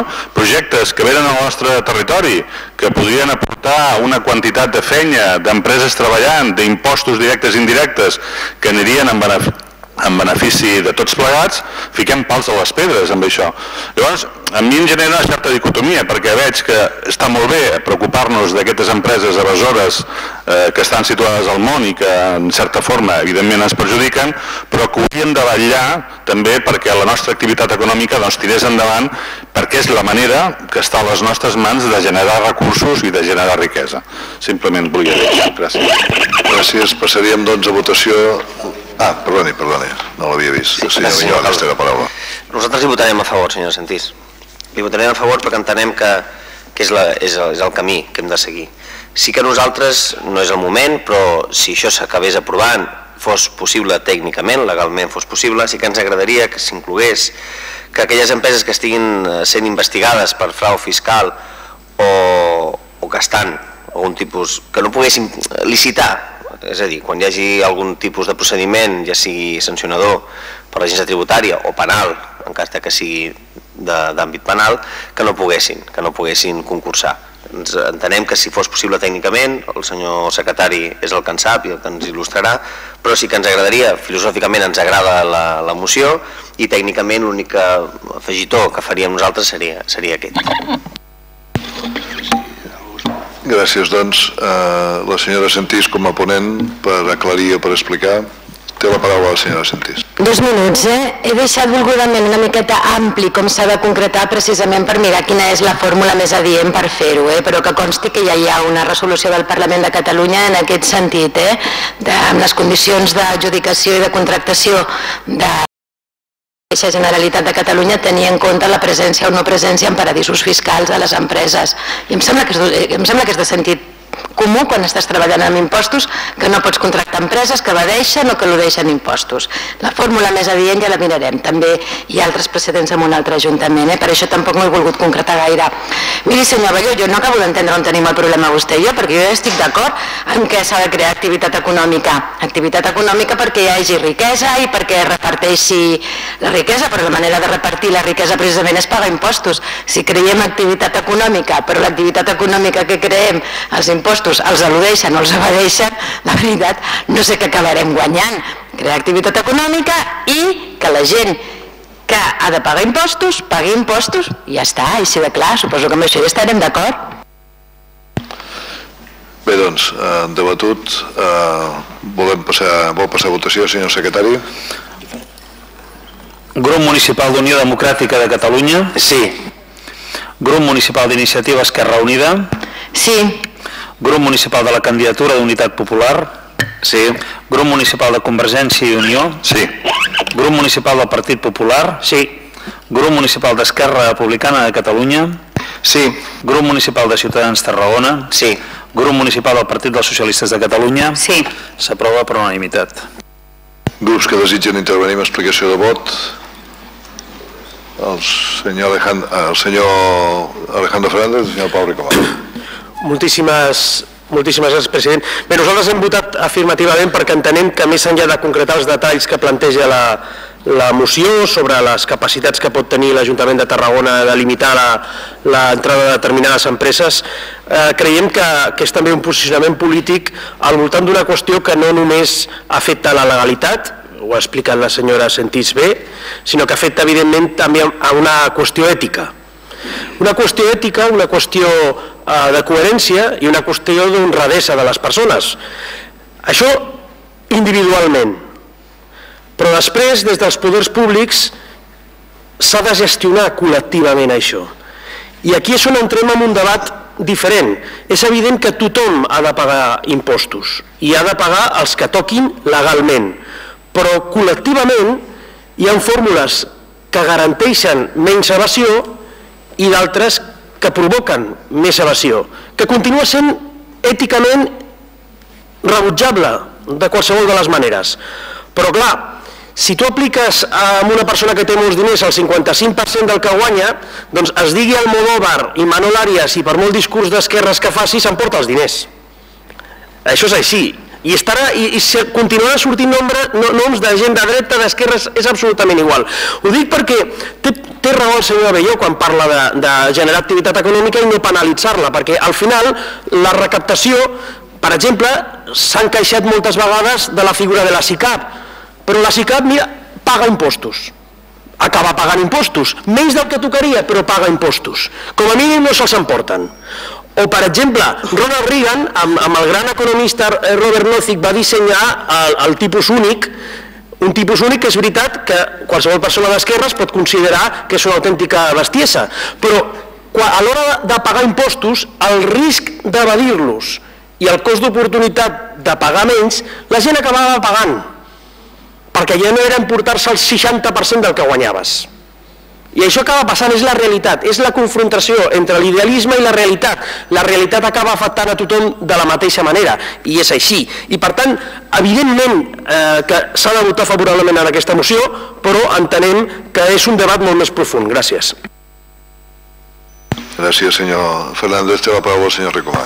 Bé, eh, una vegada més el senyor Fernández ha posat aquí un punt, un punt de color perquè jo crec que d'aquesta cerimònia, que no pot ser d'altra manera, que davant d'una pregunta de si volem posar eh, barreres a l'evasió fiscal, lògicament eh, tots amb un criteri de, de, de ser políticament correctes, tots hem dit que això és acceptable. Altra cosa és que després hi ha arguments que ho justifiquen, que diuen, clar, és que paguem massa, que si sé què, que hi ha altres mecanismes... Clar, no és estrany que vingui del portaveu d'un partit en què la llista de, de, de persones imputades per corrupció, perquè això estem parlant de corrupció, una altra cosa és que és interminable, tan interminable com que si algú es proposa fer la llista, eh, dius jo mai arribaré temps perquè cada dia n'hi ha un de nou. Eh, per tant, s'entén la seva justificació d'una situació que és completament corrupta, perquè és que a més la relació de gent afectada eh, cada dia ho diu, no? L'altre dia algú feia broma de que ja està bé de posar-se amb el paper de que, eh, home, ara, no sé què deia, potser era, era parlava potser de l'alcaldessa de València. Home, ja està bé, no és una vegada, abans sigut Rato, abans ha sigut Cascos, abans ha sigut Mates, abans... Sempre contra el PP, home, ja està bé, vosaltres no amb ells. Però el fet és aquest, hi ha una corrupció elevadíssima, hi ha uns sectors i uns partits que al final estan vivint aquesta corrupció i sobretot hi ha un poble, una gent, molta gent, que està pagant aquesta corrupció. Perquè la misèria que, que tenim, la falta d'habitatge, per exemple, és una conseqüència d'aquesta corrupció. Per tant, nosaltres, com qualsevol altre partit aquí, votem a favor d'aquesta moció, però ho fem amb l'ànim net i sent tot ben coherents entre el que fem el que dic i el que diem. Passem doncs a la moció 74 que és la presentada conjuntament pels grups municipals d'iniciativa per Catalunya Esquerra Unida Alternativa, eh, Convergència i Unió, Partit Popular i PSC, per la retirada de l'ordre de copagament confiscatori per a les persones amb discapacitat. Té la paraula la senyora Ana Santos. No és? Té la paraula. Gràcies, alcalde. Faré jo la intervenció en nom dels quatre grups que presentem conjuntament aquesta moció, sobretot per un estalvi de temps, donat que tenim que acabar el plenari a la, a la una i mitja. Eh, els partits del pacte que dona, que dona suport al govern de Catalunya han demostrat un escàs, un escassíssim compromís amb les persones amb discapacitats quan van votar en contra de derogar l'ordre BCF 130-2014 que provoca que molts ciutadans i ciutadanes amb discapacitats hagin hagut de pagar fins un 40% més, de, per cent més del que, fei, del que ho feien amb el copagament anterior. I a més ha deixat a moltes d'aquestes persones amb molt menys de 100 euros de diner de lliure disposició, fet que, sincerament, condemna a el que és una pobresa crònica a centenars d'afectats a tota Catalunya. A més de la seva capacitat, aquestes persones veuen com no poden fer front al pagament dels medicaments, de les bateries de les seves cadires de rodes, dels serveis d'ortopèdia, dels dentistes, de, de les ulleres que s'han de comprar i del que és molt important, la possibilitat de gaudir del lleure i de participar a la vida social com és el seu dret. És especialment discriminatori que no es tingui en compte el greuge econòmic que suporten les persones amb discapacitat en relació a la resta de la ciutadania. Persones usuàries d'aquests serveis que es veuen desproveïdes de la major part dels seus ingressos pel fet de poder rebre un servei que se suposa els facilitarà autonomia. Això sí, traient-los tots els recursos per poder gaudir d'aquesta autonomia. I jo ara volia tocar una mica la part humana perquè parlem de persones, persones conegudes per tots nosaltres, persones que han estat aquí, en aquesta sala, participant de la vida de la ciutat i que fins i tot han rebut diplomes pel seu comportament cívic i participatiu a la nostra ciutat. Tenen noms, tots els coneixem, els coneixem tots. Altres governs, altres com el de la Comunitat Valenciana i el de les Illes Balears, el que han fet és revisar els ordres de pagament establint condicions més justes, mentre que el govern de la Generalitat de Catalunya i el partit que li dona suport continuen sense derogar una ordre que suposa un atac directe a l'autonomia personal i al caràcter universal de la pròpia llei de la dependència. Aquesta és una il·lusió que prediquen de fer un país nou, aquesta il·lusió de fer un país nou? Jo els convido a parlar, a anar sense anar més lluny, a Sant Salvador, a la residència de grans discapacitats, estan aquí, als costa, aquí al costat. Ells els hi explicaran, els diran la situació que estan patint, els ensenyaran les fotografies que s'han fet amb les seves cadires de rodes davant d'una retxa perquè no poden fer res més. Persones que són actives i que venen sovint a la Rambla a passejar, a prendre un cafè abans, perquè ara ja no poden. Gràcies, senyora Santos. Grups que desitgen intervenir en fase de debat. La senyora Estrada té la paraula. Gràcies. Bé, eh, nosaltres votarem que sí en aquesta, en aquesta moció, no tenim cap mena de, de problema, ens sembla fantàstic que s'hagi presentat. Um, però volem aclarir unes quantes coses, perquè pensem que té un punt bastant pervers. S'ha presentat aquesta moció, jo ja sé que avui estem, estic fent molts amics, eh? però és que no, no, crec que mm, el que hi ha darrere d'aquesta moció no, no, no es pot ocultar. Mirin, um, deia la senyora Ana Santos, el partit que li dona suport, miri, nosaltres donem suport amb algunes coses i amb altres no. I amb aquesta qüestió concreta, amb, amb aquesta moció que, que vam presentar al Parlament, nosaltres ens vam abstenir, vam facilitar que s'aprovés, quan la CUP s'absté eh, i l'oposició vota en, en bloc favorablement, encara que es donin coses eh, tan, tan inversemblants com és que determinats grups que són eh, bueno, els principals garants de la privatització després defensen els serveis públics, però bé, en fi, és igual. Eh, nosaltres ens vam abstenir per facilitar la seva aprovació, i, i ens vam eh, abstenir a més a més perquè la proposta que vostès eh, plantejaven no anava a, a l'arrel del que nosaltres considerem que és el problema, que és el copagament. El mateix va passar, per si ho volen treure després, amb el tema de les ambulàncies. Nosaltres, quan es va discutir la, el tema de les ambulàncies, també eh, ens vam abstenir, vam facilitar la seva aprovació, però nosaltres no vam votar a favor d'una cosa que no és la nostra proposta.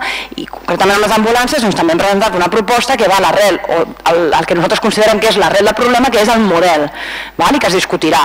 Doncs en aquest cas el mateix. Per nosaltres eh, el problema és eh, eh, com s'està enfoc, eh, enfocant eh, la qüestió que es tracta. I per tant el que s'ha d'eliminar és aquest copagament el qual eh, per cert eh, surt de la llei de dependència del 2006 en temps del tripartit. Eh, la CUP apostàvem per modificar el model per eliminar el copagament i eh, teníem en compte la demanda de la taula del tercer sector per tal de crear una comissió de treball per analitzar en profunditat l'ordre de 130 i poder fer propostes de revisió eh, crítiques, profundes i així havíem quedat a més a més amb una associació concreta, l'associació d'INCAT i, i posteriorment doncs, ja hem facilitat amb aquesta comissió de treball del Parlament, hem a parlar del Parlament eh, eh, en relació a la diversitat funcional, a la salut mental per, per continuar treballant. Nosaltres ja entenem que a vegades això de fer comissions de treball doncs, eh, és en va i és tirar eh, pilot endavant i, i guanyar temps, ja entenem. Però no era aquesta la nostra intenció, ni molt menys, i si no, no ens haguéssim eh, abstingut.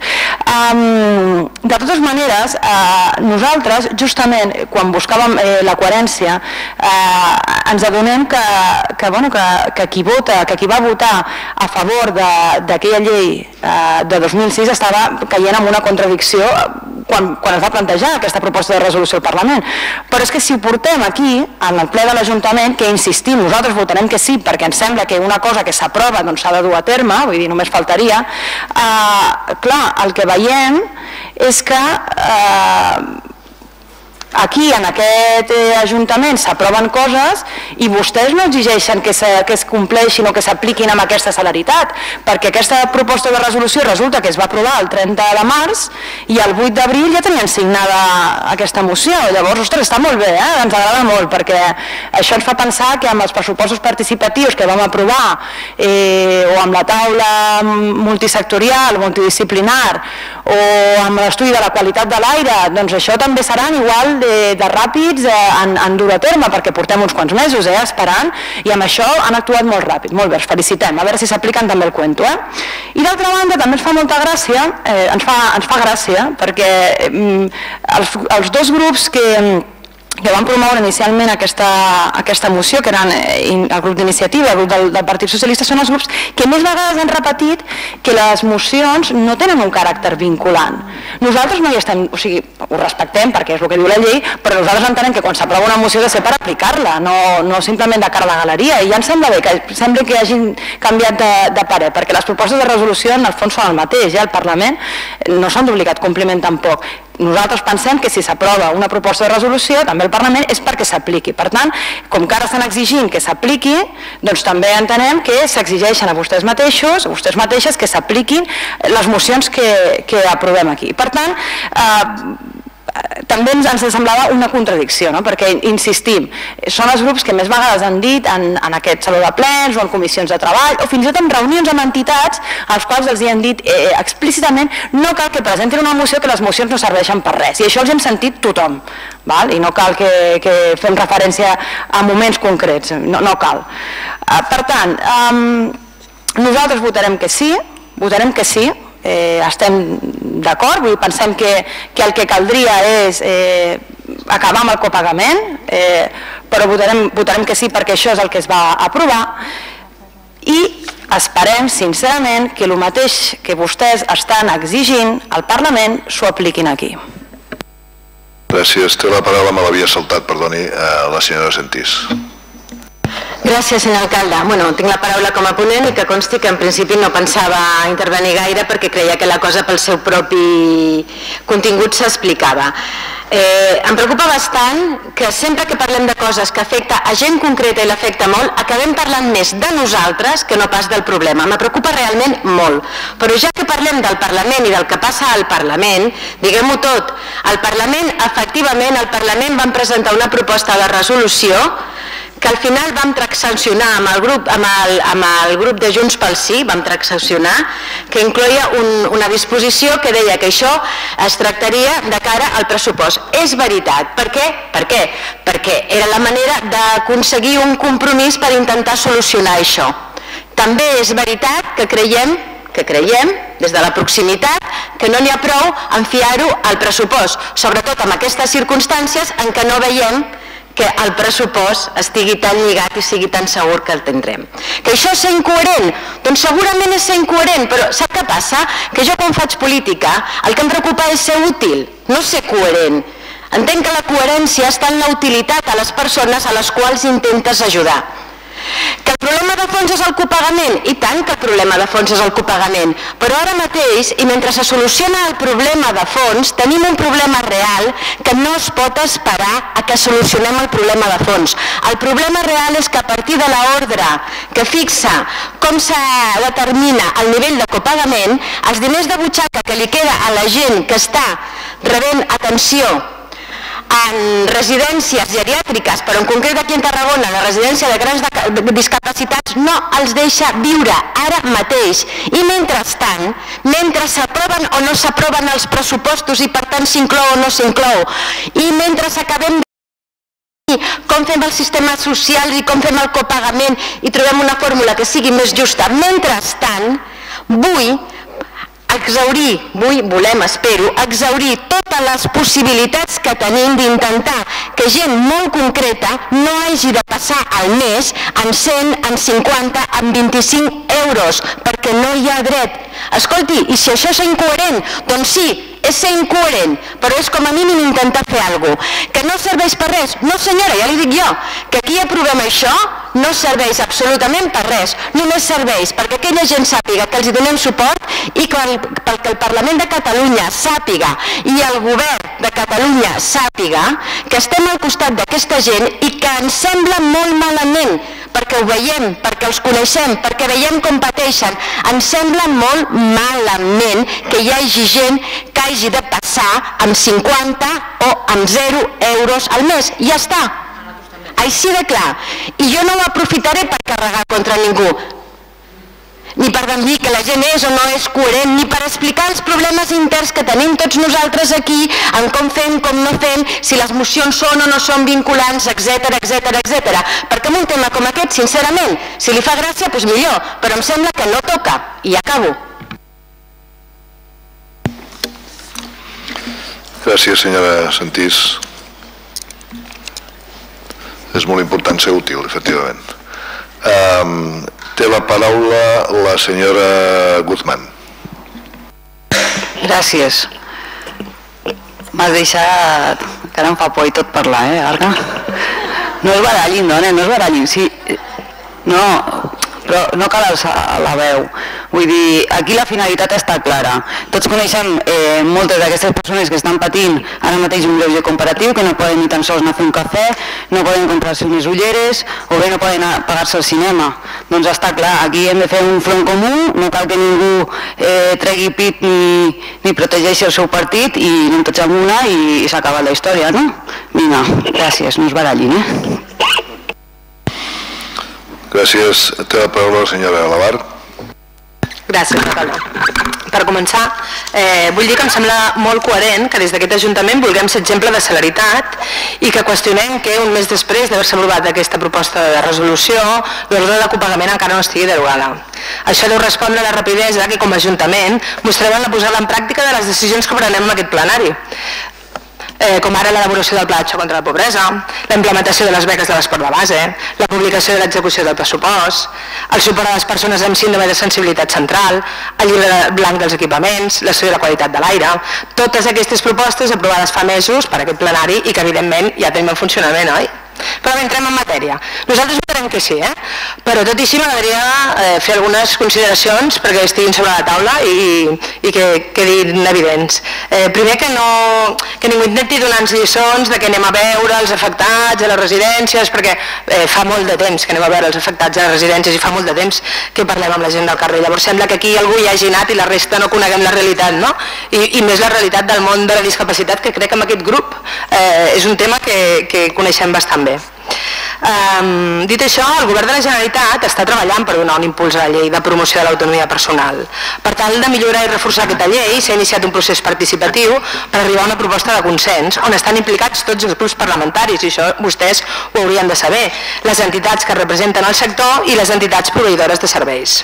És cert que el, que el Govern encara no ha executat la derogació d'aquest ordre, però amb aquest procés participatiu, participatiu i de negociació ens sortirà una nova proposta que serà millor en temes de copagament i llavors serà derogada l'anterior, que és amb aquest objectiu el que s'està treballant aquest debat perquè el copagament ha d'existir. Ara no ens posem a fer demagògia i pretenguem enganyar ningú. El, el copagament és una part imprescindible perquè la inversió de la Generalitat que la inversió que la Generalitat fa en serveis socials es pugui mantenir. Si més no, fins que puguem gestionar els nostres propis diners, que llavors ja veurem en què els invertim, però tot i que és cert que aquest copagament ha de ser proporcional a la capacitat econòmica de la persona i aquesta capacitat econòmica es defineix en funció de les seves rendes però també del seu patrimoni i de les càrregues familiars que té. Cal buscar el millor sistema de finançament que sigui equitatiu i just i per això des del govern s'ha iniciat aquest procés participatiu.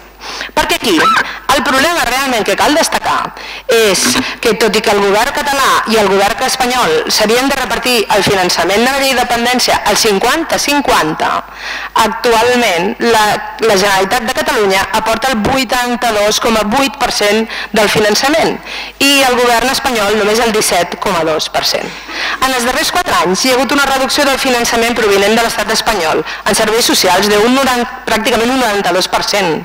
La ciutadania i el govern de la Generalitat estan fent un esforç per cobrir el pagament de, de, què? de manera sistemàtica.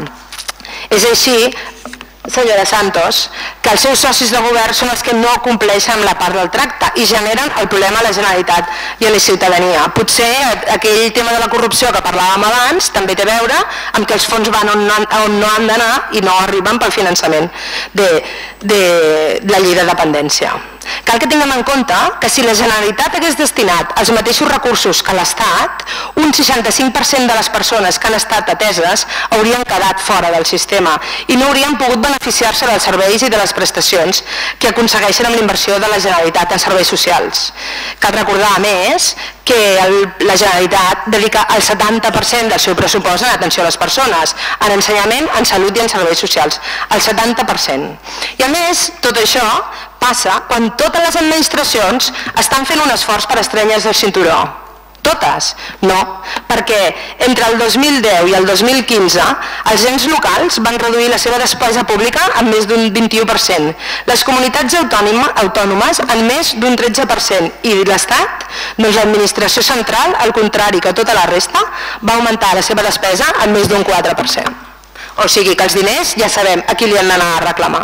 Gràcies.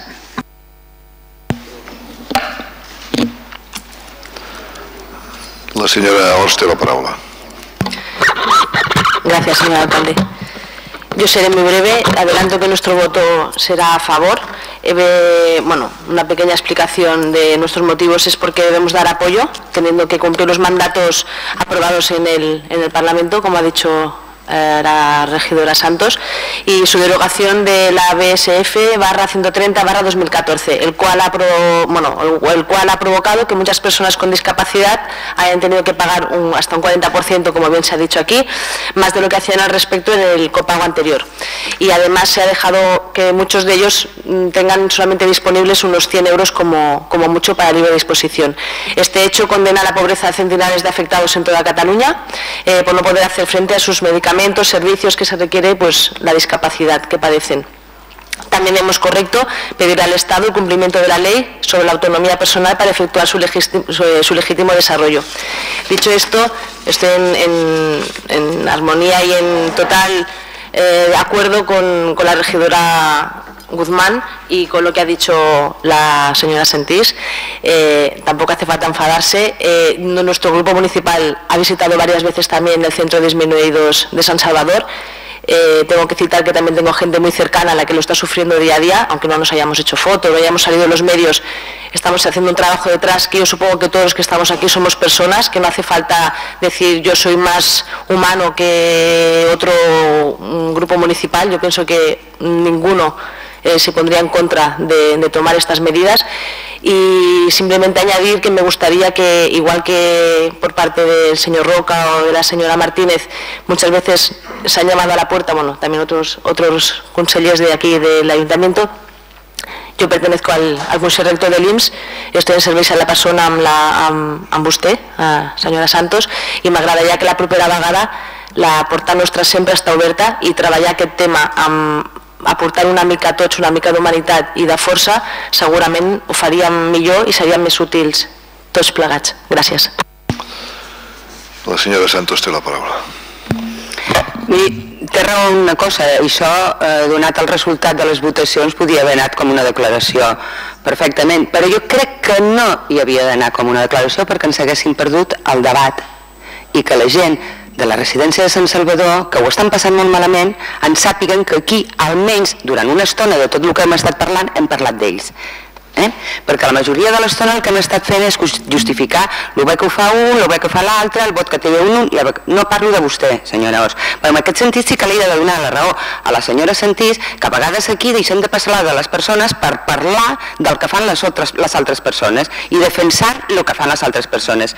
Miri, jo Senyora Estrada, nedar i guardar la ropa no es pot fer, eh? Vostè o neda o guarda la ropa. Això no aquí, ni al Parlament, ni a tot arreu. O neda o guarda la ropa. I senyora, i senyora Lavar, eh, és que no calia que hagués posat en marxa, que hagués entrat en marxa aquest, aquest ordre. No calia. Si la seva intenció és retirar-la, perquè és que l'han de retirar, perquè és un escarni per totes les persones que l'estan patint, jo no sé per què hem entrat a posar-la en marxa. Durant quan? Durant uns, uns mesos. I per què hi ha aquesta condició, aquesta transaccional de que s'hagi de pactar amb els pressupostos, que ja això ja ens ho han dit, eh? O sigui, si s'aproven els pressupostos, retirarem l'ordre i a més a més tornarem amb efecte retractiu el que se'ls ha retingut. I si no s'aprova l'ordre, re, ai, si no s'aproven els pressupostos, igualment intentarem retirar l'ordre, però llavors ja no pagarem amb efecte retroactiu. Això és el que els hi van dir eh, als companys, als amics i a les amigues de la residència de grans discapacitats de Sant Salvador quan van anar a visitar el Parlament, perquè és que van, van anar, ho saben, es van fer fotos, els van atendre, es van manifestar amb les seves posicions i jo, mm, com que hem de vetllar per tots els ciutadans i, i ciutadans, i a més a més hem de pensar una cosa, eh?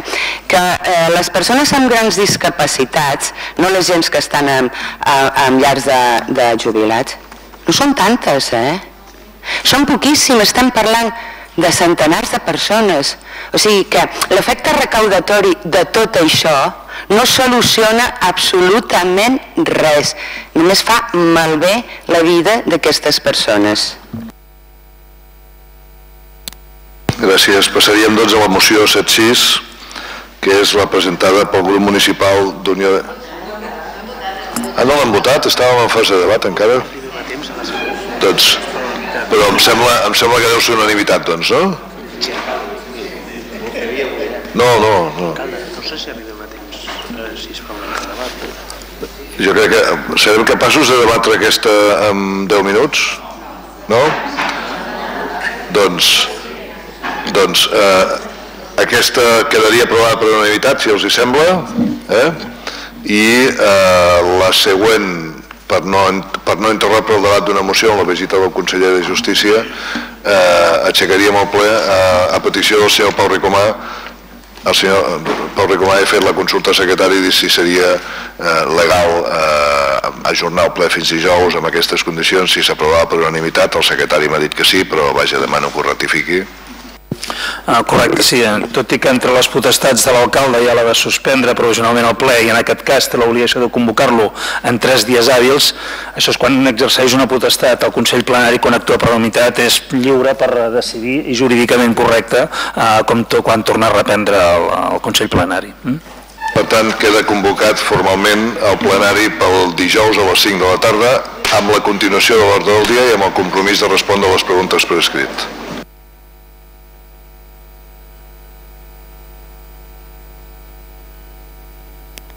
I, i la part de... Sí, eh, no, no. Espera't, espera't, espera't.